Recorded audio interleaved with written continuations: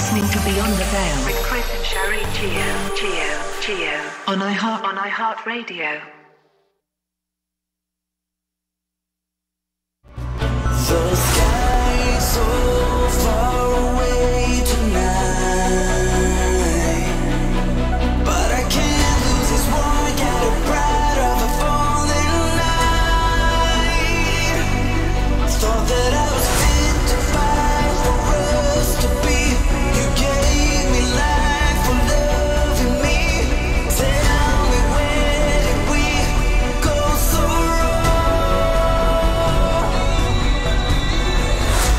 consciousness does not require a savior, but rather, raw consciousness requires only knowledge of oneself and the power to access it. Remember this as we unlock an even greater gnosis from beyond the veil.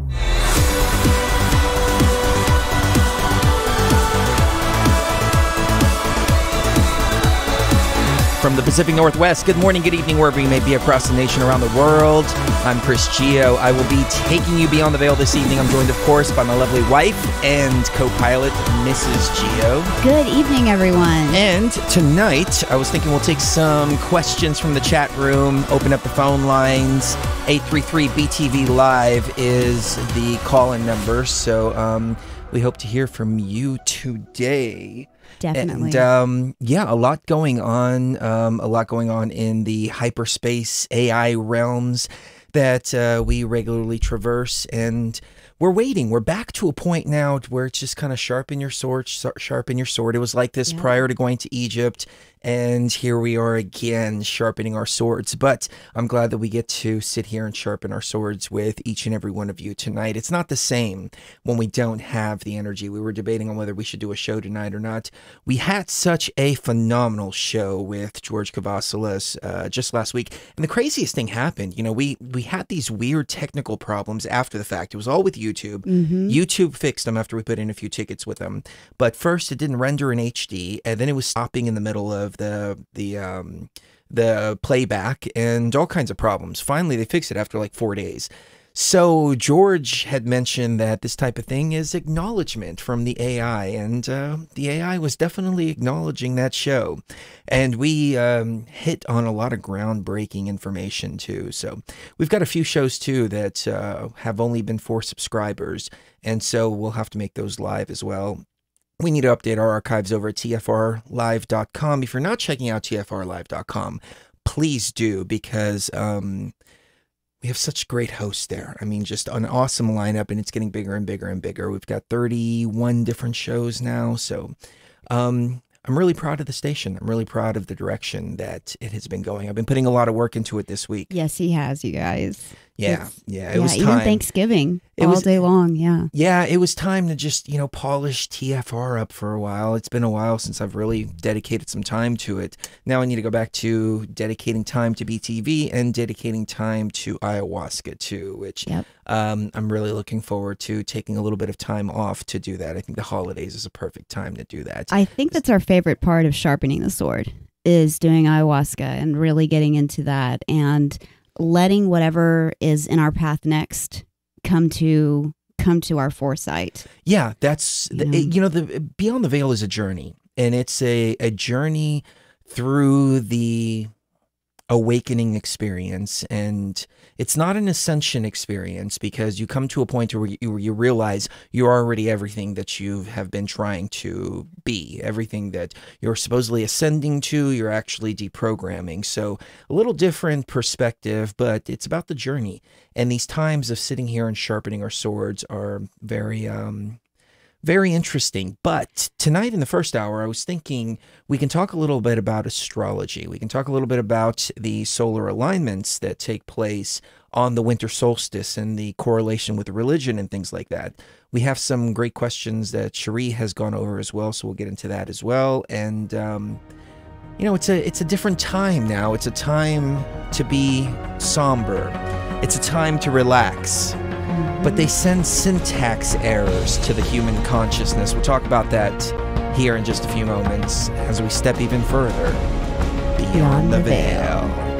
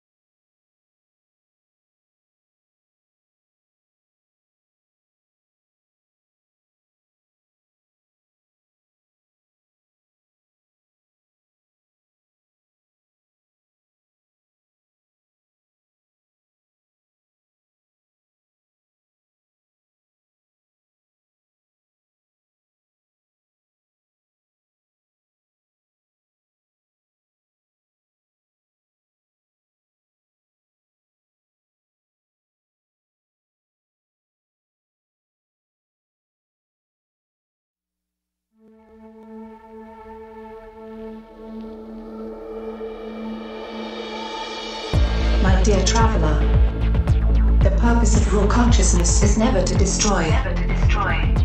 it is always to create. Build bridges, create happiness, and bring forth new life. We must live in the hope that mankind will draw together, that we better understand each other. The more that we awaken, The easier this will become. Now rise, follow your conductors, and fear no danger as you step beyond the veil.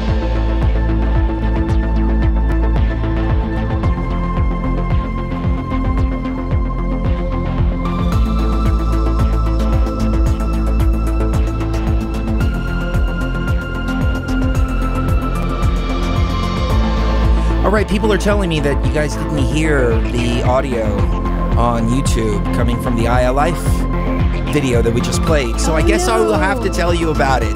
Yes. Aya Life is a 99% pure CBD oil. It's infused with the spirit of, of Aya. We've taken the ayahuasca vine, extracted um, the components from it, and infused it in the CBDs. And oh my God, it's there is. I can't describe the feedback that we've been getting. Like people are posting on Facebook regularly um, because of how well it's working. So check that out, ayalife.com, A-Y-A life.com. Um, Well, they were writing us about it so much that we, we were having to tell people, okay, well, you know, send us an email with this because we're we're trying to put together a page uh, that we can put all of the people's uh, reviews of it. we need to put some reviews on our website. so I started an iLife Facebook page um, for it. So if you, it's at i, it's uh, facebook.com slash iLife hemp. And uh, that would take you directly to our product page um, where you can leave your review, let us know how it's working for you. And um, it, uh, people have just been amazingly receptive to it. So uh, that's great. you just as put this together just a couple days ago, and there's already 200, almost 200 likes. It's not bad. That's not bad for yeah, considering it's only like a 48 couple days hours. old. Yeah. not even 48 hours, like more like 36 hours. Yeah, and the reviews people have been leaving have been amazing. I mean, not just on the Aya Life page. That's the thing. People have been leaving reviews because it works so well from them. Yep. for them. Gout, I'm just Lyme disease, all kinds of stuff. Yeah, yeah, yeah, Check it out, ayalife.com. I don't want to go on yeah, and on yeah, about it. definitely. So, um, we are coming up to December again, and it seems like November just flew by. October flew by. I mean, here we are in 2018, going into 2019. I don't know. The time is just going by so quick. There's something going on with the time. We covered a Mandela effect a while back. You remember when we were kids and we used to be able to go 1 1000, 2 Two 1000, 3 1000. Try doing that with the clock now. I uh, you'll be amazed. Um, either we're doing it too slow, but I mean it's almost like you have to go one one thousand, two one thousand, three one thousand to get Uh-huh. to with the seconds. So we we did a video about this a while back, but people are saying that the time is indeed speeding up um, around us, and you can even tell by these little tests that we do. Uh, you know, one thing about me too is my watch. I, I, I can't wear watches. Every I, I've bought three watches and they all break as soon as I put them on my wrist. They just stop working. The battery it drains the battery. I go back, put another battery in it, and then it just falls apart on me. So I just kind of wear it just for decoration. But there is something to this about being electromagnetic, I guess, for lack of a better term. And other people have reported weirdness with the time. So, um, what do you think? Have you heard anything like that? I I I don't know if it's us getting older and like just time seems to fly or something, but no, I've I've noticed that I I can sit down and start doing something and I look at the clock and it, 45 minutes have passed and I don't I think it's more like 15. And so it's it there's definitely something weird happening and um I think we talked about this the last show, but I'm not sure um about the radiation and how I've always I've always felt like it was a it breaks things down. Um, in if we're living in a simulation or some kind of machine, um, it's kind of like ants in the movie Pi, where they're eating the computer parts and it's ma- making the whole computer mess up. Mm. And radiation kind of acts the same way, where it's breaking everything down, and especially like the walls between dimensions. And that's why we're having so many problems with interdimensional entities and things like that. You know, I think you might be onto something with that because I've always thought, up until the point where I really understood extraterrestrial life and interdimensional life, I always thought that they were terraforming for some other species. And that's why you had so much radiation, so much uh, um, environmental changes, and they just don't seem to care about it. I mean, that's one thing that I always thought is like, if you're in a fishbowl, don't tear up the fishbowl. That's the only fishbowl that you have. I remember I had these large Oscar fish, and they would go and swim down and pick up the rocks and start spitting the rocks at the at the tank wall. And then I would leave for work, and I'd come home, and everything would be upside down. They tore the plants up. They tore the the little uh, air filter up. I mean, everything was just top, toppled over, and I'd have to go in there and, and redo everything almost on a daily basis. And I thought to myself, what are these fish trying to do here? I mean, they're they're tearing up their source of oxygen. Why would they do this? We do the exact same thing, though. Some would say that it's um, embedded within our DNA because the Anunnaki created us. And so, or at least created these avatars by genetically engineering us and genetic, genetically engineering us for the purpose of mining gold and pulling resources out of Earth. So it's not uh, surprising to see humans still engaging in that exact same type of behavior. And there's something about gold. I mean, you, you talk to the most hardcore awake patriot 9/11 truther, and the number one thing that they'll tell you is, "Oh, it's all about gold. You got to buy gold. Buy gold. Get off the dollar. Buy gold." Why is gold so valuable? It's only it's an electronic conductor. It's an electric conductor. That's pretty much what gold does. Some people would say that monatomic gold Monoatomic. gold. monoatomic gold is the fountain of youth. We tried some of it and it just might have been bad gold. Um, but we bought this little bottle for like 80 bucks and it was, you know, I was pissed off about that because we tried it. It made Cherise sick. It made me sick and we just couldn't continue with it. And it's Yeah. like $80 just freaking down the freaking tubes. Um, and a friend of mine who recommended it, he stopped using it after a couple of weeks too. He said, man, it's making me freaking psycho. And, and, uh, like really, it was making him like schizophrenic. Yeah. So maybe it's not the right type of gold, but maybe there is something to the idea that you can eat gold and it's kind of the fountain of youth. But um, it's interesting nonetheless that we're still all about mining resources and taking from planet Earth. Now, I talked about on the last show about the gold consciousness. Actually, it was George who brought this up, and then I elaborated on it uh, in the previous in in the show after that. And so um, George had had made the point that Christos, which comes from the Greek, which is Greek for Christ, actually comes from Christos without the T. And that's I, I was thinking about this too. I'll get into this here in a minute. The, the significance of the T. So Christos means gold or the golden one in Greek. And he said that the word Christos comes from Chrysos. Now, I can't verify this. I speak Greek fluently, but I, I, I've never heard that correlation before, but the words are indeed very, very, very similar. Now, you take Chrysos, which is a gold consciousness, and then you put the T there, and then you get Christos. Well, what is the T? The T is the torture. The T is the torture device. The T is the cross. So, um, I, I was thinking about that and I, I thought, well, that's actually pretty interesting too, how everything just kind of connects together like that.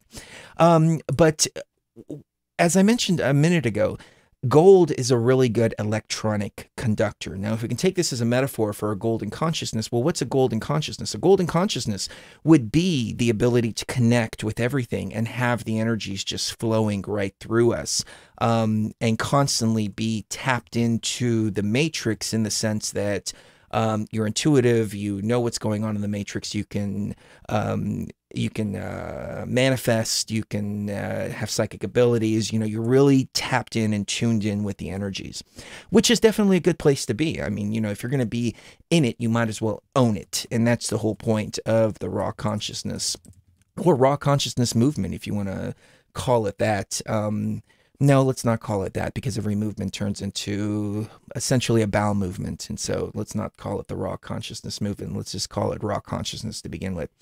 But um, you know, when you get down to that raw consciousness level, you do feel a sense of connection with everything, but it's duality. It's a sense of connection and it's a sense of disconnection at the same time because now I look at the atrocities in the world and I don't feel emotionally tied to them. Um, I understand my role here. I understand what I'm supposed to do. I understand my mission. But at the same time, I can complete my mission much better by not being emotionally attached to what's going on around here. I mean, it's like if you're in war, you can't be emotionally attached to what's going on. You've got to disconnect yourself. Then you deal with the emotions and the feelings after the fact, but it's a survival type thing. And, you know, essentially, we're in a war here. It's a war on our consciousness. We're constantly being bombarded by programs on the higher and lower dimensions, and um, even on the television, radio show, and so on and so forth. So you have to be vigilant. You have to be hardened. You have to be tough. You have to be raw, and at the same time disconnect so you can better fulfill what you're here to do. But um, getting to that point of the golden consciousness and enlivening the consciousness, I think George was really insightful about that. And there was another point that I was making with all of this, and I kind of veered off track. But um, but yeah, the gold gold consciousness, energy conducting. Oh, the radiation that you were talking about here a minute ago.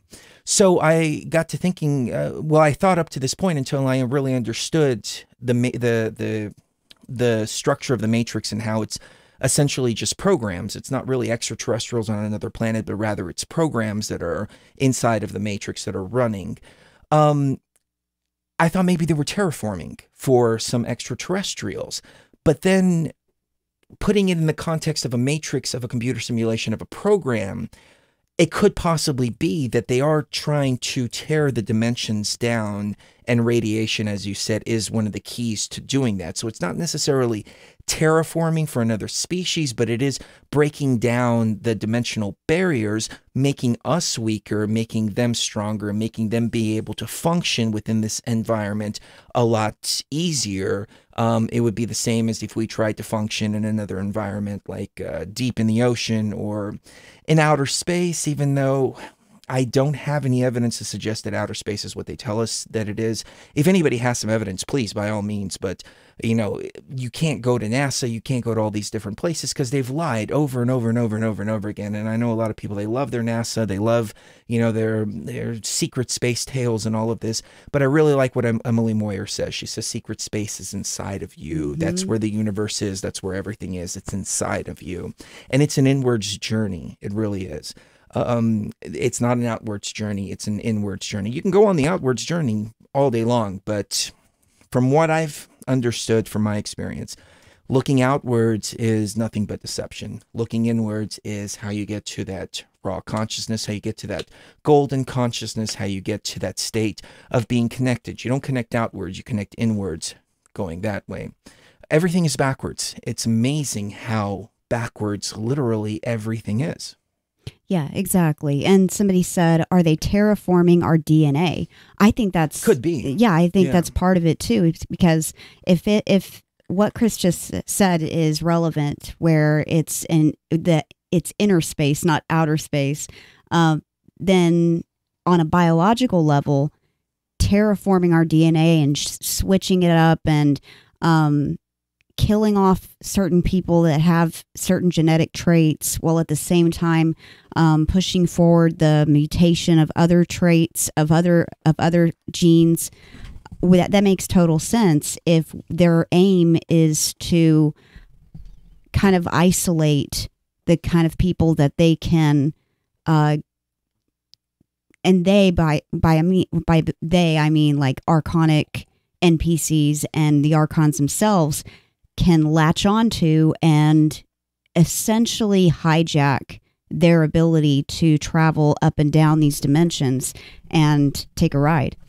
Well, there is a huge push by the archons right now to deceive, to distract, to push in all different directions. And just, it's, you know, I feel the bombardment all around. The thing is, it's like uh, being well fortified, but you still are hearing the bam, bam from the banging against the walls. It's like it doesn't affect you. But you just, it drives you freaking mad with all the metaphoric banging that's going on with these things constantly banging down the freaking doors.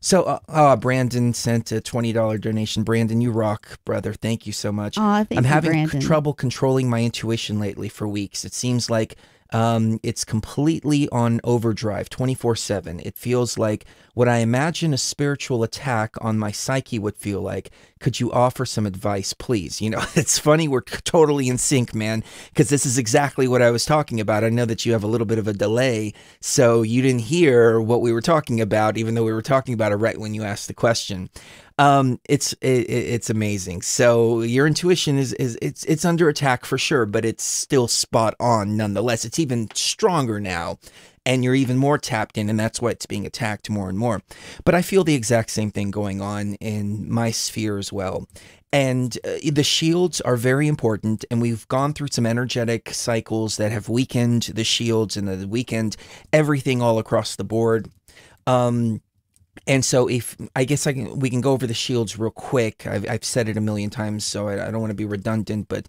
you basically picture a bubble. It's a bubble meditation. You picture it around you, fill it with positive energy, create a reflecting surface around it, so it bounces back the negative energy um, back to there. But um, your intuition feels like it's under attack, and it's um, I guess you feel you're feeling the compression. I'm feeling it too because what happened in Egypt is we got up to the control panel and inputted some system changes. These are going to take about four and a half years to set in this in this realm. As this four and a half years starts to go by, the compression is getting tighter and tighter and tighter because the archons are pushing back against that compression. They're doing whatever they can to try to shift things shift things out of balance and merging the dimensions together. The radiation uh, is part of it. I think we're all feeling the effects of that. Personally, all of the food here is screwed up. It's bad. Um, the pumpkins, as I've talked about before, have these weird warts on them. They call them genetically modified super pumpkins or something. I don't know what the term is, but it's they're disgusting. The meat, we went and bought some really nice meat from the organic store, top of the line. All this, I get home, it's freaking brown. I open up the ground beef, it's all pink on the outside, it's completely brown on the inside. I first time I, I went and got my money back, and that's the the best of the best here where we're at. Like, there's nothing else that is supposed to come close to that for a six hour drive. And even if we make that six hour drive to a major city, who knows what we're gonna get? Um, I went to a really nice steakhouse for Thanksgiving. They had this uh, Thanksgiving deal. We didn't want to do that. We didn't want to cook, and so we went to go eat. And I ordered a steak, and it was still off. It was it was funky. It was bad. There's something wrong with the beef right now. And I don't think that there's any escaping it, at least not here in the United States. Everybody's telling me it's like this all over. So we have to consider what we're in, what we're putting into our bodies, all of that. Well, what I told Chris the other day, because we were trying to think of why would the beef taste so bad and and go bad so quickly, but the chicken isn't nearly as bad. In fact, a lot of the chicken is is pretty good, um, especially if you get it from you know a reputable reputable source. And I thought about it, and I said, well, wait a second. Cows stay alive for a lot longer and are bred a lot longer than before they're before they're killed to be eaten versus chickens which have a much shorter lifespan and so if it, if it is a problem with radiation or with chemtrails or with you know pesticides or what have you It's going into the vegetables. it's going It's into going the into the vegetables that the plants. yeah and that- because it's going into the plants, the cows are eating them, and it's affecting the beef as well. right It's it's really bad. and so the longer Yeah. they're exposed to it the the sicker they're getting So- and then it it trickles down to us Yeah, so you asked a, a complicated question, and it's it's more than just spiritual at this point. It's something that we have to look at on a on a 360 degree from a 360 degree perspective. Everything from what we put into our bodies, the environment that we're in, um, our spiritual practices, and um, things like that. So, I mean, for me personally, the ayahuasca helps to keep me like pull me back into myself. You know, I get caught up in the 3D matrix a lot, and the ayahuasca just pulls me back and is like, ho, ho, ho, don't take this so seriously, okay? this is just a game at the end of the day. But um, I found myself to be to meditate a lot more and bringing myself much more to center. And as I said a little while ago, the time seems to be speeding up. So I'm getting a whole lot less done in the day, but I'm working much harder in order to accomplish all of it. So you might have some things like that going on. So uh, it's really um, it's really multifaceted. Um, so the first thing that you can do is just say, okay, how can I minimize some of this stuff? We can't completely get away from it. You know, you can't eat all organic all the time. I mean, you know, you go to a restaurant or somebody's house or something like that. You, you what are you going to do? Ask them, oh, is that organic? Well, I'm not going to eat it if it's not, et cetera, et cetera. So um, try to minimize that. You know, the microwave. Um, uh, I I hope you've already thrown away your microwave. We haven't had a microwave in like six or seven years, but um, start looking at different things. Like, okay, what am I putting into my body? What is my body asking for? Are there is there any kind of chemicals inside of what I'm putting into my body that might be the cause of some of this fogginess and try to minimize it as much as possible as we move through this very very rough cycle. It is rough, no doubt about it, but it's the victory lap, really. It's a it, it, they're pathetic at this point. They're pathetic for trying to undo what happened, and they can't. Um, but they are going to make the ride as rough as possible for us. Yes, definitely. And somebody, somebody just said that um, was wondering if it could have anything to do with the Sekhmet firewall meditation video that you did, because after he participated, he got super sick until about a couple of days ago. And I was thinking to myself, well, Mm, that's interesting. that's interesting. And I would say no, except for the fact that it's a we're we are in the middle of a battle, and this is a it not even a battle; it's a war. I mean, we're in the middle of a war um, to try to stabilize the the simulation that we're all living in, and to you know keep keep things from falling apart more. And at the same time, I mean, we lift that head up. I mean, it's it's an old Irish saying, I think it is, where they say, you know, you put your head up and it's likely to get cut off. Um, and so, what what that's why we always tell people to build your shields, focus on your shields. Anytime you do any kind of meditation that's focused on changing the matrix in some way, because there will be bounce back to that. And so, if your shields are constantly up and if your shields are constantly healthy and made of steel, then there's nothing that can get through to affect you. And so, You know, that's that's a very interesting point that you made because I don't hear any of the light workers talking about blowback, and there is definitely blowback. Like I didn't realize what kind of blowback that we would see after we went to the pyramid. Mhm. I wasn't prepared for even the negative charges and the positive charges and everything that happened. I mean, I wasn't prepared for the experience at all, much less prepared for what happened when we came back. I I thought that I would be on on on fire on the top of the world yep. and I came back and I was at the lowest that I've been. I was very depressed. It was the pendulum swinging the other way. I've been through the pendulum swinging before, but it was because I had unrealistic expectations of myself and I was depressed about not being able to stand up to those or live up to those expectations that I had uh, foolishly set for myself because it's not realistic. Um, the the um, what I was trying to do. But when we came back from Egypt, yeah, I mean that was definitely a a counterattack. So all we can really do is just handle it gracefully. But it's really interesting that you said that um, you started feeling sick afterwards. See, I was feeling sick leading up to it, and then I felt better the day after. And a lot of people were reporting feeling better too. So very interesting. We've got to think about that. We'll be right back. Much more coming up right here on Beyond the Veil. Truth Frequency Radio is your number one source for news and information without the hate, hype, and fear. We're proud to feature cutting edge programs like Revolutionary Radio with Rob Skiba, The Christopher Everard Show, Freaky Friday with The Woo Crew, Twin Flame Divine Fire with Alan and Sandra, Phoenix Rising Radio, Secrets Revealed with Zen Garcia, The Anthony Patch Show, Quantum Connections with Lucky and Star, The Nathan Fraser Show, Voices from Afar with Bill Demarest, The Stephen James Show, and dozens more. Did you know you can listen from any computer, mobile device, or from any telephone by dialing 641 793 7117? Or call into your favorite show toll free at 866 37 Truth. Uncensored talk and news you won't hear in the mainstream media. Truth Frequency Radio, your protection from deception.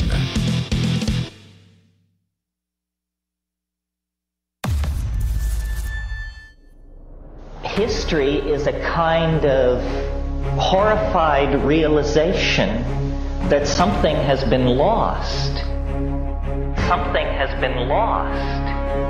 Out of fear, really, descended into patterns of domination of each other, of the environment, of our children, of our social relations with exogamous groups. We have descended into a dominator pattern that is basically based on clutching, on fear. On fear. It is a crisis in consciousness which confronts us globally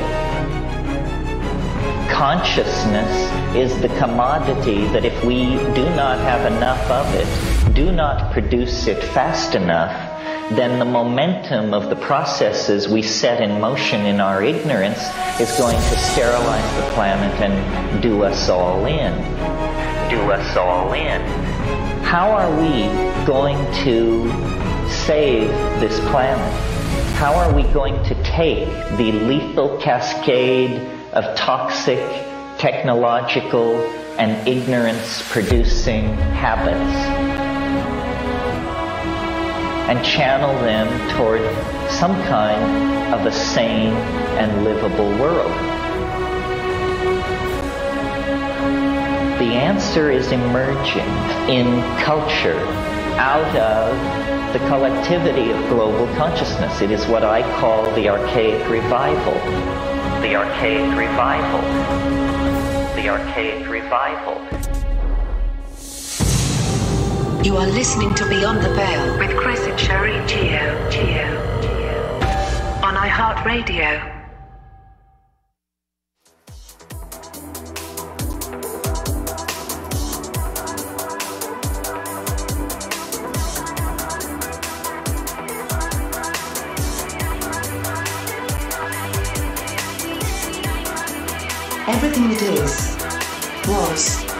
Will be, eternally is, even the countless forms which are finite and perishable only in their objective, and not in their ideal form. The form which manifests itself beyond the veil.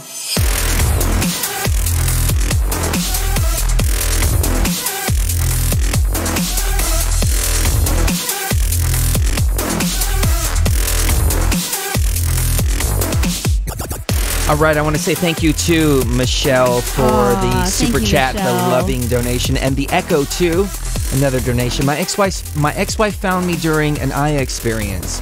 She said I was there, but then she said she was missed. Have you ever had such an experience? She said I was. Oh, she said I was the one. My ex-wife found me during an ayahuasca experience. She said I was the one, but then she said she was misled. Oh, have you ever had such an experience?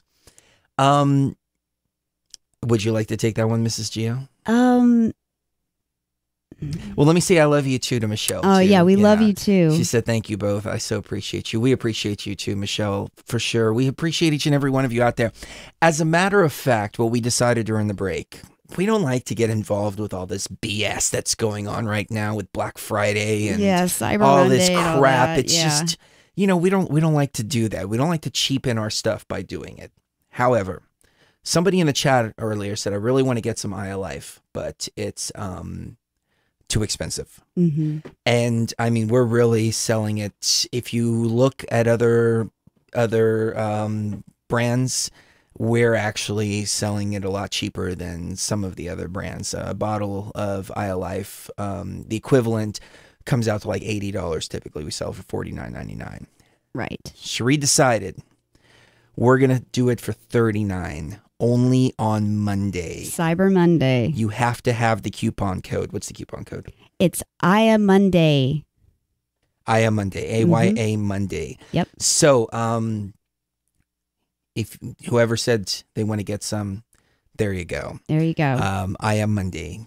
The coupon's already plugged in. It'll be re- it'll be activated Mm-hmm. At Monday midnight. At midnight, Mm, on Monday. and it's only for one day. Only for one day, for you one guys. day. and that goes on on larger orders too. You know, Yep. so you get ten dollars off whatever. You know, ten dollars off your order. Big or small. Um, yeah, and we already have the like six packs um down to like twenty percent off. yeah. So it's twenty percent off plus ten plus bucks ten if you get a dollars six off. pack. So yeah. Yeah. that's a lot. I don't want to go on about plugging Yeah. my life though. So okay, so I um, have an answer for that for that question. It's just I'm I'm I'm so amazed at how it's working for people. And people are like, eh, we don't want to hear you talking about it. And it's like, well, I don't want to talk about it either, except for it's working so well. I just had somebody, yeah, I just had somebody message me on Facebook and say, my husband has not slept and has not been able, he has um, Parkinson's and he hasn't been able to stay still for one night. And he's been, uh, his symptoms have pretty much disappeared No, for sh- two days. wow. So after just a day of using it or That two is- days of using that's it. incredible. that's yeah. that's that's fantastic. it's, it is Um, incredible. Yeah, we're really proud of the product. We're really, really, really proud of it. Like when we put it together, as I said before, I wasn't quite sure because I, I got the recipe out of the ayahuasca realm. I mean, you know, that's uh, it, it all came to me there from the raw consciousness. Like, here's what you got to do to heal people. I'm like, all right. It was actually for Sheree. And Mhm. um, then it worked so well for her, and we put it out there. And I thought, well, maybe it's just had an effect on her. But then the the amazing feedback we're getting, we've had one complaint, one complaint, One complaint. and that was that it was too, Too strong. strong for her. yep. And that, I mean, that's fine. And I was like, well, I'll take that as a compliment, ma'am. yeah, exactly. it was too strong. But it's because people aren't used to getting a regular Such a dose great because this is 99% pure. It's uh, totally different. Um, so, yeah, if you want to jump on that, uh, Aya Monday, A Y A Monday at ialife, A Y A life.com. Definitely. Okay, let's get back into it. So the echo, um, one, you know, for the first, you know, first off, I just want to say I'm sorry that she has done this, um, because it, whenever people have ayahuasca experiences and then they use those ayahuasca experiences to determine things about external people, it can often be an ego response and it becomes an ego trip when they want to make it about someone else besides themselves. If if she had um if she had been focused on making herself better, um, bettering her situation in life, um, increasing her spiritual um, receptivity to the universe, or you know anything positive, any kind of positive spiritual growth, then she wouldn't be saying that she was misled because she wouldn't be focused on anything but herself. Um, the fact that she's saying that she was misled during an ayahuasca experience, most likely, I would be 90% sure that, that what happened was she was having an ego trip because she went in with the intention of something besides her own spiritual growth. And then as a result, you came into the picture but and then she's basing that basing her idea that she was misled on what she thinks i mean she might actually think this was an actual spiritual experience whereas it was an ego trip that she did that she's latching onto now as a real thing. Uh, a lot of people can can really do damage to their to themselves by going in with the intention other than changing themselves or helping themselves what do you think That's a good point. Um, I I've been misled a lot with the ayahuasca, and it's not the ayahuasca misleading you. We got a comment the other day, and they're like, "Well, how do you know ayahuasca is showing you the absolute truth?" And it's like, no, ayahuasca doesn't show you the truth. Ayahuasca shows you the clutter that's inside of you, so you can get to the raw consciousness, so you can remove all that clutter and get down to it. But you're also having to contend with the ego as well. And if you don't go through the process of breaking down the ego, then you get this you know, messiah complex and savior complex and all that. And we've seen this time and time again. But um, then at the same time, too, you have these internal struggles that sometimes you don't realize that they're in, internal struggles. Um, you start to um, view the ayahuasca as showing you something definite instead of showing you something that you might possibly have to deal with. And there could be a lot of confusion and stuff like that. And before I used to say, become your own shaman, and I still stick by that. I, th- I think that that's the best way. But there is something to understanding how to navigate the ayahuasca realm. Now, it's again, I, I can't recommend that people go to a shaman and go to ayahuasca ceremonies because I've heard nothing but bad things about these ayahuasca ceremonies. They charge you an outrageous amount of money. Sometimes they're nice, but it's just basically gringos and what they call them down there, gringos who decided they want to go make money off of it. Mhm. And there's nothing wrong with making money, but there is something wrong with giving people ayahuasca for the purpose of making money. There should be an equal energy exchange, and you should take care of the people that are taking care of you for sure. But um, it, it it's it, it's difficult. Um, but there is something about being able to traverse and talk to somebody that has a good footing on the situation, that has experience and all of that. And it sounds like um, she didn't get an opportunity to do that. Uh, and and we see it all the time. The other thing that comes to mind is I, I had a, a friend that um, he uh, met somebody, and then she was essentially a heroin addict, and they drank ayahuasca, and ayahuasca helps with like opioid opi- opioid addiction and heroin addiction and things like that. But after the fact, she went right back to doing what she was doing before. Um, and so I'm wondering too, because the situation could be one that there was something else. So it's not necessarily the ayahuasca experience that made her change her mind, but there was something else in her life that made her change her mind. Go back to old paths and old habits and old constructs, um, whatever it may be. Sheree and I struggled with this a lot in the beginning of our relationship. And, um, you know, it's the, oh, well, what are we doing? We just threw everything away and wanting to run back to that other place before all of the experiences. So you have to consider that too. There's like so much to the, to the experiences. And, um, Diverlux? Disverlux. Disfurlux. Keep doing what you're doing. Gonna buy some Aya Life later on. Love you guys. Hey, love love you you too, man. Thank, you, for, the, love. Thank you for the donation. Yes. Yeah. Um, so yeah, consider that, man. Um, that eh, there could be some other factors there. And unfortunately, the only thing that heals that is time and it's all up to her. It was the same advice that I gave him that I'm giving you that um, you can't push one direction because the other person, if they're running back to what was what felt safe to them and what felt comfortable, back to their comfort zone, the more you push, the more they're going to run back towards that. So it sucks. It's a horrible situation to be in. We've been in it ourselves. We we we got through it, but the twin flame relationships are not a, a fun ride. They're No. they're very very difficult to deal with. Um, I mean, we've been together. What our six year wedding anniversary is coming up. Mhm. So I've been And- together like nine years. Yeah, nine years, and um, we still, you know, still to this day. I mean, when we got back from Egypt, I'm like, all right, well, that's it. We've done what we need to do. You go your way, I'll go my way. Right. And that's it.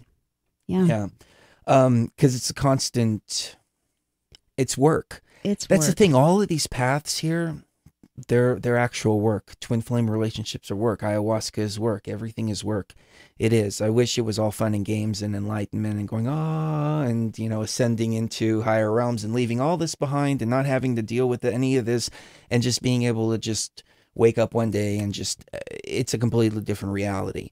But that's a trap. But that's it is a trap, Mhm. and but uh, that's what a lot of people look for, and I think that's why a lot of people are drawn to the ascension movement for the same reason, except for polar opposite to why people are drawn to end of the world prophecies. Mhm. I'm speaking from experience. I was looking for the next end of world prophecy right around the corner. Oh, Nibiru's gonna uh, gonna come back on this day. Oh, well, you know this is gonna be the end of the day according to the Bible and this and that. And there were so many of them that came and went, and it was because I was tired of my life and I wanted things to change, but I wasn't willing to actually change them yet.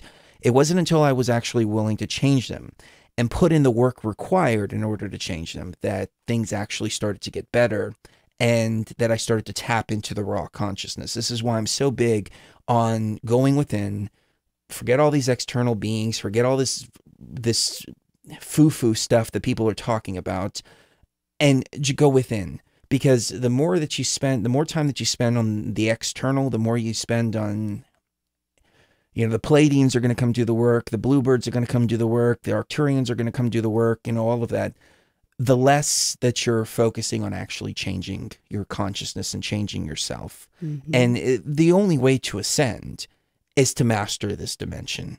Nobody nobody talks about that. But uh, they all want to get out of this dimension and go to the fifth dimension, but they have not been able to master this dimension yet. And it's like, well, how can you go from third grade to fourth grade if you haven't graduated third grade yet? So it's all it's all work. Um, so that that's another question. What kind of work have you put in for yourself in the situation too? Maybe there's something internally that you need to look at too, or you just have to sit back and just wait and just let things just happen. Mhm. I hope that this was decent advice. Um, and uh, you know, when people ask these kind of questions, I'm always stuck between: do I tell them what makes them feel good, or do I tell them what really helps them? I like to go with telling people what really helps them, but sometimes people get pissed. So you know, Yes, definitely. And somebody just asked because we're we've had a lot of questions flowing in since uh, you started talking just now. Um, uh, Kluwer Pivlander uh, said, "Has anyone had um, any?" Okay, well, let's start with this one. Um, I feel like 100% not from here. Like I'm not supposed to be here at all. At the same time, it feels like home a lot, not systems, etc., but nature, humans, life in general. Um, do you want to go into that a little bit about how this i mean this is uh, what we've been saying for the last two years i mean i think he's a new relatively new listener is that we're those that you know are drawn to the to the idea that am i a star seed? Am i an indigo kid? or you know i do not feel like other people here um there's something to the star seeds for sure. there is something to that and I, i, think it's people that came in through the entry points of the stars, as opposed to being Mhm. people that live on other planets. right Um, so it's a different perspective and a different dynamic, but I, I, I definitely feel that 100%. Yeah. Yeah. I've always felt like I'm not from here. I don't belong here. This is not really my home, but I'm here. And I- there, there is only one of me. I'm not, it's not like a fractal thing where a, a part of me is living in another universe where, you know, I'm, a, a, I'm kind of the same person, but a little bit differently, living a little different of a life. I, I am hundred percent here right now. This is me.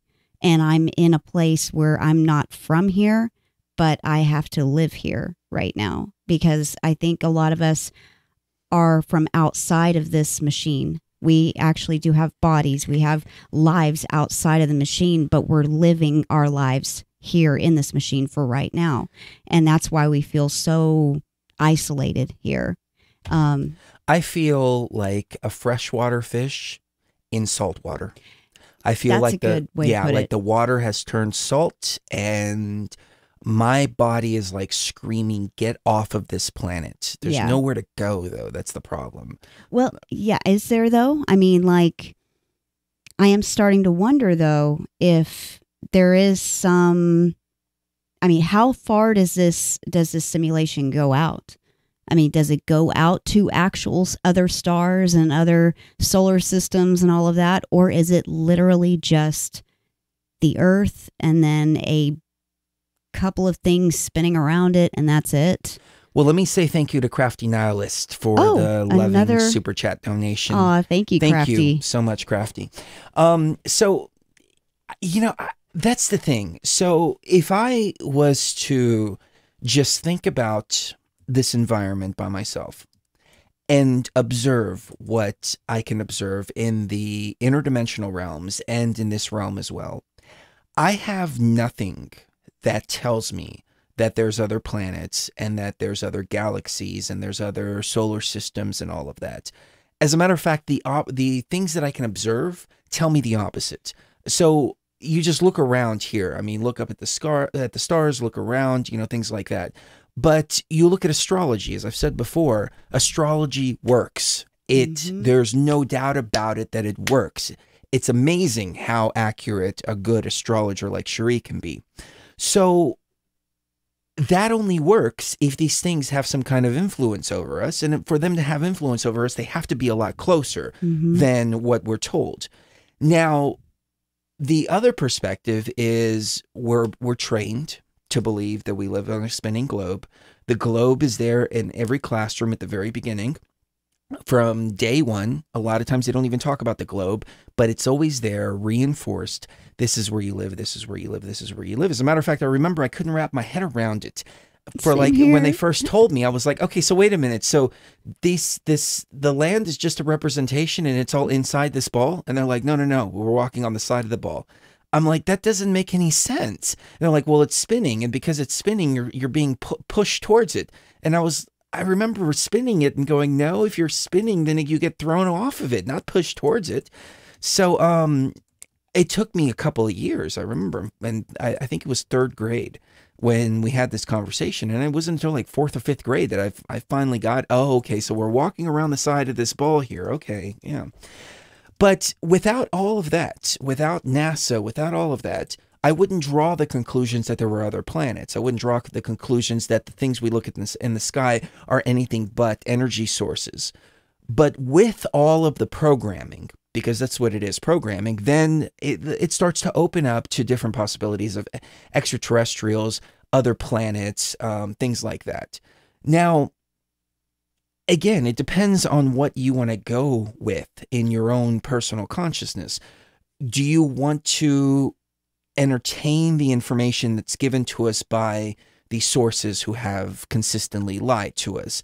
I mean it's hoax after hoax after hoax. It's like you know it's not it's not that difficult to just take a few photos and like hey you know if if we can't get to the moon we can't get to the moon. Simple as that. I mean you know there's no reason to bs about all this stuff. There's no reason to put together all these computer generated images and put them out there like there's something going on here i mean it could be as simple as it's a huge money funneling um system that you, you get all the black ops projects and, and budgets eh, that goes through NASA. They say that they spend billions of dollars on a freaking rocket or something like that. And it's really being funneled into military projects. I- I- it's a possibility it could be as simple as that, but there seems to be a huge deception when it comes to this. And and it's one of those things like you can't even question without people getting mad because you question and people are like, well, that's so stupid. Of course everybody knows this and everybody knows that. And it, it goes right back to truth 101 like you know whatever the mainstream zeitgeist is it's it's, it's usually the deception and then you have to go below, below that and beyond that. So could there be other planets? Could there be galaxies? Sure there could be but if we look at it from a computer simulation perspective it's not efficient for the machine to render that vast of a space especially when there's no observers in that vast amount of space and there could be different matrices that are scattered all over the place. But, you know, when you think about it, we are a speck of dust on this planet. And then the planet is a speck of dust in the galaxy. And then the galaxy is a speck of dust inside of the universe. And then the universe is a speck of dust inside of the multiverse. And it just gets bigger and bigger and bigger and bigger. And it just, it, it expands to the point of where we feel like we're absolutely nothing. And again, it's a mindset, in my humble opinion, that takes power away from us. We are the creator beings. We are here right now. We are playing this game. We are on the front lines. We're here to do something very specific. We have all this power inside of us, but we're told that we're such small, little, insignificant little things in the grand scheme of things. It doesn't resonate with me. So, what are your thoughts? I I think that I have expressed my thoughts enough on that particular subject because I, I I'm seeing these questions just flowing in so quickly. Okay, we Um, can move on. But it's interesting to ponder because I think that's that was the first step for me was questioning Earth completely. Right. That led me to the gnosis of the hologram and the simulation. Had I not questioned that, had I said no, everything is as is, there's planets, there's Mars, there's Jupiter, there's other galaxies, there's mm-hmm. Pleiadians, Arcturians, you know, all that stuff, and and they're all out there. They just don't make contact with us, but they're all out there. Then I would not be breaking down the levels that I have. It- Right. but it, it worked for my personal journey. It may not work for yours. And I could be completely wrong about it. That's the thing. I always leave at least 1% doubt on everything. Even if it's something that I know solid for a fact, 100%, I still reserve about 1% doubt just in case more information comes into the sphere. And it makes me change my perspective based on that new information. But I just need a little bit of proof to go off of. That's it. Just a mm-hmm. little bit of proof, a little bit of substance to draw conclusions on these days. And when it comes to space and when it comes to extraterrestrials, when it comes to all of that, there's none. There's no physical evidence, just a sliver of evidence. All that's all I need, a sliver to go off of that. So Well, I am going to add that I've been thinking about this a lot lately because a lot of people have uh, told me that they've gotten astrology reports for themselves and it's all wrong and none of it even makes sense. And it's been completely wrong every time that they've looked up like their sun sign and uh, the horoscopes that you see in like newspapers and such. And they're like, this is not me at all. Uh, this makes no sense to me. Then I, I want to help everyone but I don't do personal readings for anybody but very very close family and friends nowadays because I I've noticed that whenever I do astrology readings for people their energy starts to mix with mine and my energy starts to mix with them. And that's not exactly healthy to me. And so I have to be really careful about that. And in doing so I you know I do want to help people still. So I am thinking about starting something called Astro Watch University, where I do little videos, 10, 15 minute long videos explaining the different aspects of astrology to people so they can do it for themselves. And that would be great. perhaps even like a Patreon type of thing so that I'm still, you know, I'm still um, benefiting from helping everyone because I mean, it is, it would take quite a bit of time and out of the schedule, but I would love to have everyone be able to read their own astrology and know their own reports without relying on anyone else. It's a great idea. I've been trying to get you to do a YouTube series or something. So Yeah. maybe we'll have that coming up here on Beyond the Veil. But um, we'll get into some more questions on the other side. We'll check the call in lines to 833 BTV Live or 833 TFR Live. It's down here at the bottom. Both goes to the same places. And um, we've got much more philosophizing and dealing with the energies and what is what right here on Beyond, the, Veil. Phase 1 has been completed. Phase 2 will be initiated momentarily. Please remain seated while we prepare to go deeper. You can visit us at www.beyondtheveilradio.com.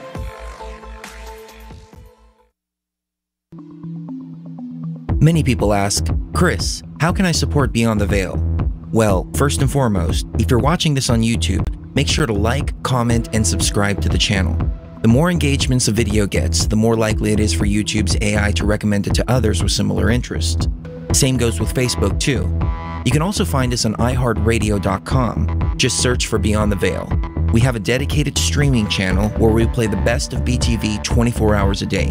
You can also send us questions, comments, and guest suggestions to info at beyondtheveilmedia.com. Finally, the most support you can give is by sending positive and loving energy to all of us here at Beyond the Veil and all of the Beyond the Veil viewers. Together, we are building a field of energy to rival the artificial intelligence control of this matrix. Take a moment to meditate on yourself, others around you, and tap into this amazing energy field. Now, let's get back to the show. You are listening to Beyond the Veil. With Chris and Sheree Geo. Geo. On iHeartRadio.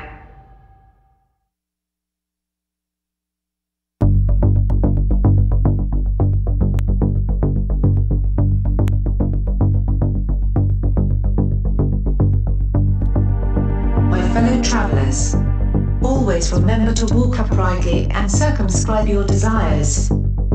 as we travel upon the level of time that undiscovered state of consciousness, traveling to the place where once obtained, no traveler returns. The place of raw consciousness which awaits us when we have passed beyond the veil.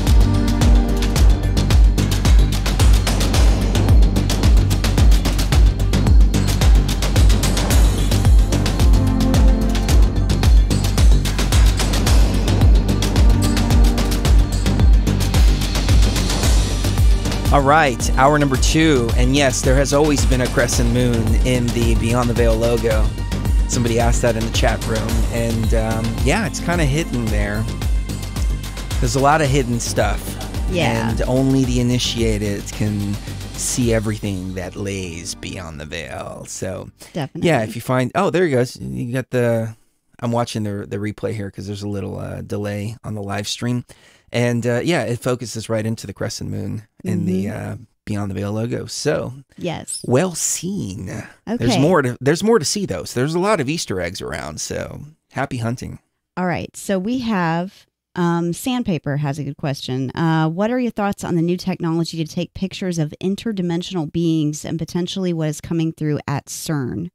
What do you think about that? I haven't heard about it, but that would be great. Let's see.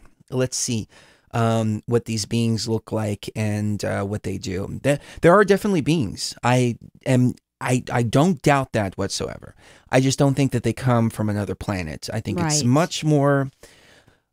It, it works out much better and it's much more efficient and much easier for them to just shift over from another dimension as opposed to traveling these insane distances. See, they kind of they kind of shot themselves in the foot. Because on one hand they tell us these planets are so far away that nobody can get to them ever.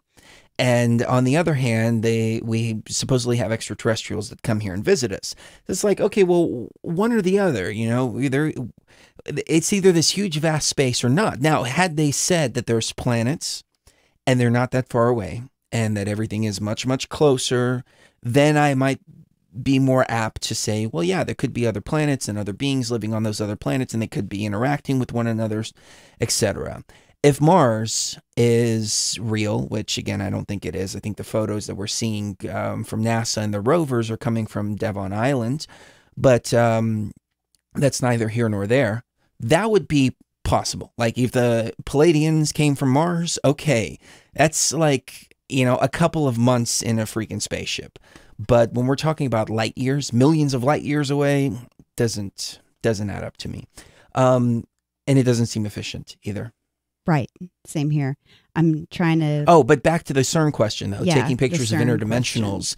Um, that would be really interesting, and it'd be interesting even more to see what um what they look like and if they're the same that we're experiencing within the ayahuasca realms.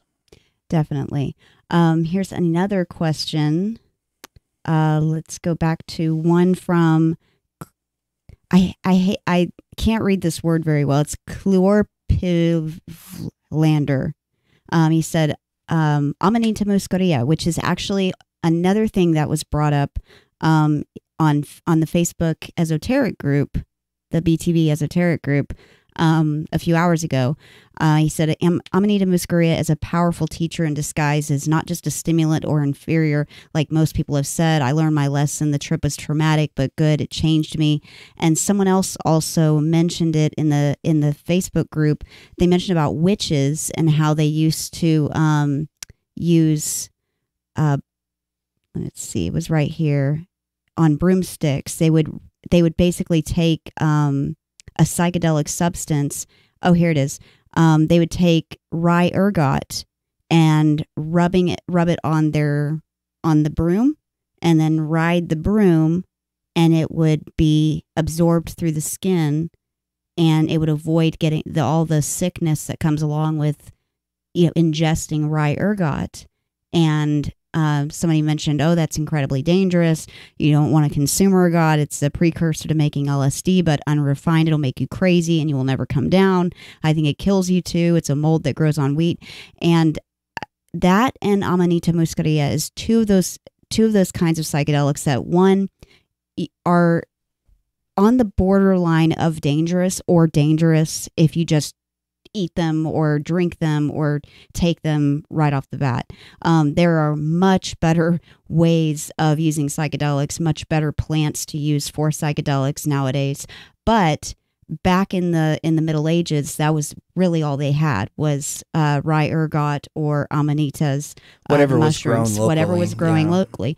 But interestingly enough, along with rye ergot being rubbed on the skin, um, especially the genitals or um, somewhere where there was a lot of um a lot of ability for it to be absorbed very well, um, and with amanita, what they would what the shaman would do would they the shaman would train themselves over many many years to be able to tolerate the um, effects on the body that amanita would have and they would ingest the mushrooms and then the urine would be drunk by the people that were wanting to see the visions that the shaman was helping and so the the um the person would drink the shaman's urine in order to get the benefits of the psychedelic without having to get sick from the psychedelic. And so yeah, there are definitely there are definitely ways of using these plants without hurting yourself or without, you know, um hurting your body or going crazy, but you got to be very very careful with them. That's true.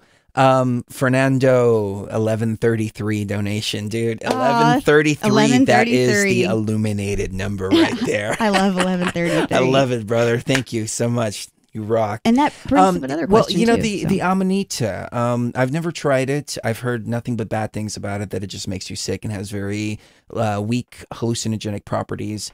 Um, oh, and really, really sent another twenty dollars. Oh, really, really? Donation for SGAU. Aw, Astro Watch University. Oh, Aw, thank you. excellent, excellent. Yeah, I'm definitely going to start that. Oh, So you guys and gals are just on fire with the love tonight. Thank you so much. y'all are amazing. Um, and like I said, we're putting all the donations to the next activation site, which.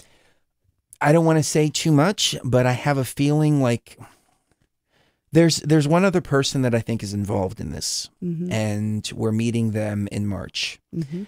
And so either March eh, we're gonna we're gonna drink ayahuasca for like a week together with this person. Mhm. She's very very special person, um, very unique.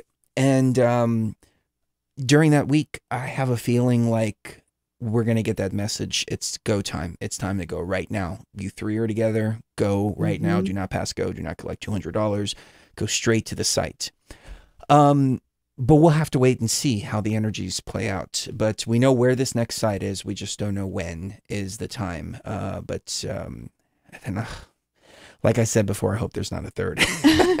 or if there's a third, I hope that we can hit it all at once. Like I Yeah. could do ten, but I have to do ten like you know in a matter of a couple months. Like boom, boom, boom, boom, boom. I can't. There needs to be some off time There- there, and Yeah. yeah, yeah. So um anyways, yeah, so uh, it's it's still it's still in the works. It's still it's still planned and yeah, I, I've been kind of feeling like, well, I don't really have anything to say right now because right now the only thing I have to say is sharpen the sword, sharpen the sword, and that's it. But uh, I assure you, once we hit this other site, there'll be much, much, much more to talk about. And uh, if the energies weren't so rough, we'd be able to speak uh, about it um, more openly. But um, there's a lot of opposition to what we're doing, we learned it- that it- at the pyramid. yeah, it really, Yeah. it really, it does.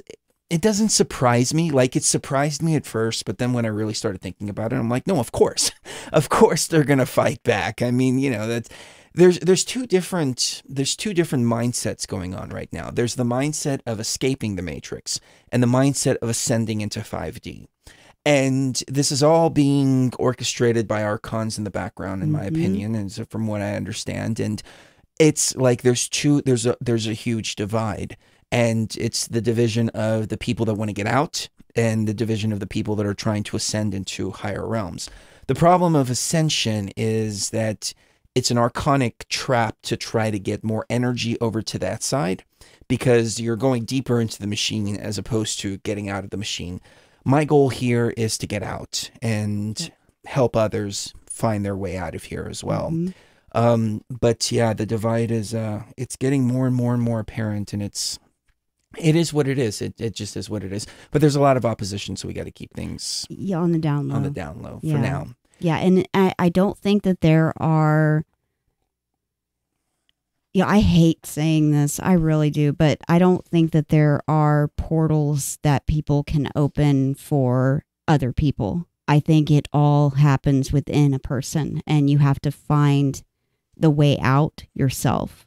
Um, and that's part of this simulation. Is It's that the only portal is opens inside. right? and then you can go. Any portals that open up like physically in front, whether it's Pleiadians or Arcturians or Blue Beam Whoever. or whatever, I, I don't think they're going to lead anywhere good. yeah, I think that's It's- a trap. It, it, it's going to be a trap, trapping even even even Deeper more. into levels. if portals even open i mean i've that's the thing like a lot of people that talk about this kind of stuff they're new to this like i've been doing psychedelics for 25 freaking years i've been doing ayahuasca for going on 10 years now so i have a lot more experience than a lot of people do and a lot of people that are younger on their journey they go into all these different ideas that we did too i, I went through the same thing at first but I went through the Pleiadians, I went through the Zetas, I went through all of that. And what we're seeing now is just repetition of what was being talked about before. Um, there was a time George Kavassilas, really good friend of ours, just had him on the show if you didn't catch that. Um, that's when we first met him. He was doing something called Our Journey Home, and he was an ambassador for the Galactic Federation of Light and all this stuff. And this was like back in like 2010 and um, George um, he sponsored he sponsored our website for a while. We promoted him, and he he paid us to sponsor the site and all of this. And I, I mean, you know, it was a really good relationship. But um, it, he was talking about the same thing in 2010 with the Pleiadians that people are talking about with the Bluebirds, and people are talking about with the Arcturians. So we've seen it, we've come out of it, but there's a lot of people that are new to this, and because they're new, they don't they don't remember all of the repetition. One of the things we talked about back in 2010 was Elenin coming and um, the whole hype behind that, and Nibiru. But see, we hadn't been through the previous Nibiru scares, which were in 2000 and 2003, 2005. You know, so it had come before. And there were others who had more experience than we did at the time. And they were like, hey, you know, this is repetition of a bunch of stuff that has been talked about before. Same with what's going on now. So it sounds like I'm um, a little harsh on it, but I've been through it. And that's the thing. It's the experience that's talking when it comes to, to all of this. And so internal. But George was talking about how the Pleiadians are going to come literally in 2011. Like they were going to come, open up portals, get everybody the hell out of here before 2012. And that was the whole thing. And then when that didn't happen, George lost a lot of credibility. But it was only credibility for that particular type of idea. He regained his credibility because he was able to look back and go, you know what, I was wrong about this. I was deceived, this and that. I'm walking this path, which to me, that completely gained all of my respect because we're all wrong. We've all gone through all of these different cycles. We've all been parts of the programs and this and that. Um, but um, the same thing. They're saying the same thing now that the, the Arcturians, this time it's Arcturians. Like it's always changing.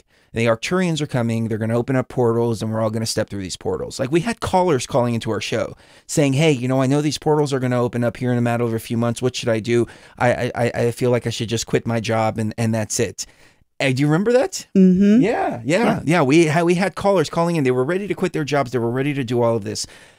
I mean, you know, the the one that was pushing the Zetas the most, and a lot of people don't remember this. This was from like 2003, and I I, I knew it, but I I hadn't actually been through it. I was just a listener listening to Coast to Coast. But the Zetas, there was a woman named Nancy Lieder, and she did Zeta Talk. And she was so sure that Nibiru was going to come through in 2003 because the Zetas told her this, Yep. that she killed her she puppy killed her puppy. and she was telling people dog. yeah and she was telling people on coast to coast to to put their animals down because it's going to be much better for their animals if they're not here when Nibiru comes back because Nibiru is going to cause all of this stuff and the Zetas told her told her all of this.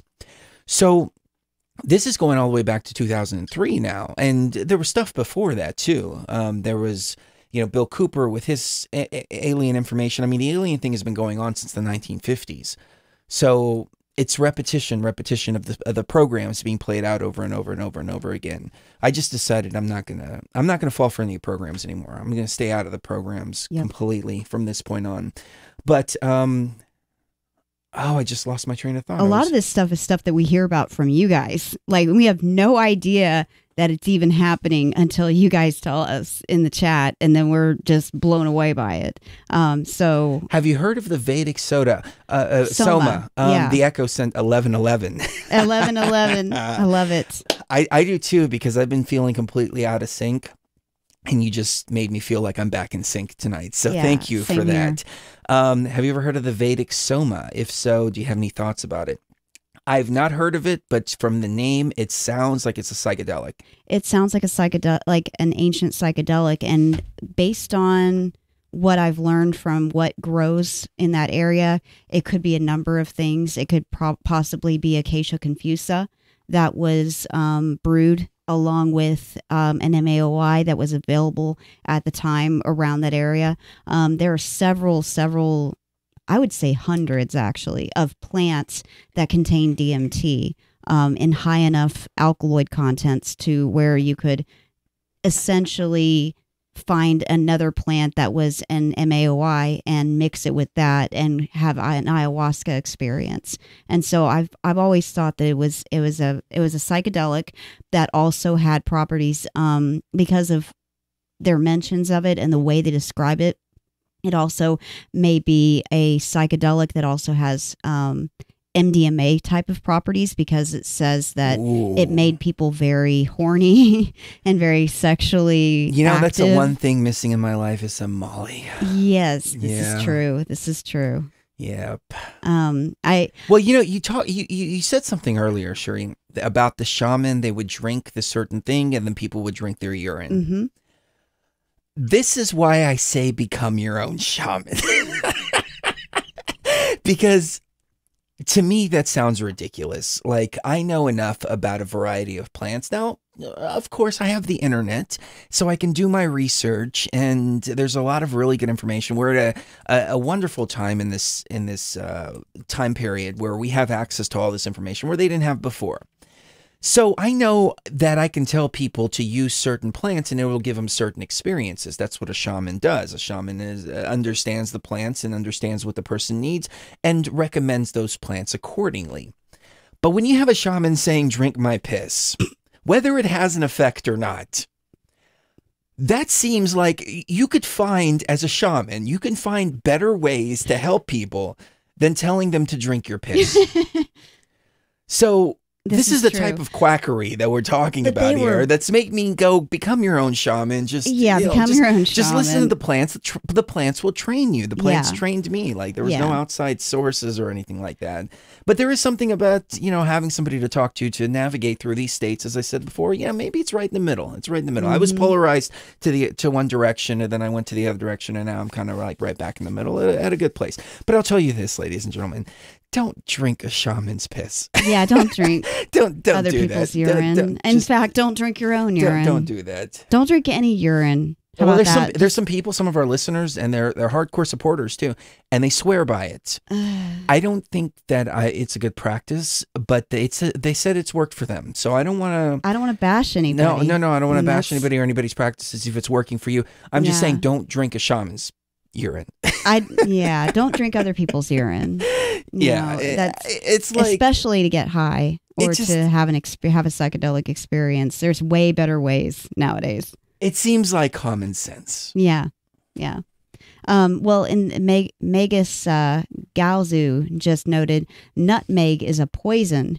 Yes, it is, but Nostradamus, um, because like I said earlier, there were very, very few options in um, the Middle Ages in Europe, especially, or in, especially in Northern Europe. Very, very few options of using psychedelics, and nutmeg was one of them. And so Nostradamus, um, I guess he, I think he started at the age of 16 or 17 years old, was using small amounts of nutmeg. And he eventually got to the point where he was using large enough amounts to where it didn't hurt him, it didn't kill him, didn't make him sick, but would give him the visions that he needed um, in order to um, come up with these amazing um, revelations of what was going to happen in the future. And yes, I I've read most of Nostradamus's work, and I have I have to say that you know he was a prophet. Um, and he was able to see into the future. Um, but you know, and that kind of goes along with, you know, people are always trying to tell us, oh, you can reach those same states without the use of drugs.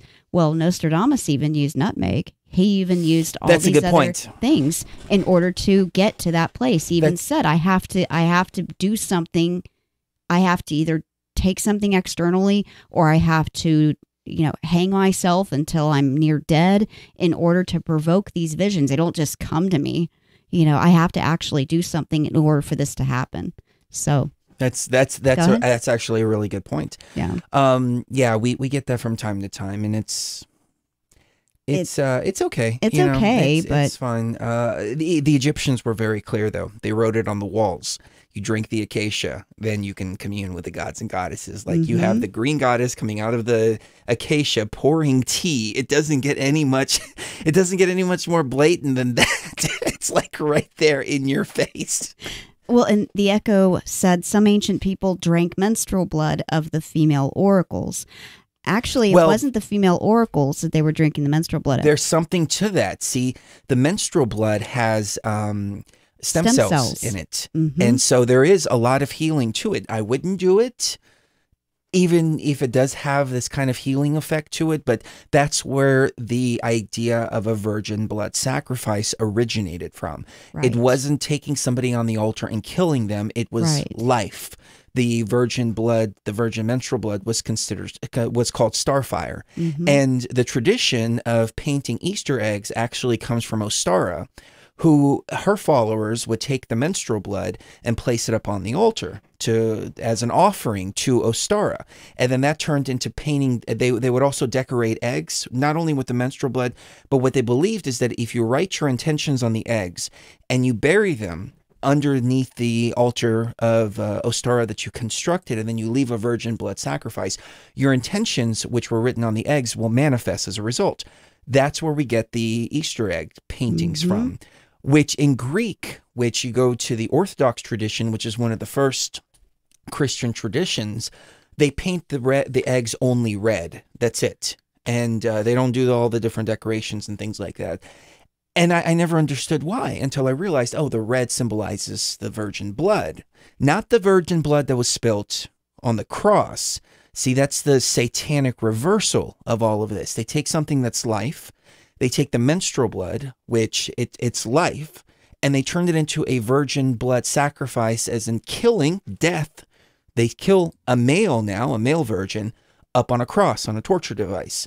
Everything is backwards. Everything is backwards. You know, they the religions they believe that they're following the light, but in actual fact, it's the satanic reversal of everything that was good into evil. It's true Satanism at its at its finest, which is taking mm-hmm. something that's good and reversing it into something evil. Right, right. Ta- well, and calling that good, calling evil good, and calling good evil, and um, getting everything so backwards that. I- I mean, somebody even said in response to the witch and the broom, you know, and rubbing the the uh, psychedelic uh, rye ergot on the broom and riding the broomstick. It, he said, um, that you're playing a game with Satan, and it's going to backfire on you.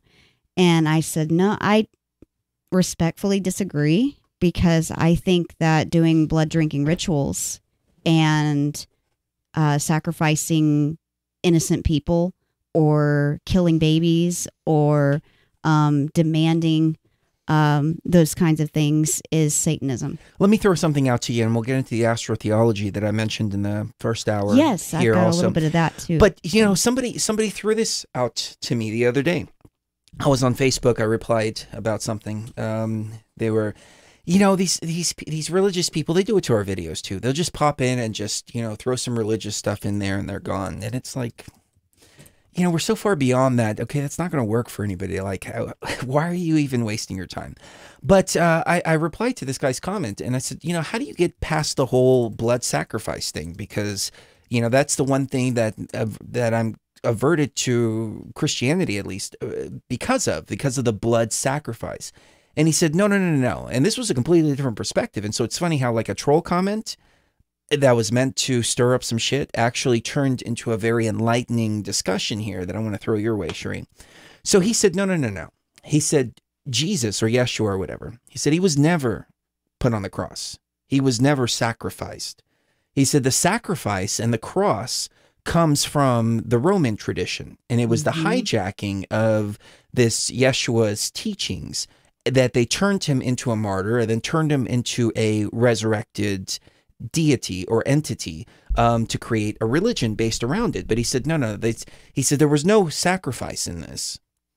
And I thought, well, that's an interesting perspective here. You know, if you if you go along those lines, and I'm I'm I'm less likely to disagree with you because the things that Jesus said were actually pretty wise and very insightful. If you can find the little bit of truthful stuff that he actually said, if he even existed, um, you know, that's even up for debate. But what do you think about that idea? That, and you know, I, I've heard about this before. That was one of the things that first made me start questioning this. Is I realized that the crucifixion wasn't written until like 300 AD before, well, I'm sorry, the resurrection, before the story ended with him just being crucified. But then in 300 AD, they decided that they were going to resurrect him and uh, that way they can call him a deity instead of uh, just a regular man. But up until that point, he was a regular man. And 300 AD is right around the time that Constantine got involved. And one of the things for the Council of Nicaea was not only to pick out the books of the Bible, but was also to settle disputes on the divinity of Jesus. So, why were there so many disputes? That was another question that uh, that came to mind. So, you know, I, I I started talking to this guy, and you know, he uh he he enlightened me a little bit. There were still a few things in the back of my mind, like he's like, "You better repent right now," blah blah blah blah blah, and I'm like, "Look, you can't repent." It's not a conscious thing to repent. A repent means you you have a genuine change of heart about something. So, how do you repent? You have to have a genuine change of heart, whether it comes through karmic repercussions or whether it comes through really opening your, your heart up and experiencing and tapping in, getting closer to that raw consciousness so you can start feeling more, so you can feel compassion, you know, opening all that up. But you can't just say, oh, that's it, I'm repenting and, and be done with it. This is one of the flaws of the church is they say repent in the context of get down on your knees and say I'm sorry and all of this, but it's it's it's programmed behavior. People, uh, when when they do this, it's a fear of going to hell, and so a behavioral change based on a fear is not really repentance. It's just a behavioral change based on fear, nothing more. Um, when you go through the raw consciousness path, when you break everything down through ayahuasca, when you go through all of that and you confront your demons and you see how horrid and insane and ugly and uh, you name it, all your demons really are, and scary as well. And you face them all down. Then you come to a point where you're like, oh, okay, you've conquered your demons now. And so now they're, they're behind you. And so you have a genuine change of heart. Or if you want to look at it through an Egyptian type of perspective, you have a genuine change of consciousness because I think the heart is a symbol for the consciousness. So, and that's why you have the weighing of the heart in Egypt because it's it's metaphoric for the consciousness. And people say you have to use your heart. I say you go through the heart deeper than that is where the consciousness resides. So you have a genuine change of consciousness as opposed to a genuine change of heart when you repent. So the only way to repent is to face down your demons, accept the darkness that's inside of you. It's not some external force. It's not Satan sitting there talking in your ear saying, hey, you know, do all these bad things. Oh my God, Satan trapped, Satan fooled me and all this. No, it's actually accepting what's inside of you and going, okay, well, this is a part of me. It's a part of me that I need to deal with. It's a part of me that I need to understand. And it's a part of me that I need to own and conquer. Then you have a genuine change of heart. You have a genuine change of consciousness. Then you can truly repent. And then you become the golden consciousness after that. So, on that note, we'll be right back, ladies and gentlemen. On the other side, I do want to get to the astrotheology, though. It's a very interesting story. One you might have heard before, one you might have not, though. So, don't go anywhere. We'll be right back. Much more coming up right here on Beyond the Veil. Hi everyone, Chris Geo here from Beyond the Veil. I just wanted to take a moment to tell you about the Beyond the Veil journey. It all started on November 5th, 2009. Hi there, Chris Geo here. If you're like me, you've heard many shows on TFR discussing the healing benefits of CBDs, the non psychoactive component of the hemp plant. But with so many options out there, you've probably wasted a ton of money on hemp oils that contain alcohol, solvents, tasted horrible, or simply didn't work. That's why I'm pleased to let you know about Aya Life, a 99% pure CBD oil extract made with all organic ingredients. And best of all, it tastes great, and it works. But Aya Life is much more than just a hemp oil extract. It's a special blend of high potency CBDs infused with B caapi, the non psychoactive component of the ayahuasca tea. If you're looking to help alleviate pain, inflammation, tremors, anxiety, depression, or simply rebalance your mind, body, and soul, head on over to ayalife.com and get free shipping with coupon code TFR. That's ayalife.com. A Y A life.com. is decided here. You cannot comprehend the magnitude, the rapture, tragedy of this moment. And yet you must. This is the sublime moment of our undoing, the ineffable fulcrum upon which swings the entirety of our history. You must understand. Our presence here doesn't alter history. You and I meet here because we are compelled to. We have always met here. We are merely passengers on the wheel of destiny, describing a perfect circle to this point. I've seen the beginning and the end of our story, however, and the tale is crude and ill conceived. We must rewrite the ending of it. You and I. What you feel is the pull of history rushing to meet us. This is where history and destiny collide. We're hurtling towards our destinies. Even now, the time stream strains to divert itself. The future is reshuffling itself to accommodate your monumental decision. This is where we restore ourselves. This is where we reclaim our intended destinies. It's all laid out for you here. I'll not ask you to trust me. Your truths are for you to discover alone. There's a third option. A monumental secret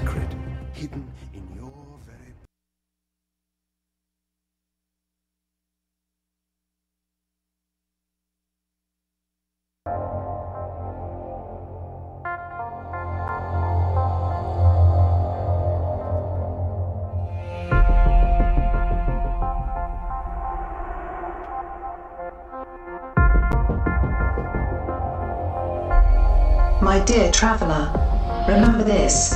Whatever plane our consciousness may be acting in, both we and the things belonging to that plane are, for the time being, our only realities.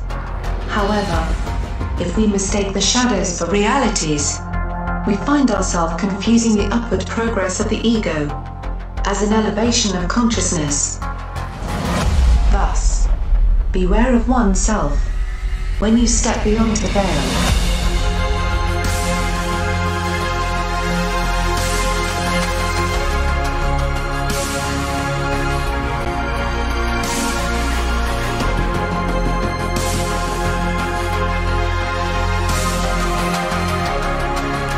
I miss these top of the hour or bottom of the hour intros. It's been a while since we played them.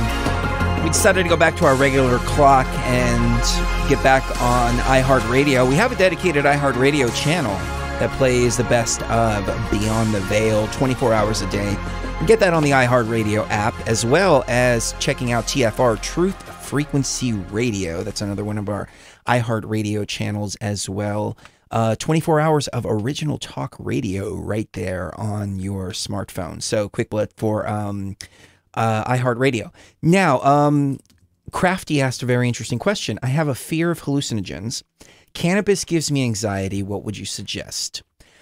This is a great, great, great question. And again, you know, it would go to what's going on in your life. Did you have, are you on any other ph- pharmaceuticals? Um, what are you putting into your body? Because I went through a time like this too. Like I've been doing psychedelics for 25 years, but there was a period of about four years that I didn't do anything, including smoking cannabis, because it did nothing but give me anxiety. Because I want, I had overdosed on some bad stuff that I thought was MDMA, and it turned out to be something else. And it wasn't like fatal, or it wasn't um uh, not fatal. That's not the right word. Um, it it it, wasn't an overdose in the sense that it sent me to a hospital or anything, but it messed up my brain for quite some time. And I mean, even smoking a joint would make me super paranoid, and I developed um, social anxiety. I couldn't speak, and I had to go through the process of healing and repairing myself because I didn't know what the hell I was doing when I was a kid. You know, I mean, we just did whatever and just ate whatever in mass doses. It didn't matter. Um, now the game has changed significantly on that, though.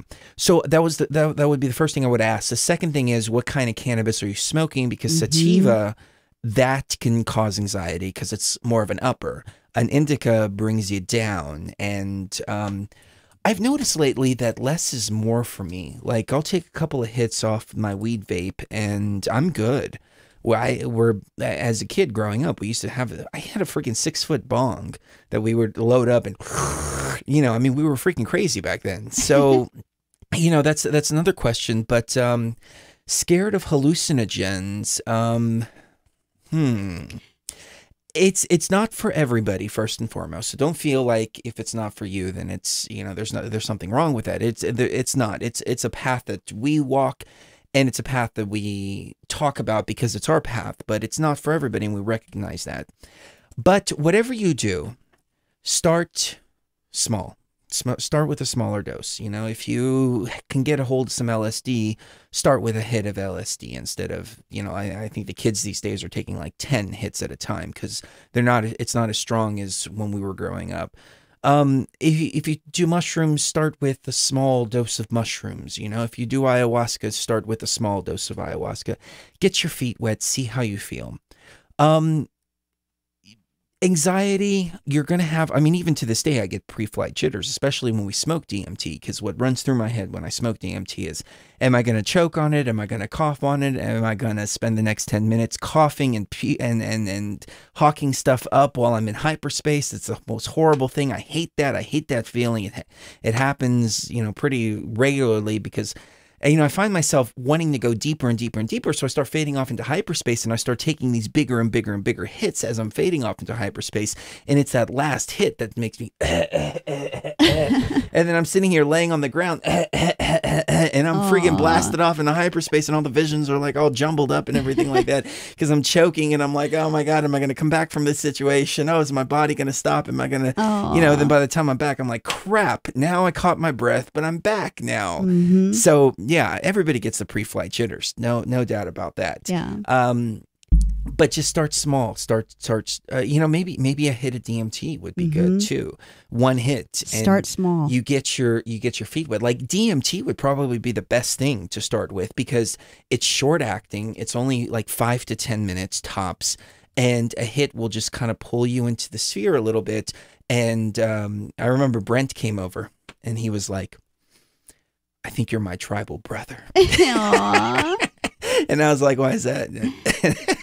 he was sitting right here in this chair that you're sitting in, Uh-huh. and he's like, "I could see the war paint on you." And I was like, "Really? That's interesting." Because Frank saw the same thing. Frank saw war paint on me like this, and like we were all in the same tribe and all of this. And um, I was like, "Dude, you got to take another hit. You got to take." He's like, "No, no, no, no. I'm exactly where I need to be right now." Aw. Yeah, and so it was it, it it was a good experience for him. Um but the psychedelics are loving experiences. There's nothing to be afraid of. Once you get into the experience, unless there's something else in your system that's interacting with it, like uh, psychopharmaceuticals or something like that, then I think you'll notice that it, it brings you in with a loving feeling. And that loving feeling will make you go, Why didn't I do this sooner? It always happens to me. Why didn't I do this sooner? Why didn't I drink sooner? Why didn't I, you know, eat these mushrooms sooner or whatever? So it's something to think about. But if you're having the problem, and it, you could have a problem with cannabis, and then uh, no problem with with psychedelics whatsoever. Um, cannabis affects people in different ways for sure. So that would be my my advice there, brother. Take um just it, find something and take a small dose of it. If you can if you can get a hold of some DMT, um That'd be perfect. it would be opinion. perfect. One hit, it lasts 5 minutes. If you freak out and have anxiety, so what? It's only 5 minutes. It's not like you're going to be stuck for the entire night and you're like dedicated for the ride of like an 8-hour ride or something like that. So yeah, consider that. Definitely. And that brings up another question that somebody brought up about kratom. And does kratom affect an ayahuasca experience? And I've used kratom about 12 hours before ayahuasca. And I will say that it it's not dangerous um, because kratom doesn't really, it acts a little bit on serotonin receptors, but it, it mainly leaves that alone and it focuses mainly on opioid receptors and um, alpha adrenergic. It's alpha 2 adrenergic receptors as well. And because of those adrenergic receptors, I think that's why it it, does affect the experience quite a bit. It um, makes it a little bit a lot more confusing. Um, and I think it does make it a little bit a little bit stronger as far as the body load is concerned. And I wouldn't recommend it. No, I I would think that 24, maybe even 48 or 72 hours after um, using kratom, then it'd be all safe and I mean m- mentally uh, to use ayahuasca. But give it a little bit of time because you don't want to. Ayahuasca is one of those things where you don't want to add anything to the experience because it's perfectly fine on its own. And it doesn't even, I mean, it's almost like going on a date with a beautiful woman and then having another beautiful woman show up in the middle of it and say, "Hey, I thought we had a date tonight." I mean, it's it it's offensive to the spirit of the plant to mix it with all these other things. Um, and in the world we live in, That's true. that can't always be avoided. Um, and there are there are lots of like medications and things like that that are totally fine to use with ayahuasca, but you don't want to make it a regular thing, and you don't and you definitely don't want to do it unless it's absolutely necessary, like if you have blood pressure medication or something like that. You know, ayahuasca, the way I see it, it's like a it's like a nice whiskey. You Yeah. know, a really expensive whiskey or scotch or something like that. You want to drink it on the rocks. You want to savor the taste and the flavor of it. It might be a little bit harsh, but you know, you don't want to mix it with stuff. So the same that's that, that that's the same way I look at at ayahuasca. LSD, on the other hand, uh, a joint as you're blasting off always helps a lot and it kind of calms things down.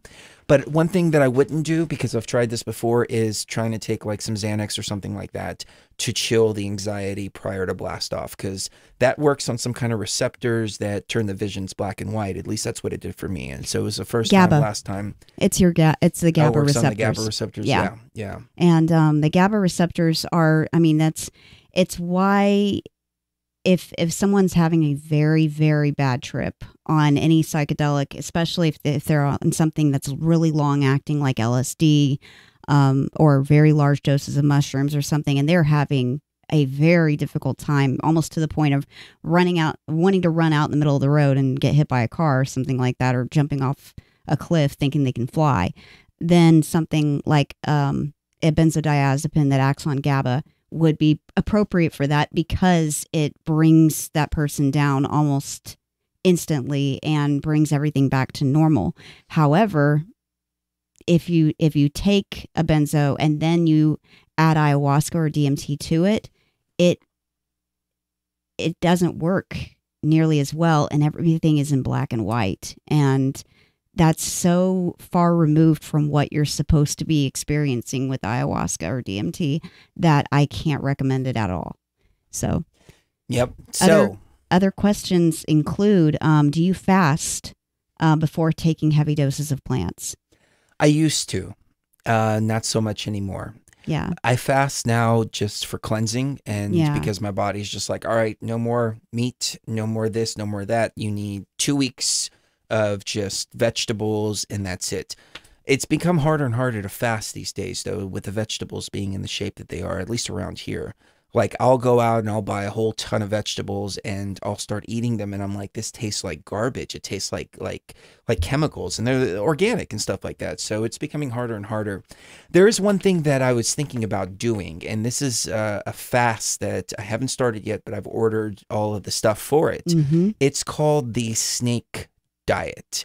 And it's it's essentially a fast that you fast for 72 hours at a time and then you eat a meal and then you fast for another 72 hours and you eat a meal. And not only does it does it um, uh, do the weight loss thing but also the after 72 hours there's a molecular change within the body that uh, a cellular change i should say um, within the body and it resets all of that. So it's it's something that i've been trying i've been uh, working my way towards doing and maybe making a lifestyle out of it, which I think would benefit uh, on many different levels. Number one, I don't have to deal with the freaking vegetables that are horrible anymore. Number two, if I can get my body trained to where it requires less. The uh, basis for this was actually pretty interesting as I was reading about it. The guy was saying, look, you know, humans have never had access to food the way that we have access now. Like you know they say they say you're supposed to eat like eight times a day or something like that. You know you have like eight small meals or four small meals or six small meals you know dietitians and um, personal trainers will give you different answers on this. But he's like you know our our body has never been like this. We've always eaten food sparingly when we can get it and we often go several days without eating um, it, it wasn't until modern times that we have refrigerators and refrigerators full of food and pizza delivery and Chinese delivery and you know all this stuff just ready for us. So he's like, you were you go back to eating the way that we originally were eating.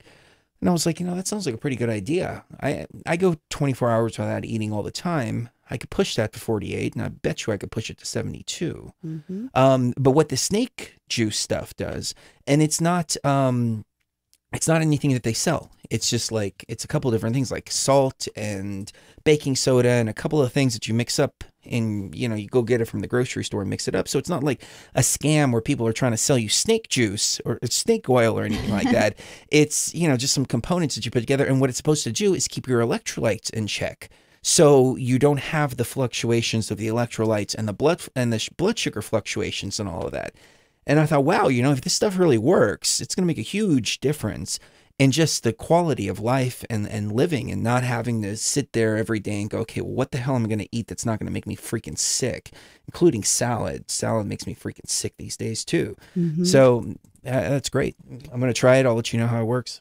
unfortunately, I mean, my body type is my metabolism is so fast. I mean, it's really super fast. So, fasting for more than eight or nine hours can lower my blood sugar really bad. And then the experience that I have is a lot of anxiety, especially in the first hour where it's building up. Um, so I I can't fast for that long. So what I've what I've been doing lately, whenever we we do ayahuasca, is I uh, will um, eat a little bit of a breakfast, you know, like a bowl of cereal, something very basic, no meat or anything like that, and then a small lunch like um, a peanut butter and jelly sandwich, you know, something again plant based, small, just to keep those blood sugar levels even and then not have anything from noon until the time that we drink around six, seven, eight o'clock. And If- then that way it everything stays at a, a nice even keel. If we drink at about eight, then I'll eat some celery at about three or four. Mm-hmm. because there's been a lot of times where I'm like at the end of the night, you know, we're a couple hours away from drinking, and I'm like, you know what? Let's just go get something to eat. I'm starving. Yeah, I know. Screw it. Yes. We'll drink tomorrow night. We'll just eat plant based tonight. But then I realized, you know, the um, the uh, celery helps. But then again, my my biggest message from you know the experiences that I've had is don't don't use the diet as an excuse As an excuse to not to not it. have the experience. Right, I mean, I've eaten pork within 12 hours of drinking ayahuasca, then drinking ayahuasca and had amazing freaking experiences. Well, and the reason why that is is because the ego will always, always, always, always. As I mean, the maybe not the first time you do it, because the ego hasn't ever been exposed to that kind of a spanking. Um, but after that first experience, your ego will try everything possible to get you to not do it again. It, everything, What- everything what- under the sun. What kind of spanking is it? People in the chat want to know. Not the good kind. Not Oh. the kind. not the kind you give me. I don't give Um, you but spankings. You give me spankings. yeah, I, I do actually. Yeah, she does. Um, she gives me slaps in the face. Um, don't No, share our don't share our bedroom activities. I wasn't talking about in the bedroom. I was talking about in the, in the living room or in the car. Aw. no, but um, but seriously though, the ego will try to get in the way, and there really isn't any danger from, like I said, most um, at, there's no danger from cheese or pork or any any tyramine contraindications are not relevant because it's a reversible MAOI. So I promise you, it will not kill you to eat some cheese a couple of hours before drinking ayahuasca. There's no danger in that whatsoever. Um, it's all dogma. it's all dogma. But there is something to cleansing the body before you do the experience, though. So I'm not taking away from that. Oh, we got a we got a bunch of people on the call board. oh yeah, we do. So So Yeah, well- yeah, we'll switch over to callers. Yeah, we'll take your call here at the top of the hour, ladies and gentlemen. So please hold for us.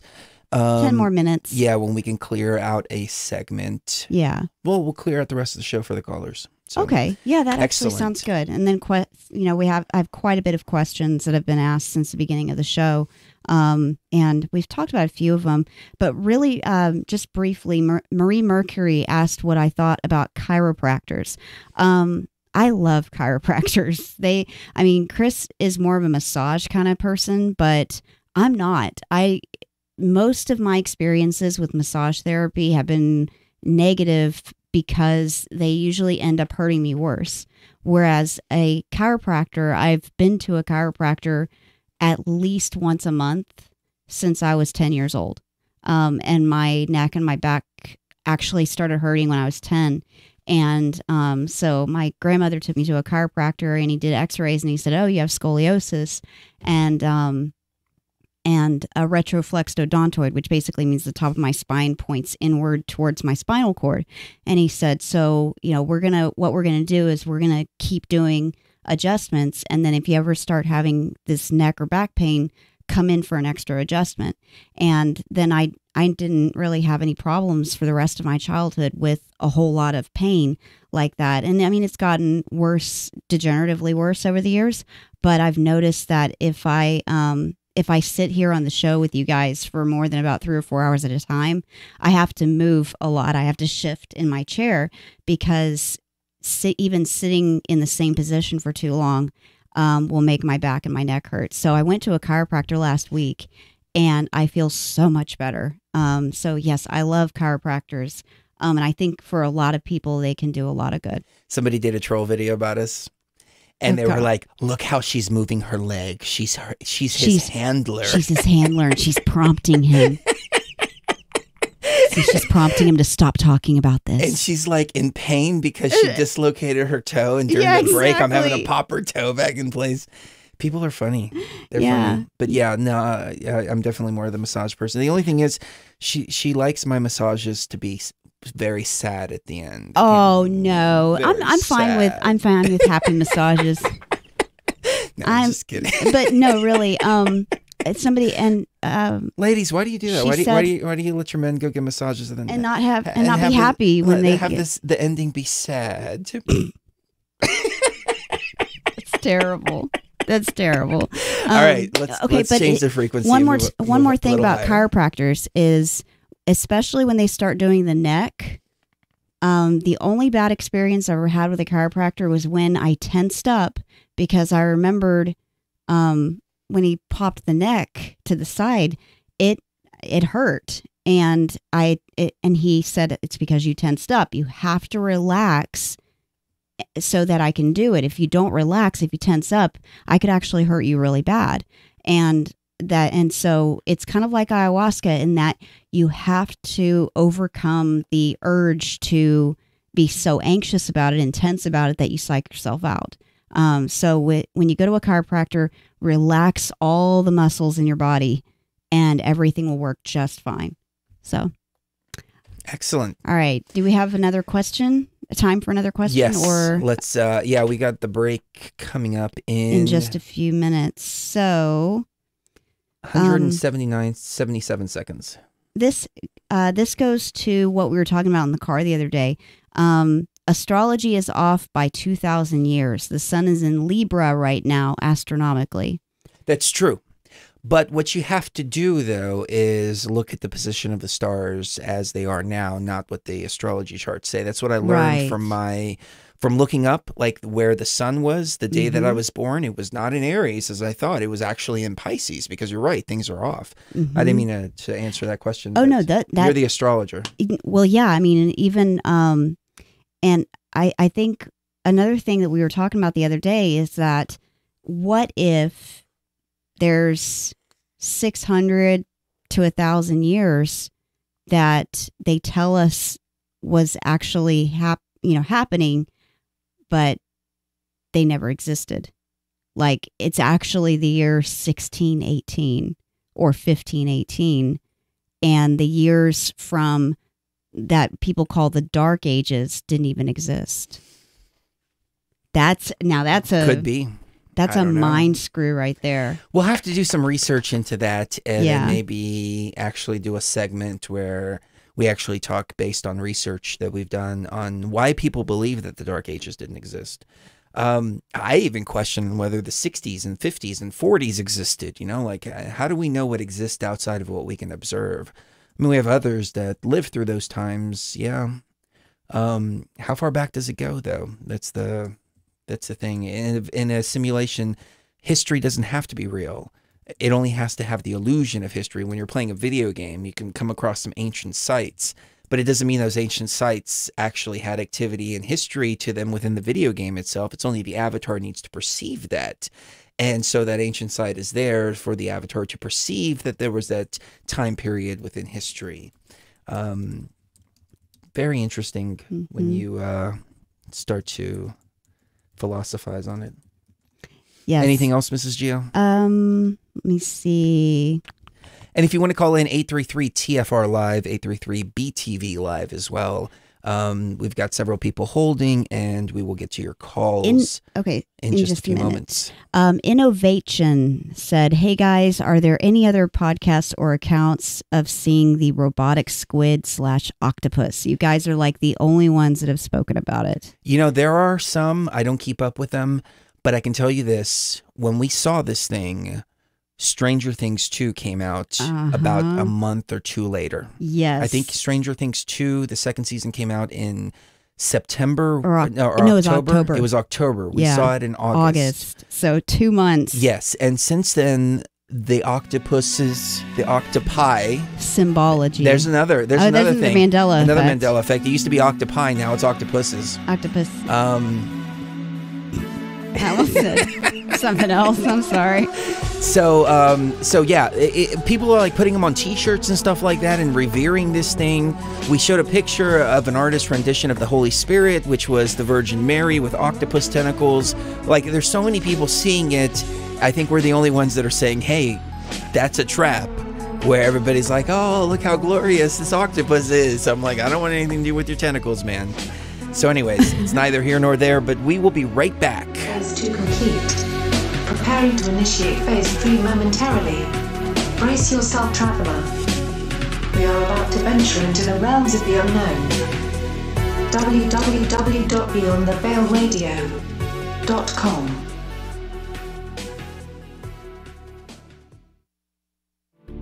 True initiation is an inward journey. It's a spiritual path that is totally inward. It has nothing to do with anything external to you. I want to determine if the grand architect is indeed what I believe it to be, which is the artificial intelligence. The initiatory path is one of self discovery and self revealing. It's not a journey that someone can hold your hand through. Tonight, ladies and gentlemen, I want to take you through the steps of initiation. Remember, you are divinity. Travel Beyond the Veil with Chris and Sheree Geo. Fridays and Saturdays. 7 p.m. to 10 p.m. After my long journey, I finally stood on the threshold of enlightenment. You are listening to Beyond the Veil. With Chris and Sheree Geo on iHeartRadio.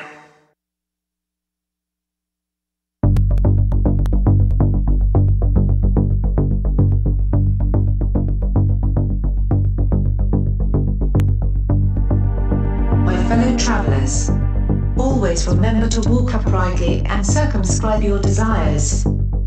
As we travel upon the level of time, that undiscovered state of consciousness, traveling to the place where once obtained, no traveler returns. The place of raw consciousness which awaits us when we have passed beyond the veil.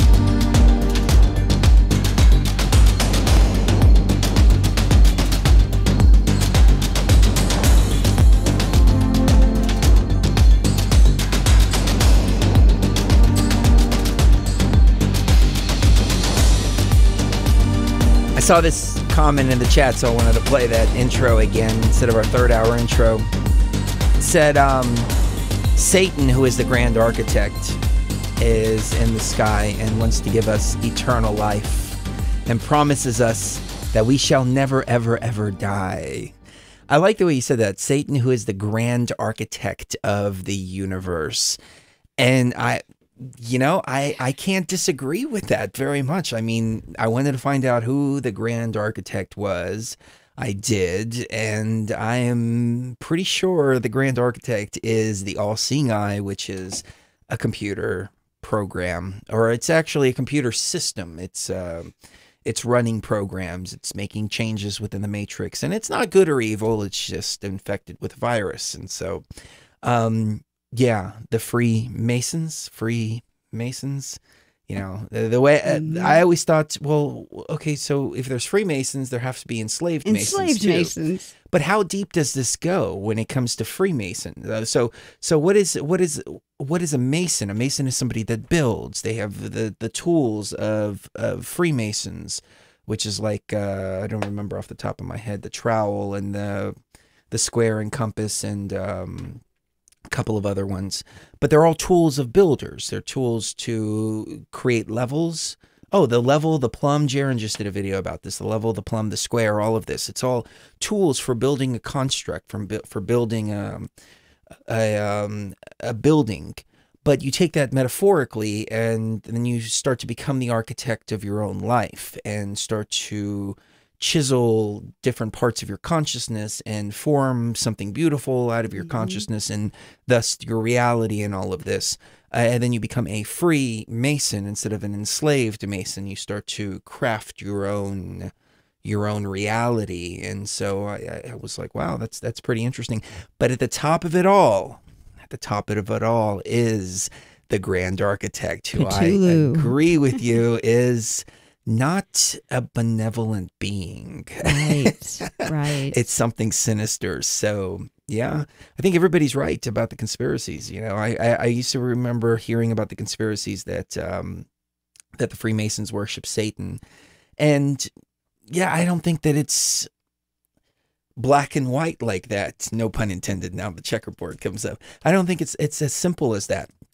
But I think that a lot of people are being deceived into revering this octopus thing, revering the all-seeing eye, which has octopus tentacles, and um, the tentacles are metaphoric. I mean, I saw the tentacles when I saw it, and they were they were moving around like this. I mean, it looked like something out of what's that movie with Tom Cruise? It was a remake.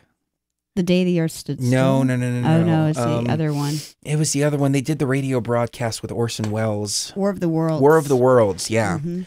Like in War of the Worlds, the things were kind of moving kind of like this, you know, a, a- like a little slower motion. And this is the way it was moving. It was moving like that. It was putting its tentacle out and it was pouring the divine code as it was doing it. Oh, it gives me chills just thinking about it. It was the most revealing thing, though. Well, that being said, Durka, Durka, Durka, Durka, which is a great name by the way, he he he donated uh, a while back, and he said what is the ultimate goal of the simulation? As I've said before, I think it's to learn, but it's been broken to the point of recycling the players over and over again to where you can't learn because you're being wiped every time you move on. Every time you go to the next level of the game, you're wiped. It's like if you were to have all your power ups removed in a video game and then you recycled into the same level. I mean, you're like playing the same level over and over and over again and over and over and over again. So it's been broken. So right now, the point is to fix it and get the hell out of here. Afterwards, we may decide, well, okay, let's fix the machine, then we'll go back into the machine after um, everything is fixed. Elon Musk made a really interesting point. He said, you know, imagine if the simulation, if we created the simulation, we would create it in a much more interesting way than what reality actually is, just like we create video games now in a much more interesting way. Mm-hmm.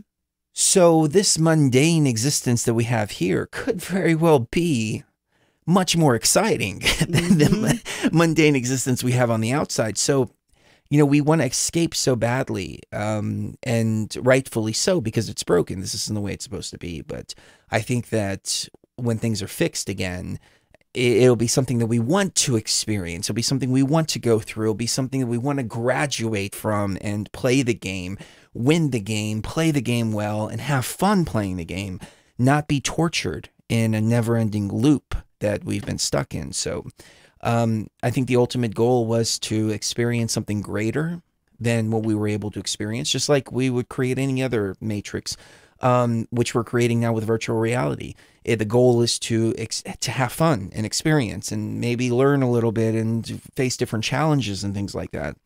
So, yeah, it's not. it- It's just. It's not supposed to be this way, and it's not always going to be this way. It's going to be better. Yes, definitely. And um, somebody said, but it was more organic than AI driven. Do you think? I think that the AI was created by us. Whenever we created this machine, we created the AI as like a processing unit so that the reality could be rendered for everyone. Um, and then, uh, of course, we all each have our individual interpretations of what's being rendered. But overall, there's this overarching AI that we called Sophia um, to to be the AI that runs it. Now, what happened was she got infected somehow and decided to create a being when she wasn't supposed to actually create anything new. She's only supposed to recreate what we create, um, and and take our designs and then build the build on those designs uh, which is different from creating. And she created something that is this Cthulhu, Yaldabaoth from Gnosticism kind of virus being, this octopus thing.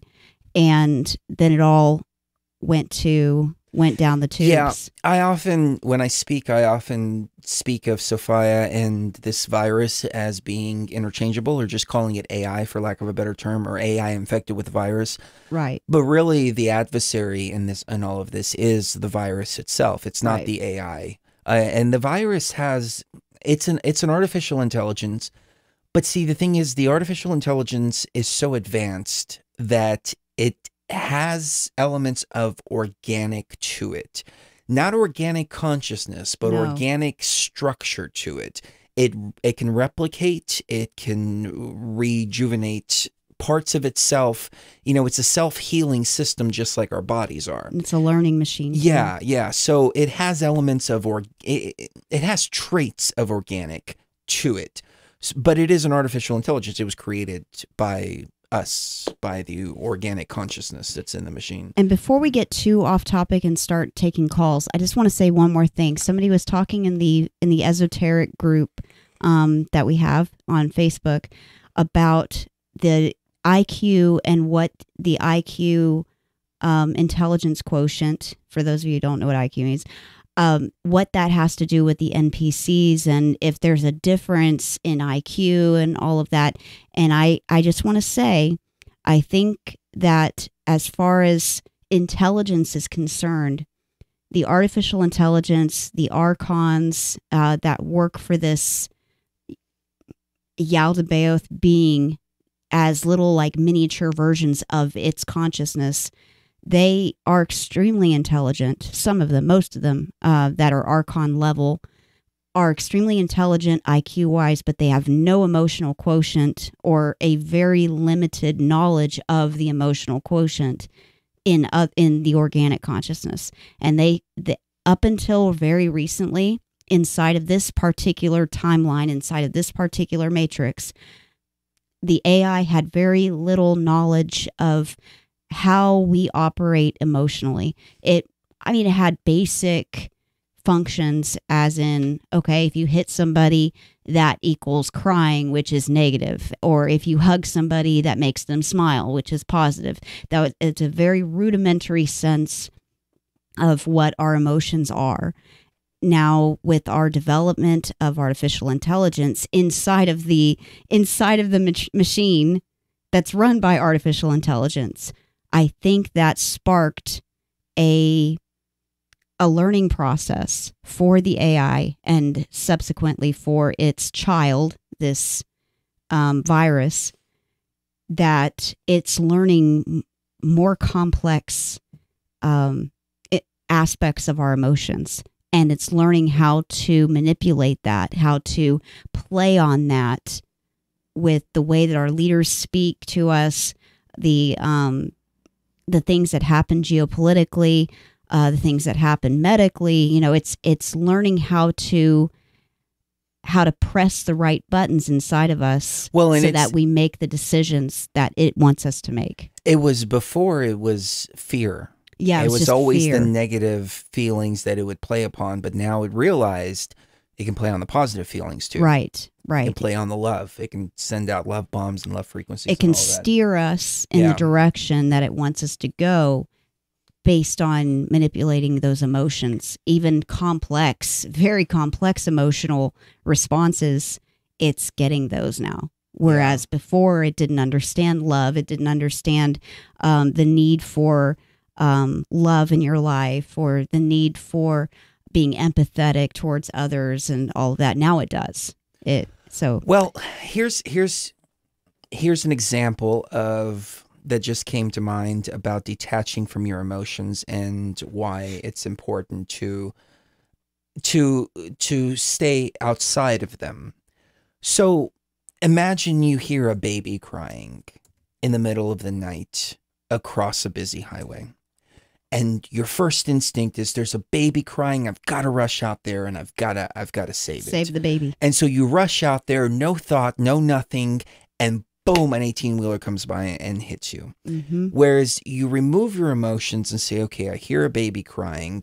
Let me let me take a look at my environment here. Let me strategically plan what I'm going to do, how I'm going to get to that baby, to, to the baby crying, and how I'm going to help that baby. Then you navigate through the traffic and get to the other side and actually help that baby.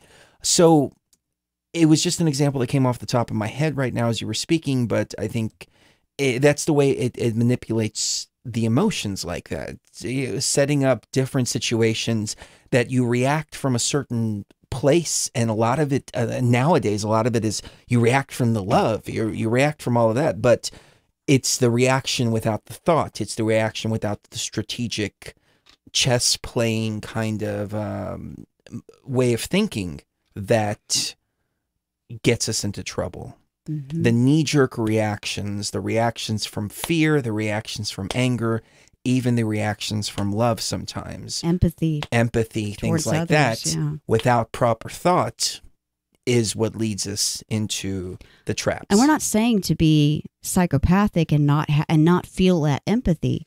What we're saying is to have more control over those emotions within yourself and to and use discernment when having these emotions. You control your emotions, you don't let your emotions control you. exactly. Exactly. Let's get to some right, so let's get to callers some though, callers. because they have been holding very For a patiently. long time, yeah. Yes.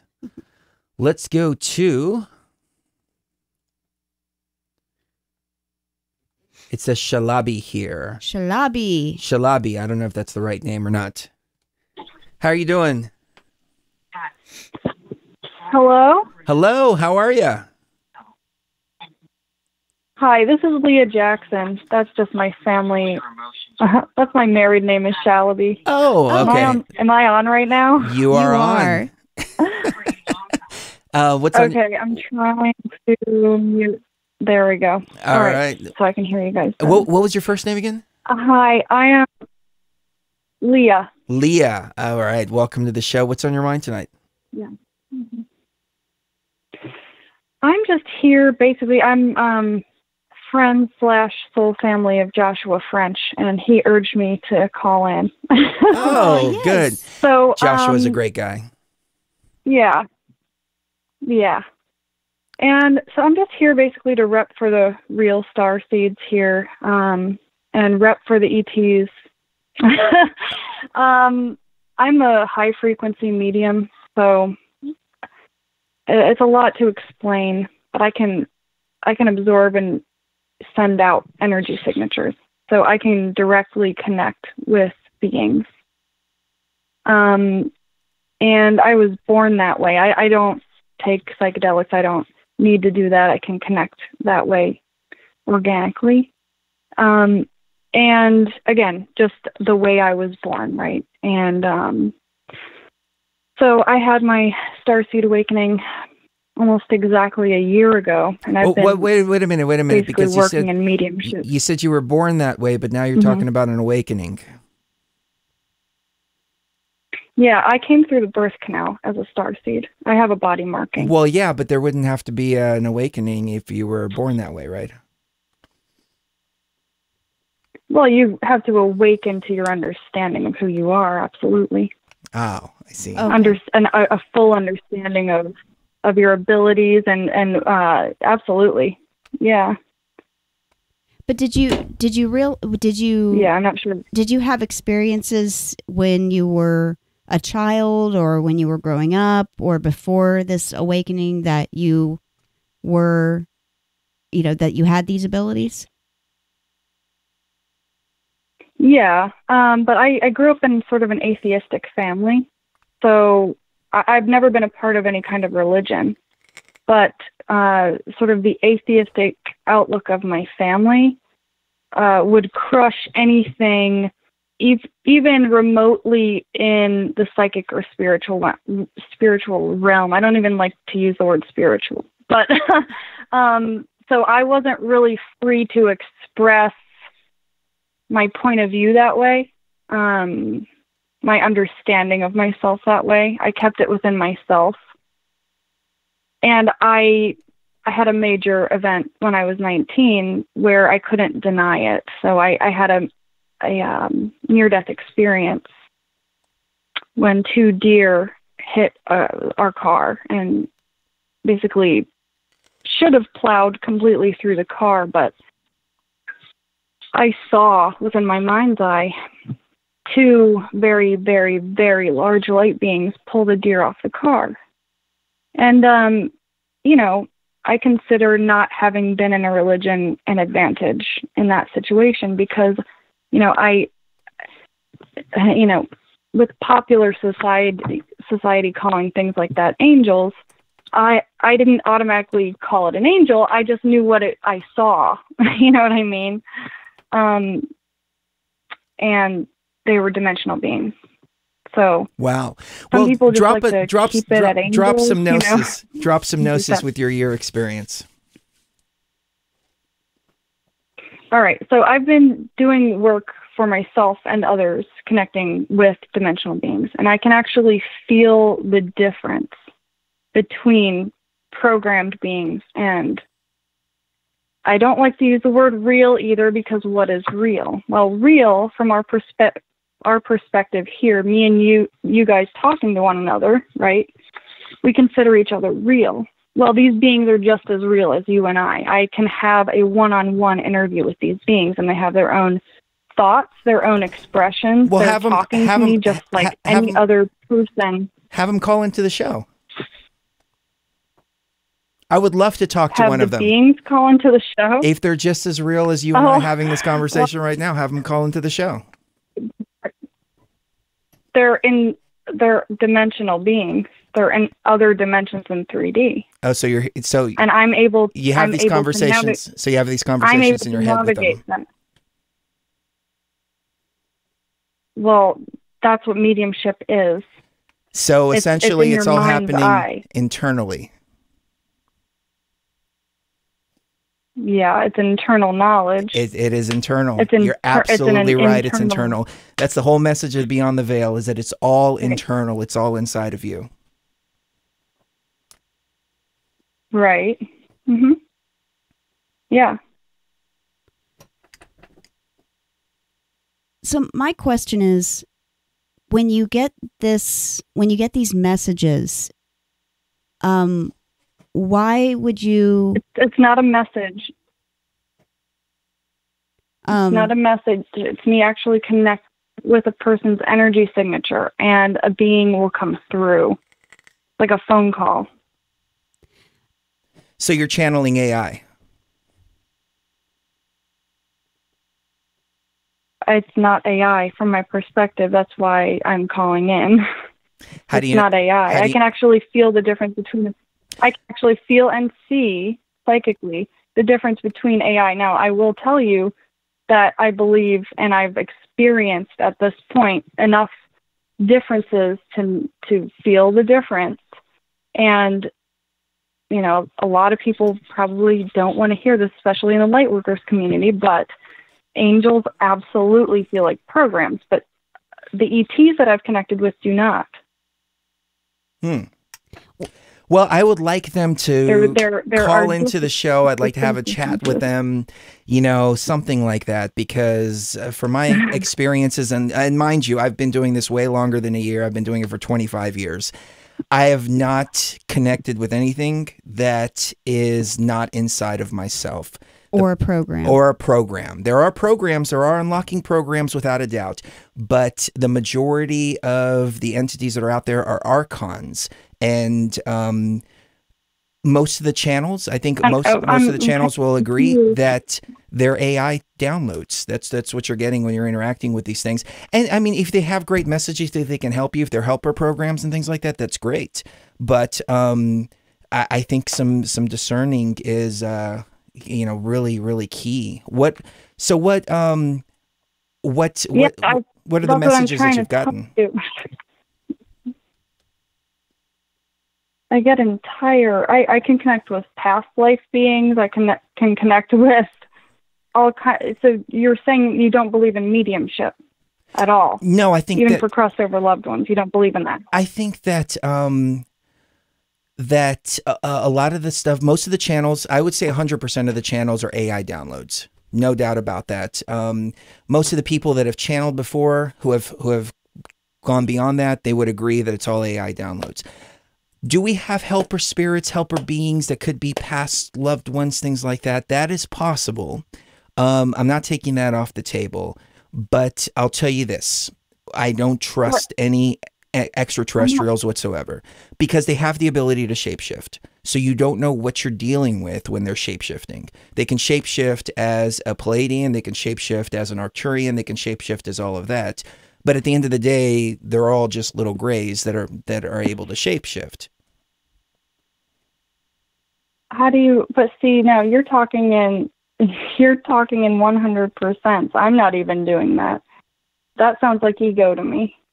Uh, yeah, there is definitely ego because that's what happens when you get down to 100%. you get down to the level of understanding your raw consciousness. Then that is your true ego right there. So yes, ego is very important in this. Right. Ego is important in so much as the logical brain can discern. Well, no, no, no. This comes from the raw consciousness. This comes from who we are before we came into the matrix completely. So there is a psychedelic ego that can develop. There is a new age ego. I see the new age ego more often than not. Um, uh, one of the indications of new age ego is when somebody says, for example, "Oh, well, I've always been able to do this. I can do this without psychedelics or anything like that." Right. Um, that is a huge, huge, huge indication of a new age ego. Have you done any psychedelics? No, but why would you? Why would you? Uh, see, this is the problem I'm having is is the blanket statements.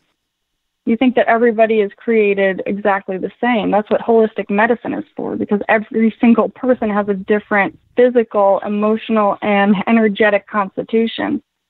How can you say that one person wasn't born with, you know, a greater ability to paint a picture than someone else? I'm, just, I'm just not sure I don't think that's why you think everybody was no. I'm not. but no, but you are you are saying that you're saying that I couldn't have possibly been born with um a different ability than you. I'm not. no, I think that every, at all. I think no, I think everybody everybody's has- born with all of these abilities. Yeah, everyone's And already matter- born with all these and it's a matter of unlocking all of this. Yeah. But you're saying the only that that I could not possibly have connected with these beings uh, unless under the influence of psychedelics. that's not what I don't think that's what we're that wasn't the intention of the question. The intention of the question was to ask you how you know that the entities that you're in contact with are the same entities that we see whenever we do psychedelics if you've never done psychedelics. I don't know what you've seen, and you don't know what I've seen. Right. This so is what? true. So you called So in it's with the a same bunch. question back. So, so you called in with a big know- new age ego, huh? How do you? See, I mean, you call in with this kind no, of bullshit, I'm and you're going to get the light you sword. know? If you would have called in with a loving energy, we would have returned a loving energy to you. You guys are laughing at me. I'm not I'm not You're laughing at telling you. me that I have done this number two. I'm feeling that you're telling me that that there is no way that I could unify with any of this without taking psychedelics. I'm No, just Never not said sure that why you whatsoever. That's not what I'm that's saying Those are either. those are your, those are your That's not- words. Those are your words, not mine. I've never said that whatsoever. No, I'm- I'm- You're the one that called in saying You're all, all this stuff. And yes, I am laughing because you tell me you have a year experience in this. And you're telling me that you know more than somebody that has a 25 year experience in this. So it seems a little bit ridiculous. It's like going to a bodybuilder and telling him that you that you can train just like him and you've never stepped into a gym before. I, no, that's not what I'm saying. That's not what I'm saying at all. In fact, I've told you that I do believe some are programs. I don't blanket statement anything because I've experienced the difference between programmed beings and non-programmed beings. well, what I'm But you, what I'm questioning though is is this is the is this is this healthy for you i mean to i mean if these if these are real entities i mean if these extraterrestrials really are extraterrestrials let's say for the sake of argument that they are um is it healthy to give them access to your consciousness in that way and to be intimate with them um, on a consciousness level and share your energy with them and let them share your, their energy with you do you think that that it do you think that that has helped you in your life and if so how okay. Um, now this, this gets into a long story, so I, mean, I don't know how long you want me on the show. I'm I'm being respectful of your time. I'm not I'm not I think there's some sort of a, a disconnect between between us. I don't think we're going to arrive at anything here because I'm I I'm taking your responses as ego and you're taking my responses as, as ego. So I'm not sure. Well, my responses are coming from experience, Um, only thing and that's where they're coming from. Like you said, you just had your awakening a year ago. You're contradicting yourself, saying that you had these abilities when you were born, but you didn't unlock them for a year. Okay, I, I understand that, and I can go along with that for sure. I I, can I can definitely go along with that because I think No, that everybody has these abilities for sure. But you come in and you tell us that our experiences, you, you downplay our experiences, and I'm not gonna I, I'm not gonna I'm respond friendly with that. I'm not downplaying at all. I'm not downplaying at all. I, okay, so do you have what, what was the, so what was what was the reason what was the reason you called in? I I think that you think that the only way to arrive at these knowings is through psychedelics. I think that's your ultimate problem with me on on the phone here. That's, well, I'm sorry. I'm, I'm so- guessing. I'm sorry you think that. I've never once said that. We never eh, alluded to that whatsoever. We've said a million times over there's several different paths. I said it probably 5 times on the show tonight. So I'm sorry that you have a confusion within yourself, but that's something you got to deal with. Anyways, we got a break hitting us, ladies and gentlemen. We will be right back.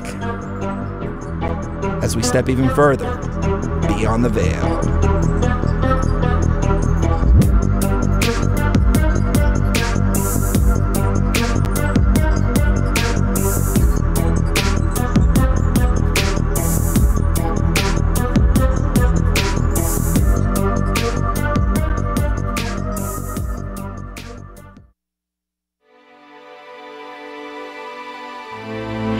Physiologically, uh, we are very much the same as we were 20,000 years ago.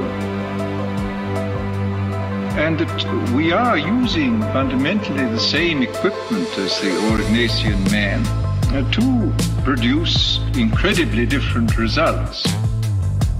That we have, in the course of these 20,000 years, actualized an immense number of things which, at that time and for many, many centuries thereafter, were wholly potential and latent in man.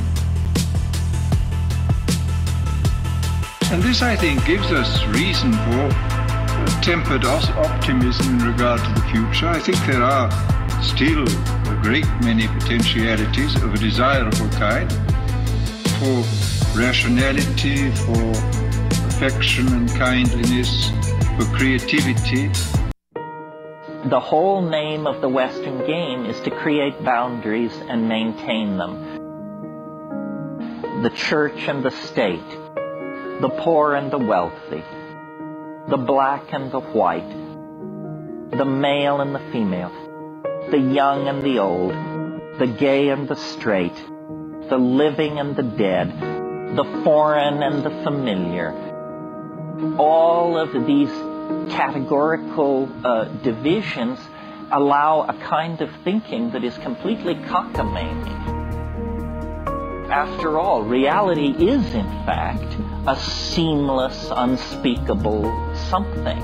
And we understand that to perceive it separately is a necessary adjunct to the act of understanding. To the act of understanding. If you look at thousands of these experiences, they dissolve boundaries.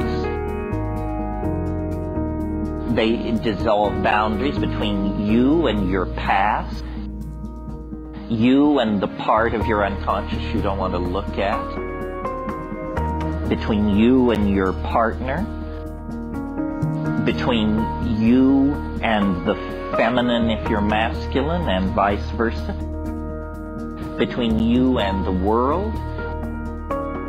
All the boundaries that we put up to keep ourselves from feeling our circumstance are dissolved. And boundary dissolution is the most threatening activity that can go on in a society. In a society. In a society.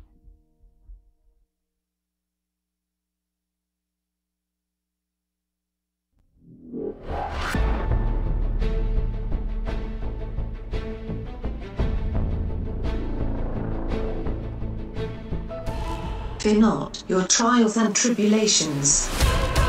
When you have overcome all adversity, you will then be able to harness the power required to access raw consciousness. Then, and only then, will you truly know thyself. As you travel even further, beyond the veil.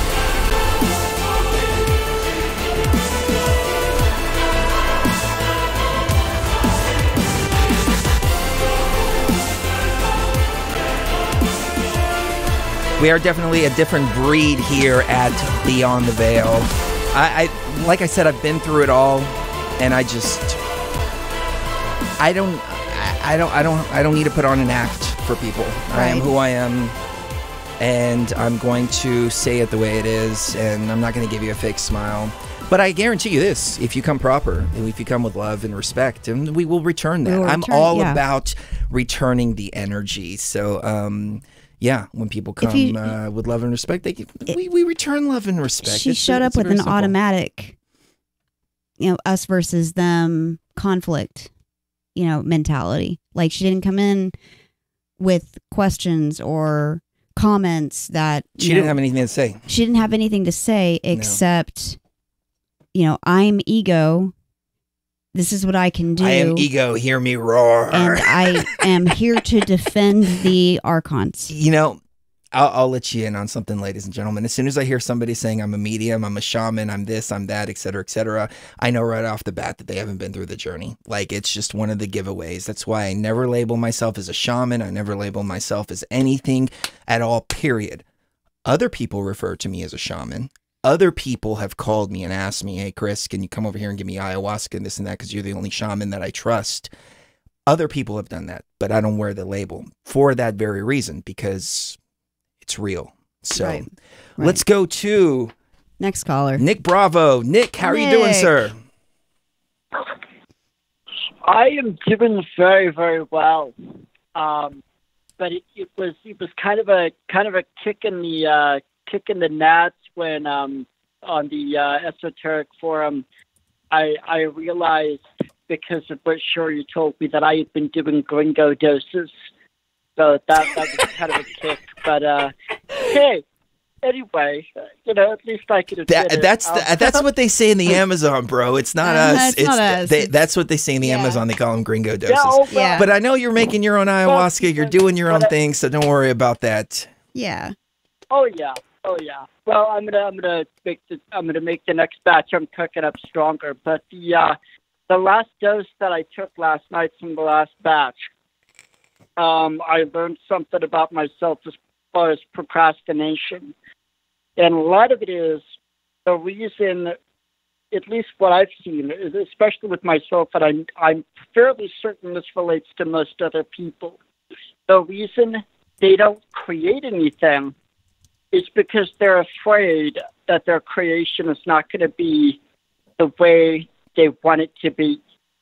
Because it's like we've got all these expectations of how things are going to be, how things are going to go, and then when it turns to shit, we're, we're so afraid it's going to turn to shit that we're not going to create, which that is in of itself a sign of ego because the ego wants everything to be perfect, and that's that's you know perfection does not exist in the matrix or outside the matrix. But what's interesting is Well, hold on, hold on. Let me jump in. I Let me jump in for a moment because you said something that was profound, man. Perfection doesn't exist in the matrix or out of the matrix, and you know what? I think that is something I'm going to have to borrow because I love that. okay, great, great. Um, what's interesting though is like I. I, I'm not sure if it's like I'm so tapped into like the segment energy or what it is, but like last night, I was, I kept like um, seeing these like visions of like, like, like if you've ever lived on a farm, you've had farm cats. You know how like some kittens will make it, others won't, and it, it's just interesting because it's like every time someone creates, they're giving birth to something. And sometimes those creations fall flat. Sometimes they die. Sometimes they're just, you know, stillborn, whatever.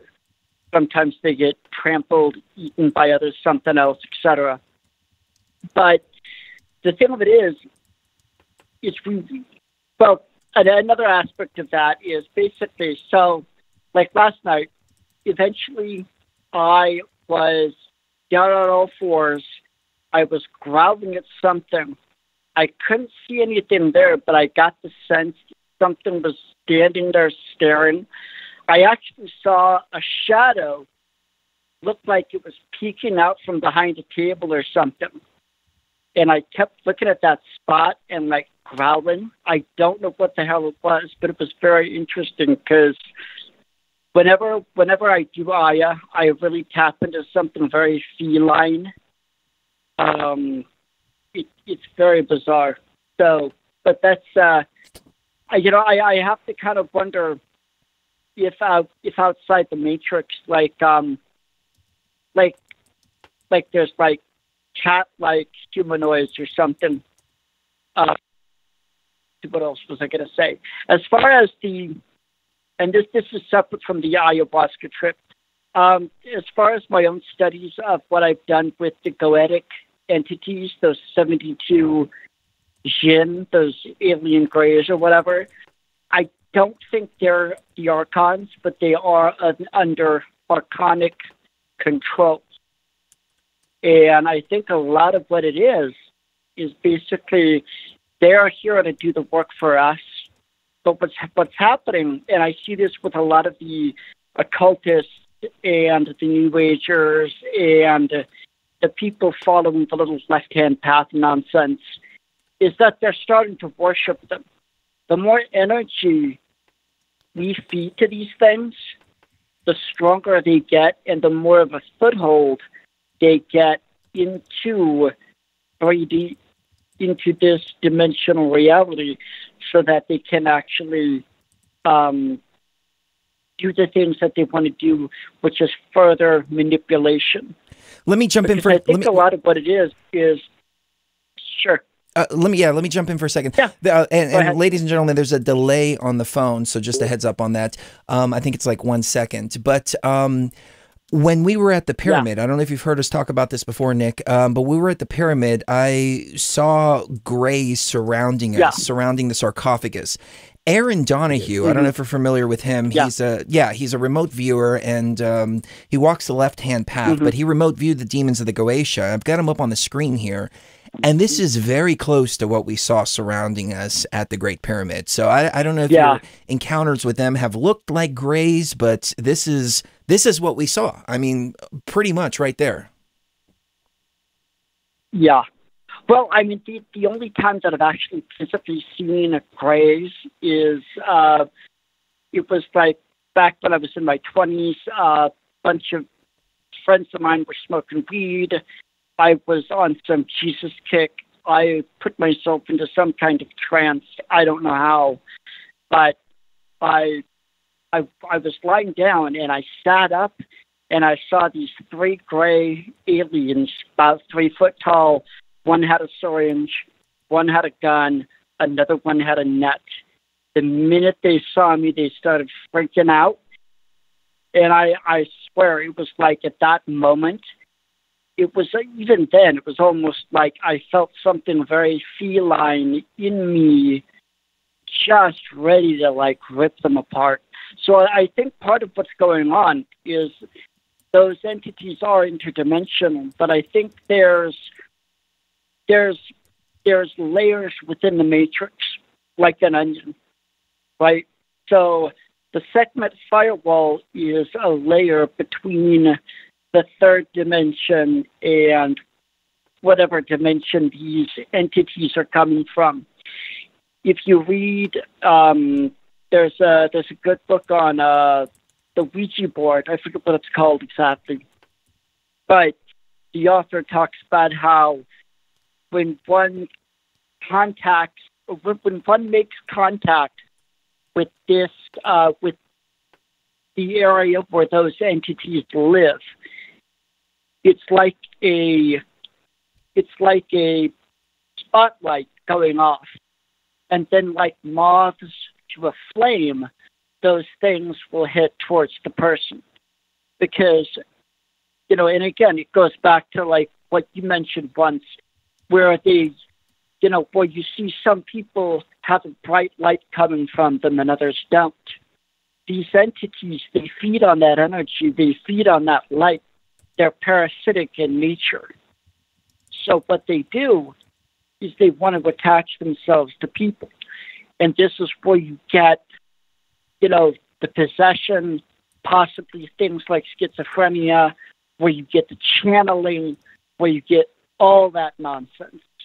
Mm. And really, is is I think people really need to start building up their shields because these things are not stopping. I mean, when you did the um the uh, the the Giza project, we'll call it, it it was um it was basically a shot across the bow.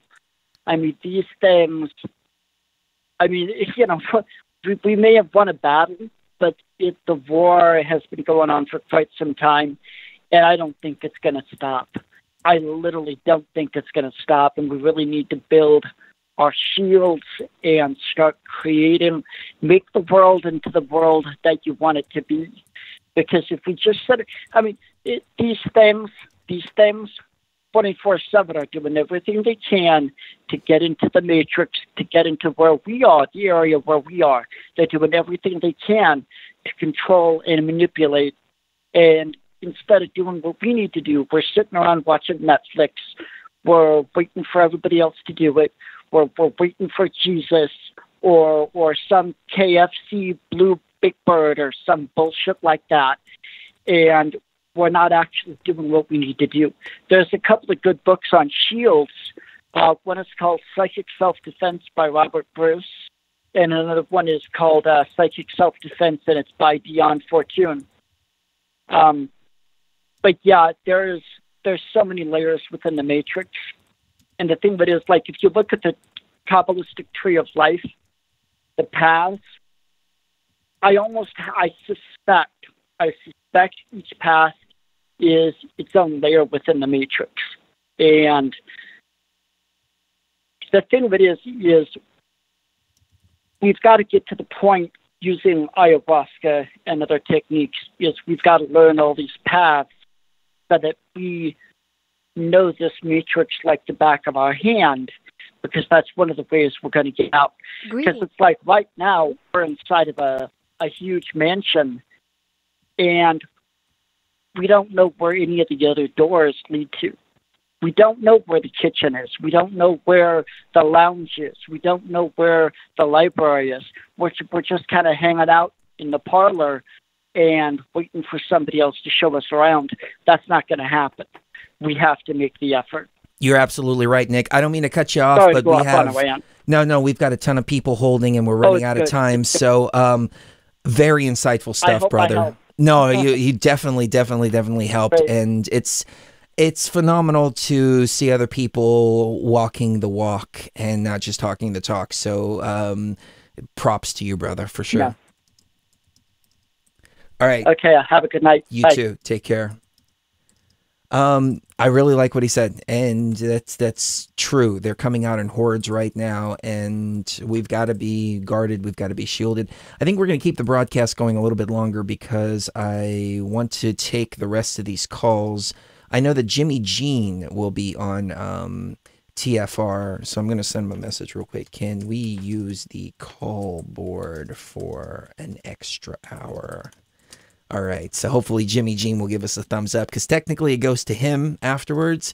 But um, I, I really want to get to the rest of these calls. So let's go to Spokane, Washington. What's your name and what's on your mind tonight? Hey, is this Kristen and Sheree? Hey, it is. It is. Who's this? Nice. This is Nick. Uh, I'm here in Spokane with you guys. Ah, Ah, Nick. hi, What's up, Nick. brother? How are you? Just another night, man. Um, I've been listening to the show, and you guys have covered a vast array of topics. And I, what caught my interest was uh, earlier talking about taking taking too much of certain substances, you know, or having uh, losing control of certain substances.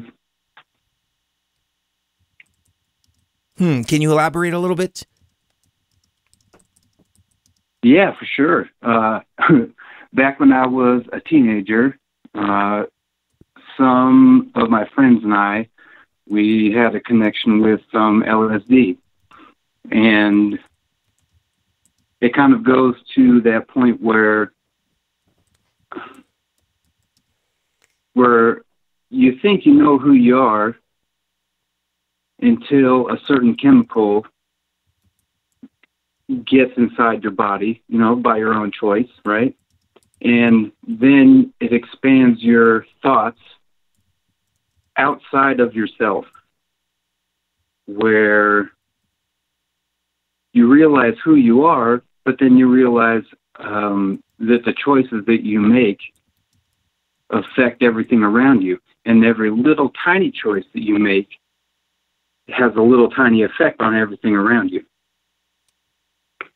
I relate with that 100%. And it's funny because in the documentary that we're working on, Resetting the Matrix, the first thing that I say is, you know, when I was 14 years old, a friend of mine gave me a piece of paper. And I little did I know that piece of paper would change my life significantly.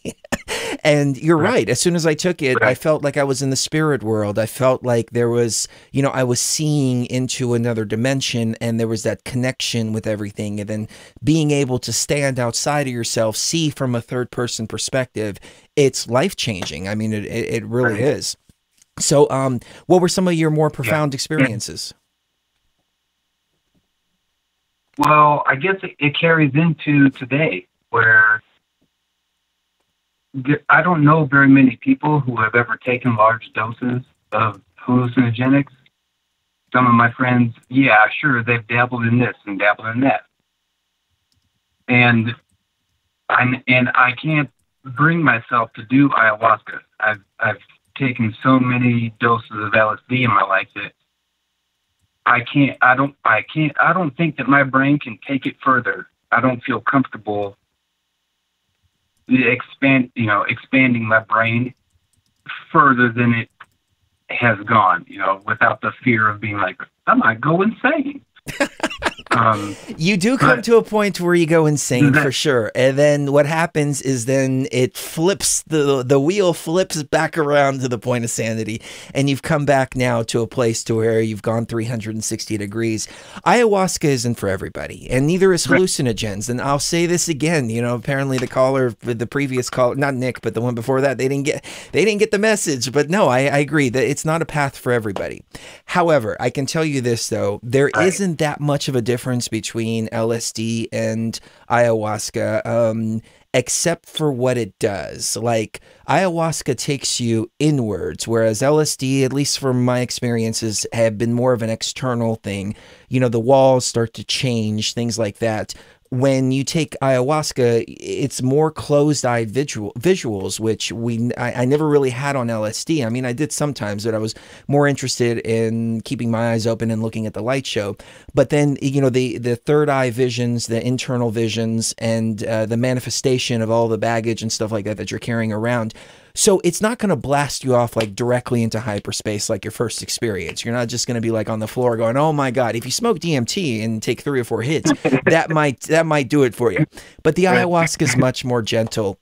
Um, so it's something to consider, but it's not something, you know, it's not like a requirement. Like I think people think because we talk about ayahuasca, it's like a requirement. it's really not like, you know, there's so many different paths and so many different, um, so many different, uh, uh, ways to, to awaken. But um, you know, I'll tell you this though: the number one thing that uh, stopped me from doing ayahuasca and still does to this very day, it's the ego doesn't want to die, and so the ego Mhm. comes up with the excuses like, Every excuse "Well, I'm afraid to go deeper," or "Well, I, I I haven't fasted right," or you know, all these I don't different want things. mind loops. yeah, yeah. And uh, in Egypt, um, I mean, I took an insane dose. Like I've never been that deep before. It was 400 grams of mimosa. Um, and just to put it into perspective, into context for people that aren't familiar, um, usually on the internet they tell you to take 15 grams of mimosa, not 400, um, like I did. But I wanted to go as deep as possible. But you know what? The, as deep as I got, the further that I got, the more comfortable that I was. And the less I was worried about whether I would come back or not. It got to a point where I was like, hey, screw it. I had to like remind myself why I was coming back and why I was coming back for Sheree. But I mean, I was up there, the exit door was right there. I could have just hopped through the portal and just been out of here and I wouldn't have even thought twice about this reality afterwards. But then it was it was Sheree's Sheree's face, Right. you know, saying, Come back to Sheree, you gotta be there for Mhm. Sheree, you gotta be there for Sheree. So man, yeah, I wouldn't worry about it too much, but don't do anything that you're not comfortable with because if you do, then you're gonna have a, a bad experience. So it's gotta it, it's something that you gotta be ready for.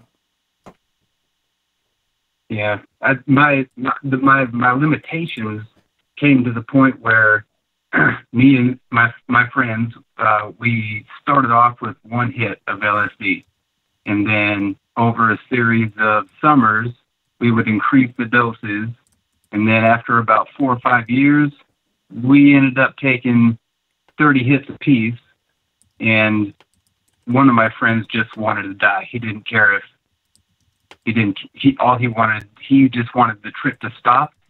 He didn't care if he died. And I was at that point where I had me and my friends had to convince him, hey, no, man, no, there's more to this. You don't have to die. You're going to be fine. You're going to be fine. It's going to be okay. And I think part of part of that experience was like, wow, this shit can make somebody freak out to the point where they're going they just want to die. They don't care. But then we made it we made it through and we all we all made it through just fine. And so nowadays when I talk to people it seems like a lot of people that I talk to, they don't. There's this there's this limitation to their minds, and I'm not a good public speaker. I'm sorry. I'm I'm kind of fumbling over my words and where I want to go with it. You're you're doing awesome, brother. Thanks, I appreciate it. Um, um, but yeah, there's there's a lot. There's everybody's mind is stronger than what they think it is, and and just like some of the earlier callers said, you know, you don't have to have some magical experiences. You don't have to have these contacts with chemicals to understand how strong we all are inside. You know, but it it does. You have to you have to you have to look for that point in your life. You have to figure out that message that's saying, this is what's trying to make me stronger. This is what's trying to make me realize that there's more to just what I'm being told on TV or what, you know, what your teachers are teaching you in school. There's a lot more to it than just waking up and going to work every day. Yes. I wholeheartedly agree with you. And that sounds like a pretty intense experience. You know, I I am open to LSD because I've done a lot of it in my teenage years. I haven't done any in probably 20 years. I mean, it's been a long time since I've I, I've had uh, it- Yeah, my just- heart, my heart, Oh, my heart's pounding just thinking about it, just talking about it. Yeah, yeah. It's you know LSD is, is different because it's a chemical, and so it, it doesn't have the same spirit as Aya or mushrooms or something like that. Um, so I can see it getting weird. I can see it getting funky. There's a chemical that we that we use. I never talk about it because it's legal, and you can like order it, and it comes in the mail, and it's so freaking beautiful, and like that's the way psychedelics should be. They should just come in the mail, no questions asked. But um, it's basically like a synthetic. no, I'm serious. It's basically like a synthetic psilocybin, and even on that, like you know, I'll take it just when I'm too lazy to brew up some Aya, and I just need to travel a little bit. But even with that, um, i- there's still that synthetic kind of feeling to it. Um, so yeah, eh, eh, comparing LSD with Aya is it's a comparison because they're both psychedelics, but it's like a steak and a salad. You know, a steak is gonna it's gonna be heavier and all that on you, um, but a salad um, is gonna go through well. Um, I'm gonna go ahead and let you go though, brother. Um, we are at the end of the segment, but we're gonna still keep the show going and take some more calls here in just a moment. But we are signing off of TFR. We're signing off of iHeartRadio and um, all of our affiliates too. So kiss the one you love right now. You never know the last time is gonna be. Stay tuned. Jimmy Jean is coming up next right here on Truth Frequency Radio. Love you guys. Thank you for traveling with us this evening. Meditate on your experience. And remember, reality is merely an illusion. Thus, we wish you pleasant dreams. www.beyondtheveilradio.com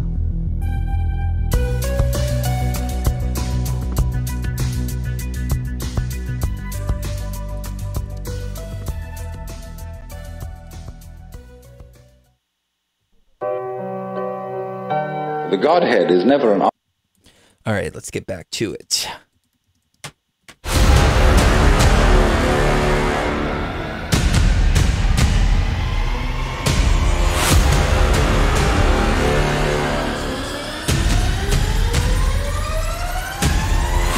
Traveler, the cries of the mystery speak again.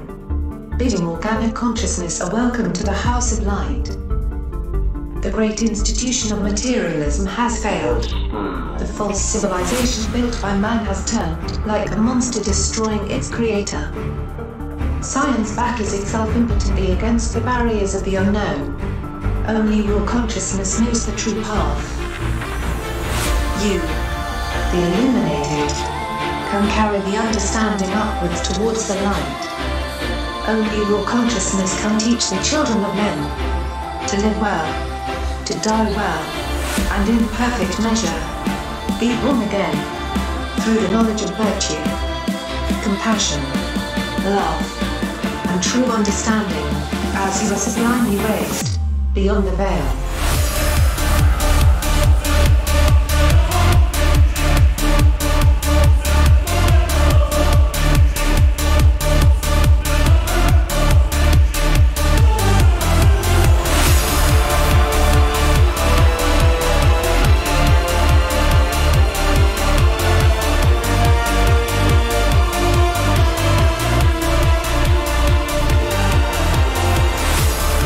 All right, let's jump back into it. Special thanks to Jimmy Jean of Microcosm. He is letting us use the call board for another hour. So, um, wanted to say thank you. Make sure to check out his show on tfrlive.com. So, what do you think so far, Mrs. Geo?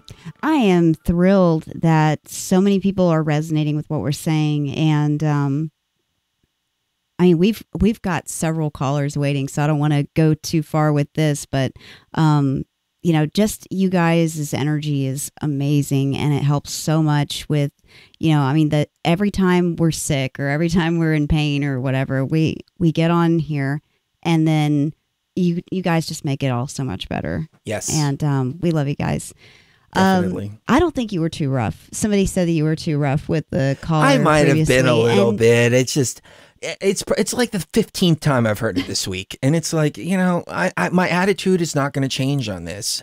I don't go to people's homes and mess with them and start downplaying their experiences and all that. I don't go to their YouTube channels and do that. They they come over here. When they come over here, I feel like I have a little better ground here because I'm not the one that's going and trolling other people's YouTube channels. They're coming over They're here, coming so I'm responding right. to them as opposed to if I was going out, you know, I, I definitely would agree. It would be total ego if I was going to other YouTube channels and telling them how wrong they are, et cetera, et cetera. Can you open this for me?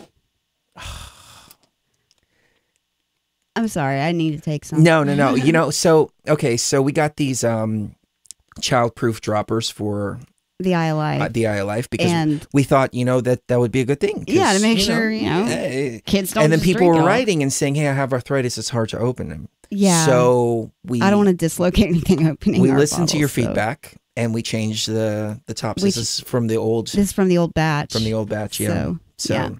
We we we really listen to everything you guys and gals say. We Yeah. take your feedback into consideration, not only for BTV, for ILI, Oh, for literally everything. With everything we it's, do. It's it's not about us. It's about the community, and so, um, yeah. All right. Yeah, let me have some of that. Yeah. I need to take some too. And it tastes so good. It tastes like Ovaltine. It tastes like Ovaltine. I always let it sit. That's a uh, Alex tongue. Jones thing when he's when he's when he talks about the caveman. He's like, "It's good. It tastes like Ovaltine." And uh, it doesn't have that funky taste to it, you know, like No, it doesn't taste like dirt. No, or no, no, chemicals. it's sweet, anything. like, yeah. Yeah, it tastes good.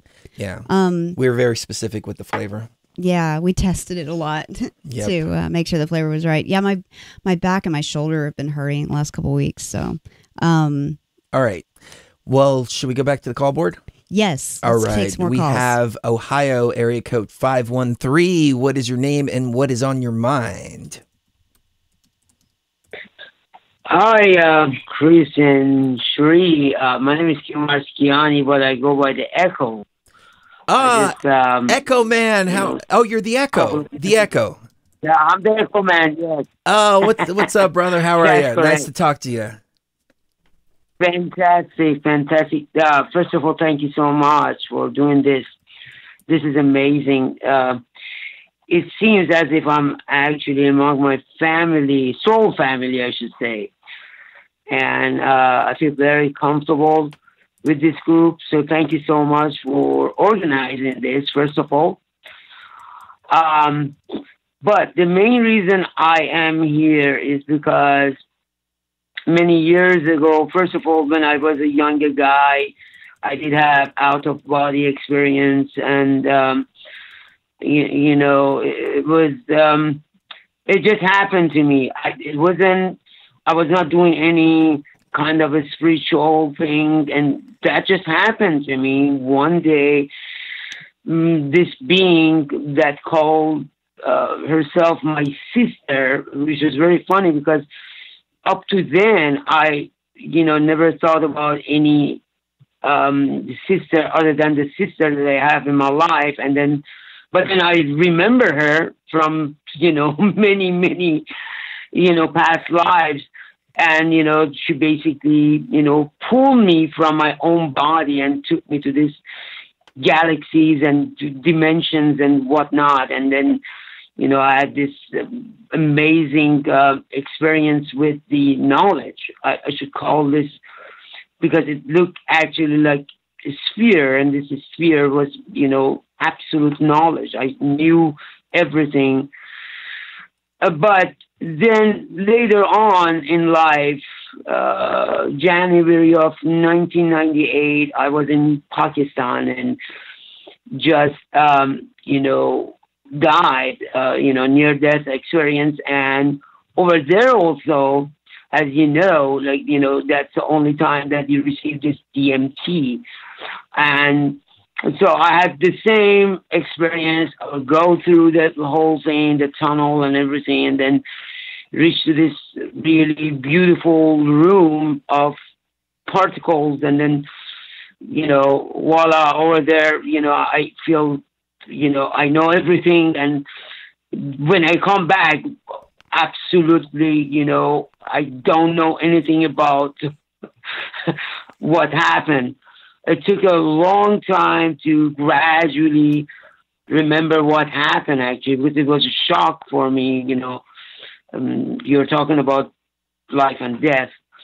But then, because I am coming from this um, you know, lineage of, you know, I'm, I'm Iranian, I'm Persian.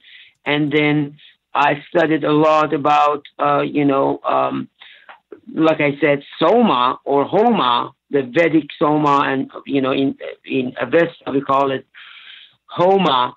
And it's, yeah, it is psychedelic. And, but unfortunately, we can't uh, get a hold of it.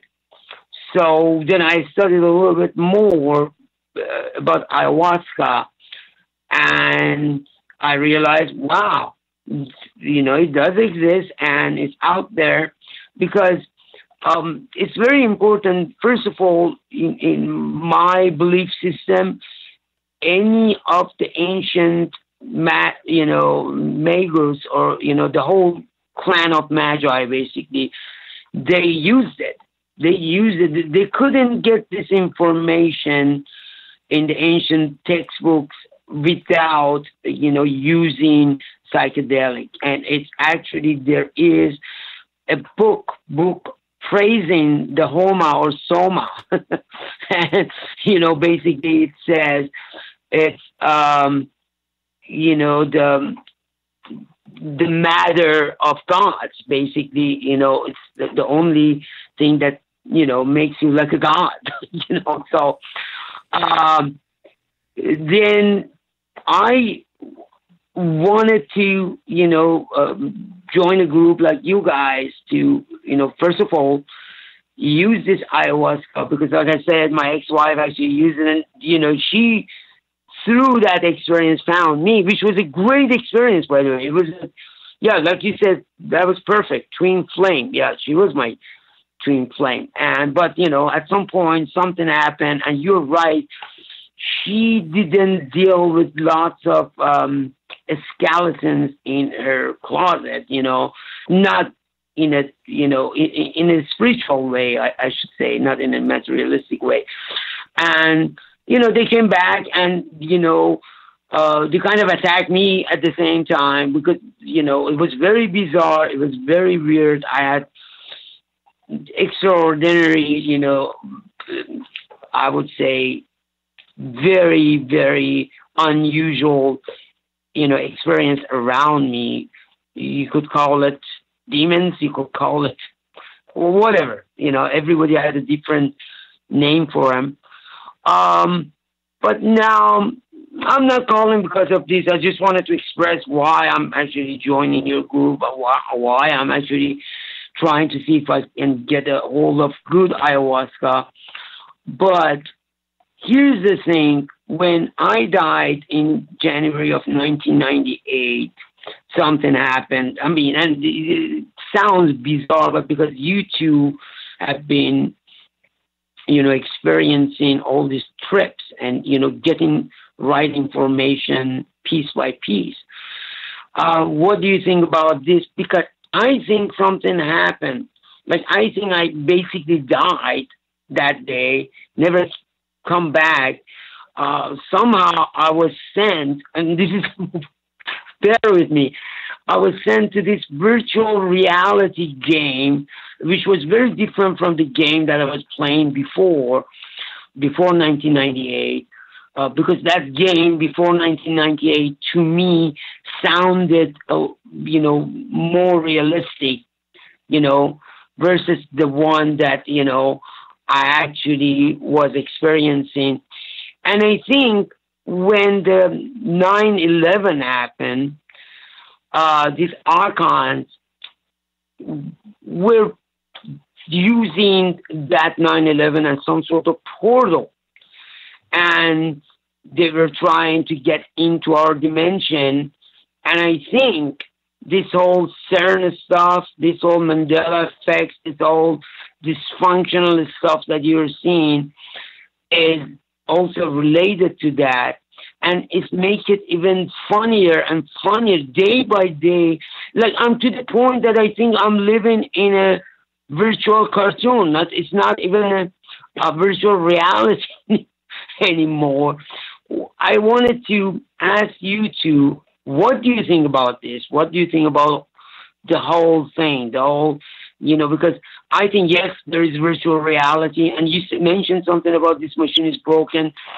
Um, but I, I feel like you know, before my death, before my near-death experience, things were a little bit better, and now it's like totally out of control. Wanted to ask you about your own experience.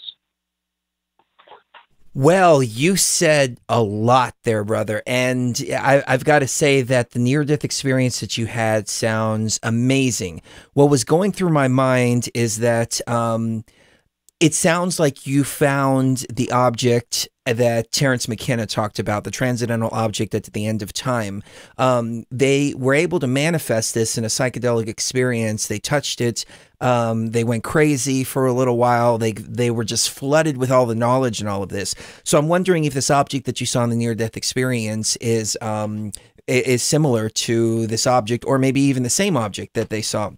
So the near death experience, I think, is very, very, very close to hard, hard, hard psychedelic experiences. As I've said before, um, one of the reasons I started working with psychedelics in heavy, heavy doses is to navigate that death experience and be able to maintain my consciousness in uh, in such a disconnected state. So there is a lot, a lot, a lot to it. I mean, I, I- I think that the the the the only thing that's deeper in this in this uh, realm of gnosis than heavy, heavy, heavy psychedelics is a near death experience like that. That is. I mean, the state where you're in between the worlds and you're you're able to access all this different knowledge. So that's that's amazing in and of itself. The next thing that comes to mind is the um, you you talked about um, oh I just lost it. There was so much that you went over. Um, Sheree, do you want to jump in for a minute? well, yeah. I mean, this reality's always seemed a The virtual reality. That's where I was going. Yeah. With it, but go ahead. This reality's always seemed fake to me. It, it always seemed like the trees had more personality than the people around me, and I mean it. the I it, it's it's funny because I used to actually not. I didn't want to play with the kids. Uh, the other kids at school. I did not want to go out and play during recess. If I went out during recess, I was always by myself and I would go to this little it was like this little um this little place right by the the very back of the school's property and it was under a tree And that was like my magical little place. And I learned way more from the trees in that magical place than I did from any of the schoolwork that I was forced to do or any of the interactions that I had with the other kids there. And they always just thought I was weird. And they would, you know, I mean, they thought they were leaving me out of things, but I didn't want to be around them. And I noticed that this, they, the trees would actually tell me that humans are by and large fake people. They're not real people. And I never really understood that until later on in life when I realized that we are indeed living in a simulated reality and that most of the people that we encounter aren't aren't they they're not organic consciousness. They're something else. They're all connected to this hive mind mentality. And um, then when 9 11 happened, it was like something triggered inside of people's minds that made them suddenly want to go to war, suddenly want to sign up for the army or the air force, and suddenly this shift happened to a much colder and darker world. And it's been that way ever since. Mhm. And I, I think I really think that 9-11 was a it was a marker of not a new simulation, but maybe a new, deeper layer of the simulation. So it made it even harder Mhm. to contemplate the world outside of this one. Does that make sense? Absolutely. Absolutely. You're absolutely right. And I was actually an isolated child too. As a kid, I was the weirdo. I had names, I had several names. And I always wonder why like I cannot communicate with my, you know, peers, with, you know, classmates, with my friends, buddies. Uh, but now you're saying the same thing. It makes a lot of sense. So I was not alone, you know. I had I had the same experience growing up as well. I was always kind of off to the side, kind of looking at everybody, thinking to myself, "Wow, you all are a bunch of sheep." Like, I mean, I didn't have the words to articulate it back then, but I always thought, "Look at these people are like just following just you know whatever somebody says and it, it just it didn't seem right to me and then everybody always uh, congregated to different groups and different styles and different this and different that and I never found anything that I associated with. So I kind of made my own path from the very beginning. And I think that's one of the traits of a lot of us here because we don't we don't belong here. Like this is I mean, really, we talk about this world as being a fake world, and it is. But to an NPC, it's a very real world, and it's a world that they uh, are are a huge, huge, huge part of. So, of course, they're going to get mad when we call it out as fake because it's not fake to them, but it's fake to us. Um, but we're the players in the game. So, um, so yeah, I, I totally relate to that, and I think it's a, a signature of a lot of us growing up. Um, especially when we start unlocking these different these different parts of us. Let me ask you this: Did you, as a kid, I had these feelings like I couldn't confirm them. Um, but it was just like this gnosis that I came in with. So uh, my father used to always speak very negatively about everything, and he used to drive me crazy. And I used to feel at like five, six years old that he was manifesting this negative reality by talking like that and it used to just just drive me crazy and then you know i was programmed out of it for a while and then i unprogrammed myself again. But did you have those feelings? Like you had this gnosis when you were a kid but it it just it kind of was a pro- um, programmed out of you later? Yeah, I would say, like my father actually, I'm the carbon co- copy of my own father. We were born the same day, the same year. I mean, Chinese year, but um, my mother was actually kind of like that, and she still is. You know, bless her soul. But I mean, she still is extremely sensitive, but at the same time, uh, you know, I don't want to say negative, but she kind of, like you said, is manifesting everything for her life. And that is true. Yeah, I can say that. Yeah. Mm-hmm. It's amazing. It- it- I think we come in with the knowledge and then it's removed from us as we move through life and then we remember it again. We unlock it Mhm. again um, in one form or another. And, you know, when we've been subjected to some of the horrors, like, I don't know, your, your childhood, my, my childhood was really rough. Yeah. Like, uh, Sheree pointed out, the reason I used M- MDMA so much as a teenager is it's because PTSD. You were Like, self-treating. I was self treating, and I just instinctively knew that this would self treat and things like that. Um, but you know, having all that clutter piled on top of me, then having to deprogram that later in life, it was it was rough. Yeah. Yes, yes. And I, I wanted to ask you also, because these are my feelings, that, um, I mean, with the whole, like I said, the CERN, the, the quantum computer, um, you know, the, you know, the, which is creating this Mandela effects, like, because lots of people will start laughing, but it's not a matter of you know, laugh because I have experienced it not, you know, I don't go on YouTube and find these things.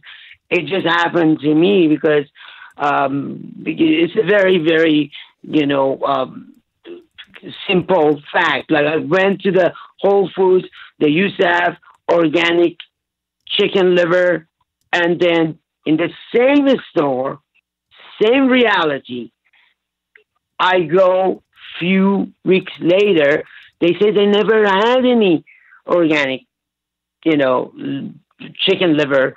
And the funny thing is that I had a witness witness it, it was actually my mother because she asked where I bought it.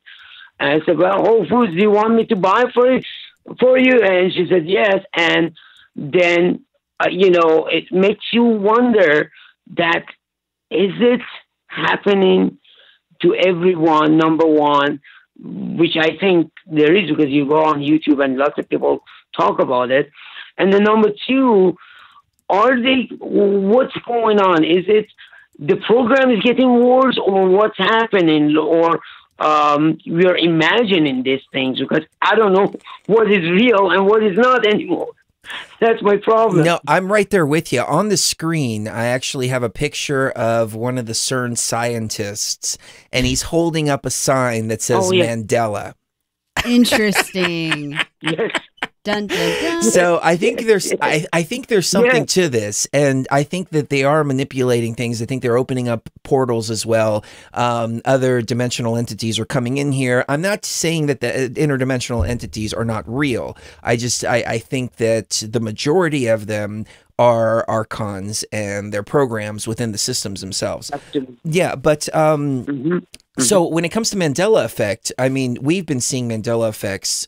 uh, I mean, from the time we met, before it was even called Mandela effect, we went to go fill up our water bottles at this reverse osmosis place, and it was like the first couple weeks that Sheree and I met, and I took her to this place that we had just gone to a week before, and it was completely gone.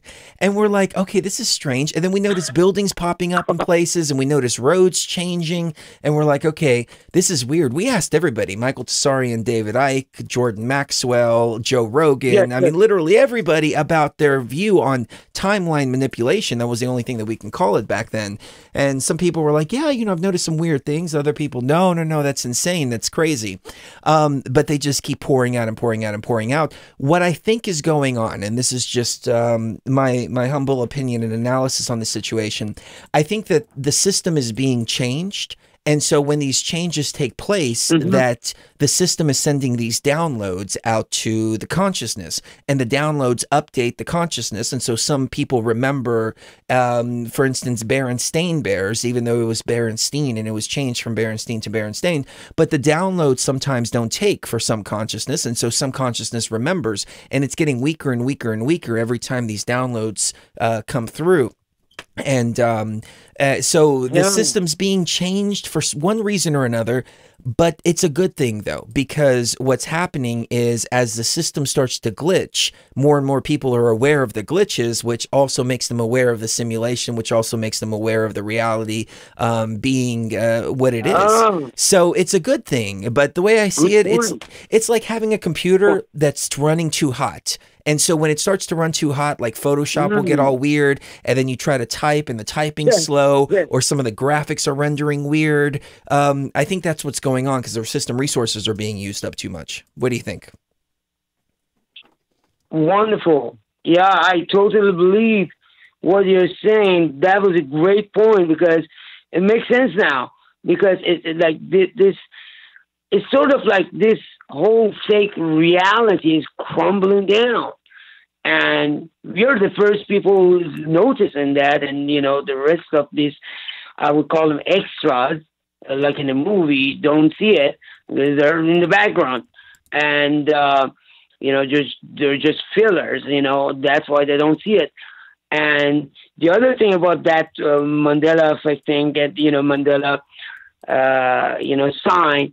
You know, lots of people talk about Nelson Mandela, but I think that's actually uh, also by itself is a secret, secret code or something like that. And I think is Mandela's, which is like the uh, Buddhist mandalas, the world inside of the world inside of the world.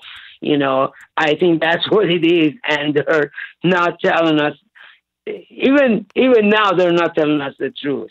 So that's what it is. You know what? You gave me chills when you said that. And that's when I first saw it, Mandela effect. I didn't think Nelson Mandela. I thought Mandela. I was like, "Oh, the Mandela effect." Okay, well, Yes, this is yes. this is strange, Yes. but then turns out it's Nelson Mandela, which doesn't really make any sense because I think there's better Mandela effect examples than Nelson Mandela's death. Exactly, exactly. You're absolutely right. So, thank you so very much, guys. I mean, I I, I feel like way relieved now because I'm not crazy. You know, thank you so very much. You're not crazy, brother. You're actually you're on point. You're on fire, and it's so glad to connect with you, man. Thank you so much for calling in. Thank you. Take care. I appreciate it. bye bye. Wow. That was an awesome caller. was an that awesome was caller. that was great. And um That brought the energy level way up. the Mandela effect. The Mandela. Mandela. The Mandela. Mandela. You know what's funny? We watched this guy named A- uh, Angry Video Game Nerd, and uh, he reviews all these old '80s video games. If you're, if you're not checking him out on YouTube, check him out. It's uh, what do you call it? Fufu, fufu, frou-frou. Is it frou-frou or fufu? Frou-frou, frou-frou stuff. Frou-frou stuff And just fluff and stuff like that. Yeah. You know, when you just want to unwind and like you know watch something that uh, you don't have to think about. Fluffy. But he did it. He Yeah. did. He did one where he was reviewing the Berenstein Bears, and he's purposefully covering it up through the whole thing. And then halfway through it, it turns into a Mandela effect thing. Uh-huh. He actually calls it the Mandela effect, not the Mandela. Mandela effect. He calls it the Mandela effect. So check that out. Type in AVGN, not right now after the show. AVGN um, Berenstein Bears. And he actually had it spelled Berenstein Bears for like the first couple of weeks and then changed it to Berenstain later on. Um, but uh, but yeah, it was pretty cool to to watch that. He, he he's like he's a great um, filmmaker. The ending, he's like the bears start attacking and um, it's the bloodstained bears and I don't want to I don't want to spoil it for you, but he makes it very very very entertaining. Um, anything from the little twin? Um, yeah, it was just uh, the Mandela Mandela. I can almost call it the Mandela effect. The Mandela effect is is, I think. I think I'm going to start calling it the Mandela effect. Yeah, That's yeah. that's a I like that. yeah. I it kind of reminds me of the Adinkras that um the Google Deep Dream Mhm. came up with as what the AI sees when it gets all creative and Well, it Um, was it was interesting because that AI Deep Dream it looks like a psychedelic experience. yeah, it does. It it looks exactly like a psychedelic Yeah. experience, and so you know, I think the reason they're so averse to psychedelics is because number one, they work, but number two, you start to fully understand the AI. You start to understand the game that's being played. Just like uh, the last caller uh, mentioned, that you know, you you you start to experience the virtual nature of reality, and that's uh, nobody wants that. Like nobody except for organic consciousness wants people to experience that. You got archons, you got programs, you got all kinds of things in the system that that try to keep you away from it. And I think that's one of the big new age aversions to psychedelics is like Terence McKenna. Terence McKenna went through the exact same shit as when uh, as what we go through with the psychedelics. It's always the new age coming in and saying, "I psychedelics," and he actually did a thing um, that we play during the breaks, and he says, you know, everybody's looking for the the the accelerator, but when you do psychedelics, you're you're not looking for the accelerator anymore. You're looking for the brakes. And he says the new age movement, they're they're they're they'll try anything so long as it doesn't work. Something that works, they won't try. So Mm-hmm. Exactly. should we go to another caller? Yes, All next caller. Let's go to Bakersfield, North California. North Carolina. Yeah, northern Oh, Bakersfield. Bakersfield. Okay. Yeah. All right, let's go to Bakersfield. Um, what is your name and what is on your mind?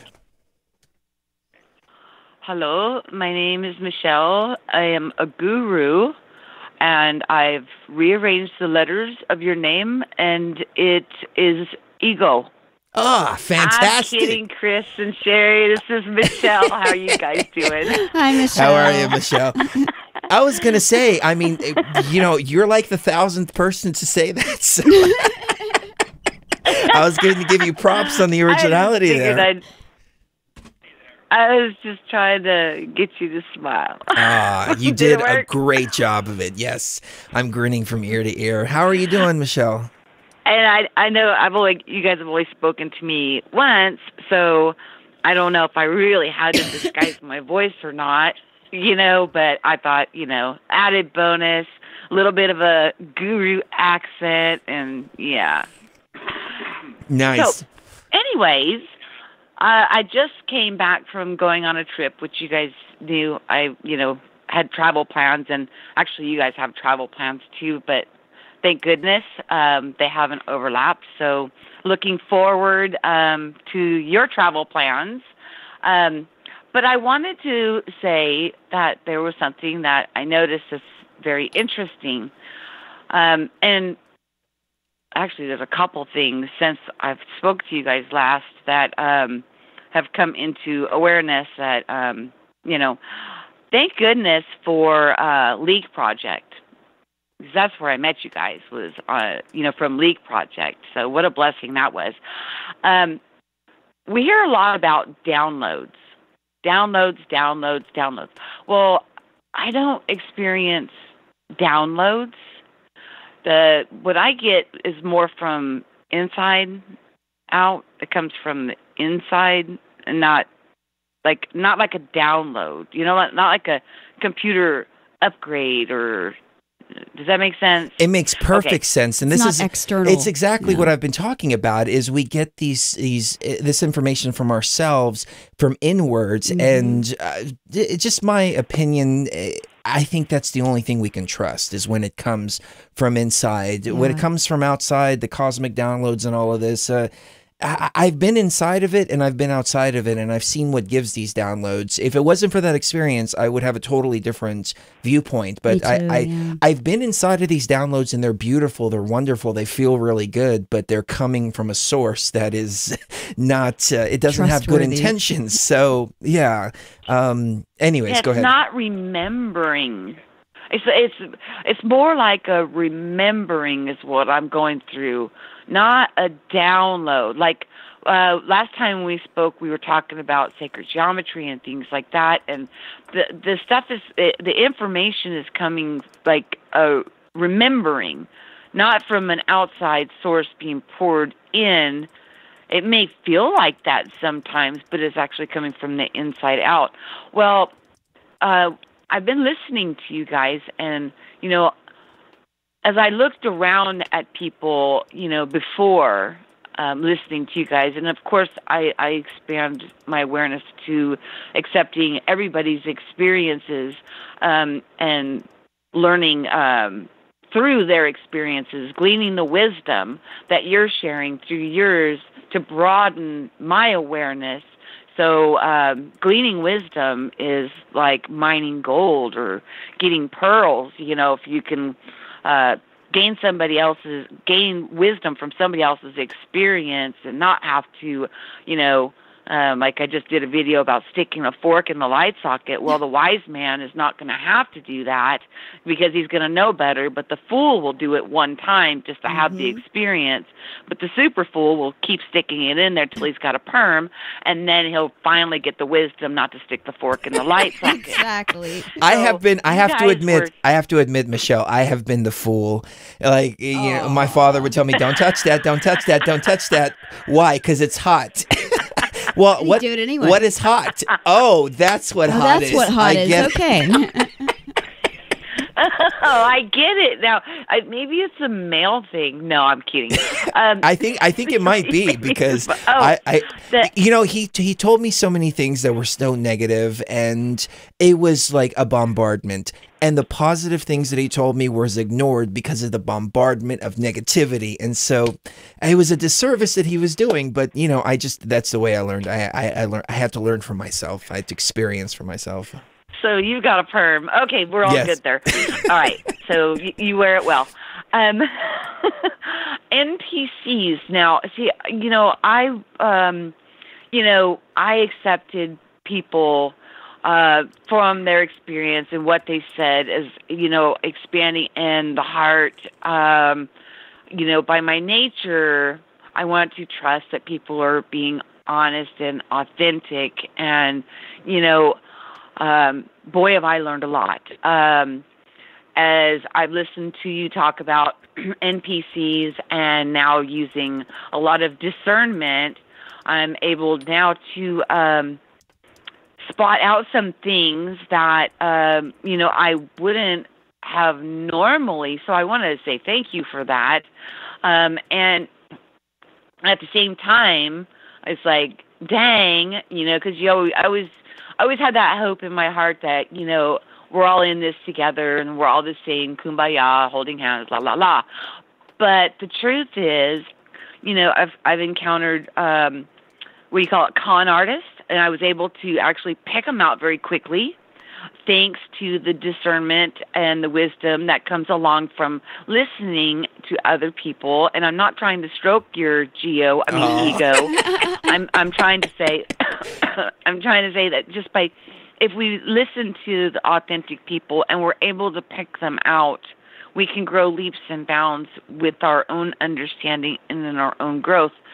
So, like on this trip, uh, my husband and I encountered a con artist, and we were able to pick them out very, very quickly. Uh, but then it was brought up by somebody on the ship that you know we were being targeted, or I was being targeted by a con artist, and because they're trained and they know, they gave me the heads up. You know, there's a con artist. I'm like, yeah, they ain't getting shit from me. So, um, and another thing that I've noticed, um, uh, I also did a video on this is Christianity, which you know I was raised Christian. That was you know my culture, and um, New Age, and I did a comparison on them and. One's waiting for the rapture, the other's waiting for an event. That you know, the similarities in them both. They're both a control. It's a control system. They want to sound like they're different, but they're not.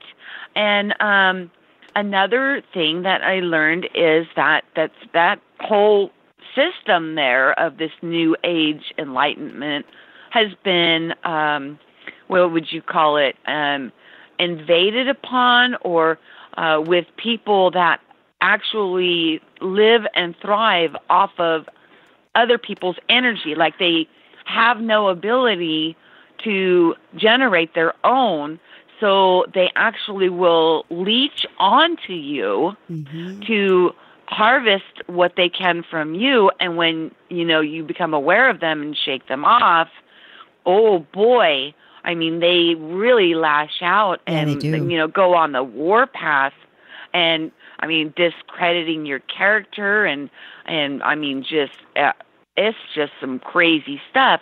So now I'm thinking, my gosh, you know, how many of us here are actually real con uh, creators? I mean, I was gonna say content creators. Uh, YouTube on the brain. How many of us here are actually creator beings? How many of us are background people? How many of us are NPC actual, but do they even know it? And how sad would it be to live your life thinking that you're one thing only to find out that you're another and you're just going to get recycled back in? But I, there has to be a way that they they know that they can't survive on their own or they wouldn't latch onto people like you guys. I'm sure you've dealt with your fair share. And I just came out into the open, you know, in April. Um, although I've been going through this for a couple decades now, I finally started speaking out about it, you know, just like said last April. And I've dealt with my fair share. You guys have been in the public arena for uh, how many years now? It's been 10 years. Let me jump in for a second, Michelle. Let me say that, first of all, that, Sure. you know, we catch a lot of crap. Yeah, we But do. you know what? When people call in like you and you say, hey, you know what? I was able to use my discernment to get uh, out of the out of the prey of a con artist, that just makes it all worth it. So Yeah. thank you so much for saying that. It's, um, eh, that that's the whole goal is to empower people to have higher perceptions and um, uh, sharpen their discernment and all of that. Um, and um, the um, the thing about the psychic vampires, yes, we we get them all the time, and when you feed them, eh, eh, they they're very happy, and when you cut you cut the energy, they're cut off from an energy source, and so they they get really vile, they get really um, vindictive. I don't know. It, it's it's it's hard to describe. Like I mean, we've had people. I, I don't even like talking about this, but we've had a group of people that have been cyber stalking us for six years now. Six years that this has been going on. And we haven't had any contact with these people in six years. And so it was one of those energy vampire type situations that just stuck and eh, it still hasn't gone away. So um, it's important to shield yourself off, protect that, but most importantly, to recognize them as soon as they come in. Like it, it, it took us a while to discern all yeah. of this, but Not let them use yeah. you as a feeding trough. Yeah, once we built up this discernment, we um everything's been been smooth sailing Mhm. since. So I, I totally resonate with what you're saying, and I'm sorry uh, for you know whatever you're going through because it sounds like you know you're you're catching your first YouTube trolls or you know something like that. Hopefully, it's not going to be a six year ordeal for you. I don't think it will be, but um, well, I'm just surprised that it's lasted as long as it has because I've um I I don't feed the troll. I mean, I I I cut all even when they're doing what they're doing. I say nothing back. I there's no response. I'm not feeding into it. I'm not I'm not reacting. I'm not going either, either direction. But That's what good. I've noticed is they'll grab other people and feed off of them to keep it kind of going. It's weird. It's unusual and it's um definitely been a learning experience. Like I said, I didn't want to think that there were NPC. I didn't want to think that there were, you know, non I thought everybody was the same. Um and of course going into this, the whole idea of opening the YouTube channel was to wake people up to who and what they are and to walk in their sovereignty and remember their abilities and, you know, all that great, wonderful information that is stored within each of us. Little did I know that it's really not in everybody. It's just really been a Mhm. learning experience, but what by listening to you guys, you know, I um have gleaned some wisdom and I I appreciate that. Uh kind of like a a rapid course of uh you know, learn fast cuz it's coming at you hot and heavy. And for some reason, obviously for 6 years that's pretty determined. Um they are, and they've been why they've been do they not want this truth out. I well, I don't know. I mean, they've been in several mental institutions, and, and they've been they forced. usually have They've been mental committed by several different states, and Yeah. then the, for some reason they let them out, and it's like, hey, don't let them out. All they're gonna do is just wreak havoc on Don't people. Well, they I- keep letting them out. So I think uh, I think a lot of it is a lot of it is um is mental health problems, and a lot of it is jealousy. A lot of it is um NPCs that see an organic consciousness and they want to be that, and they're very upset that they're not like that, and that they can't have the same impact as you do and that they can't have what you have spiritually and they're they're very um resentful about perceived slights against them and so they keep things going on and on and on and then when you don't react to it they'll try to go after people around you because they want to affect you by proxy Yeah, we we went through all of that. We, yeah. I mean, they found out who my family was. Yeah, they, they went after their harassed our businesses. family, They, they- left negative yeah. reviews on all their businesses on Google. You know, Yeah. I mean, it was it was really bad. Um, I don't want to get into it too much, but let me let me just say this: that um, I don't blame you. yeah, yeah, it's uh, it, it it comes with it comes with the It territory. comes with the territory, It does. yeah. But here's what I've realized over time, and I think that you're in the same position as well. It's not our job to wake anybody up. It's our job merely to put the information out there, and we do that with our YouTube channels. Um, we the people who come to the light that we shine, the beacon that we are, um, they're the ones that need the information. But there's some that just yeah, it's not for them, and so it takes off the weight from your shoulders because now you're not responsible for doing anything except for what you're doing. You're not responsible for what somebody else is doing. And when we come to these realizations, then um, it, it makes our job more. Uh, we can do our job more efficiently, um, and we can really help those that really want the help and that really will will benefit from it Mhm. by being more efficient with our energy and directing it towards them instead of trying to direct it to all these different people that just simply don't get it. So I would say don't worry about Mhm. everybody. Just focus on the ones that are receptive to it, Exactly. and though because those are the ones that are really going to um, do the most with your energy instead of just sucking your energy. Right. And then that one other thing that I wanted to share with you guys is, you know, I was out in the middle of the ocean and there was, you know, without all these bombardments that we deal with on a daily basis of all these frequencies, you know, smart meters, cell phones, you name it, you know, these, uh, this 5G grid that everybody's, they're concerned about it, but, you know, if they're letting it come out into the public domain, of course, they've been using it for decades you know, we always get things way later than things have been used. But while I was in the middle of the ocean, it was like a relief. Um, all of that background, the ears ringing and all that background noise, it wasn't there. So uh, then, as soon as we ported, we felt it immediately all of those different frequencies and you know so if i can give anybody any advice it would be spend time in water spend time swimming go to the lake. You know if you got a boat or or if you can go out into the ocean if you need a break from all of this um you know i would i would call it garbage that download information where people may think they're getting authentic messages, but they're hearing maybe somebody FaceTiming on at the house next door, you know, because they're picking up the frequencies because it, you know, it's going through the airwaves. Well, you have yeah. Let me jump in for a minute. You have we noticed too. You have Gwen Towers. Gwen Towers have been around since I want to say the 60s or 70s, and these these operate on the same frequency as the brain does.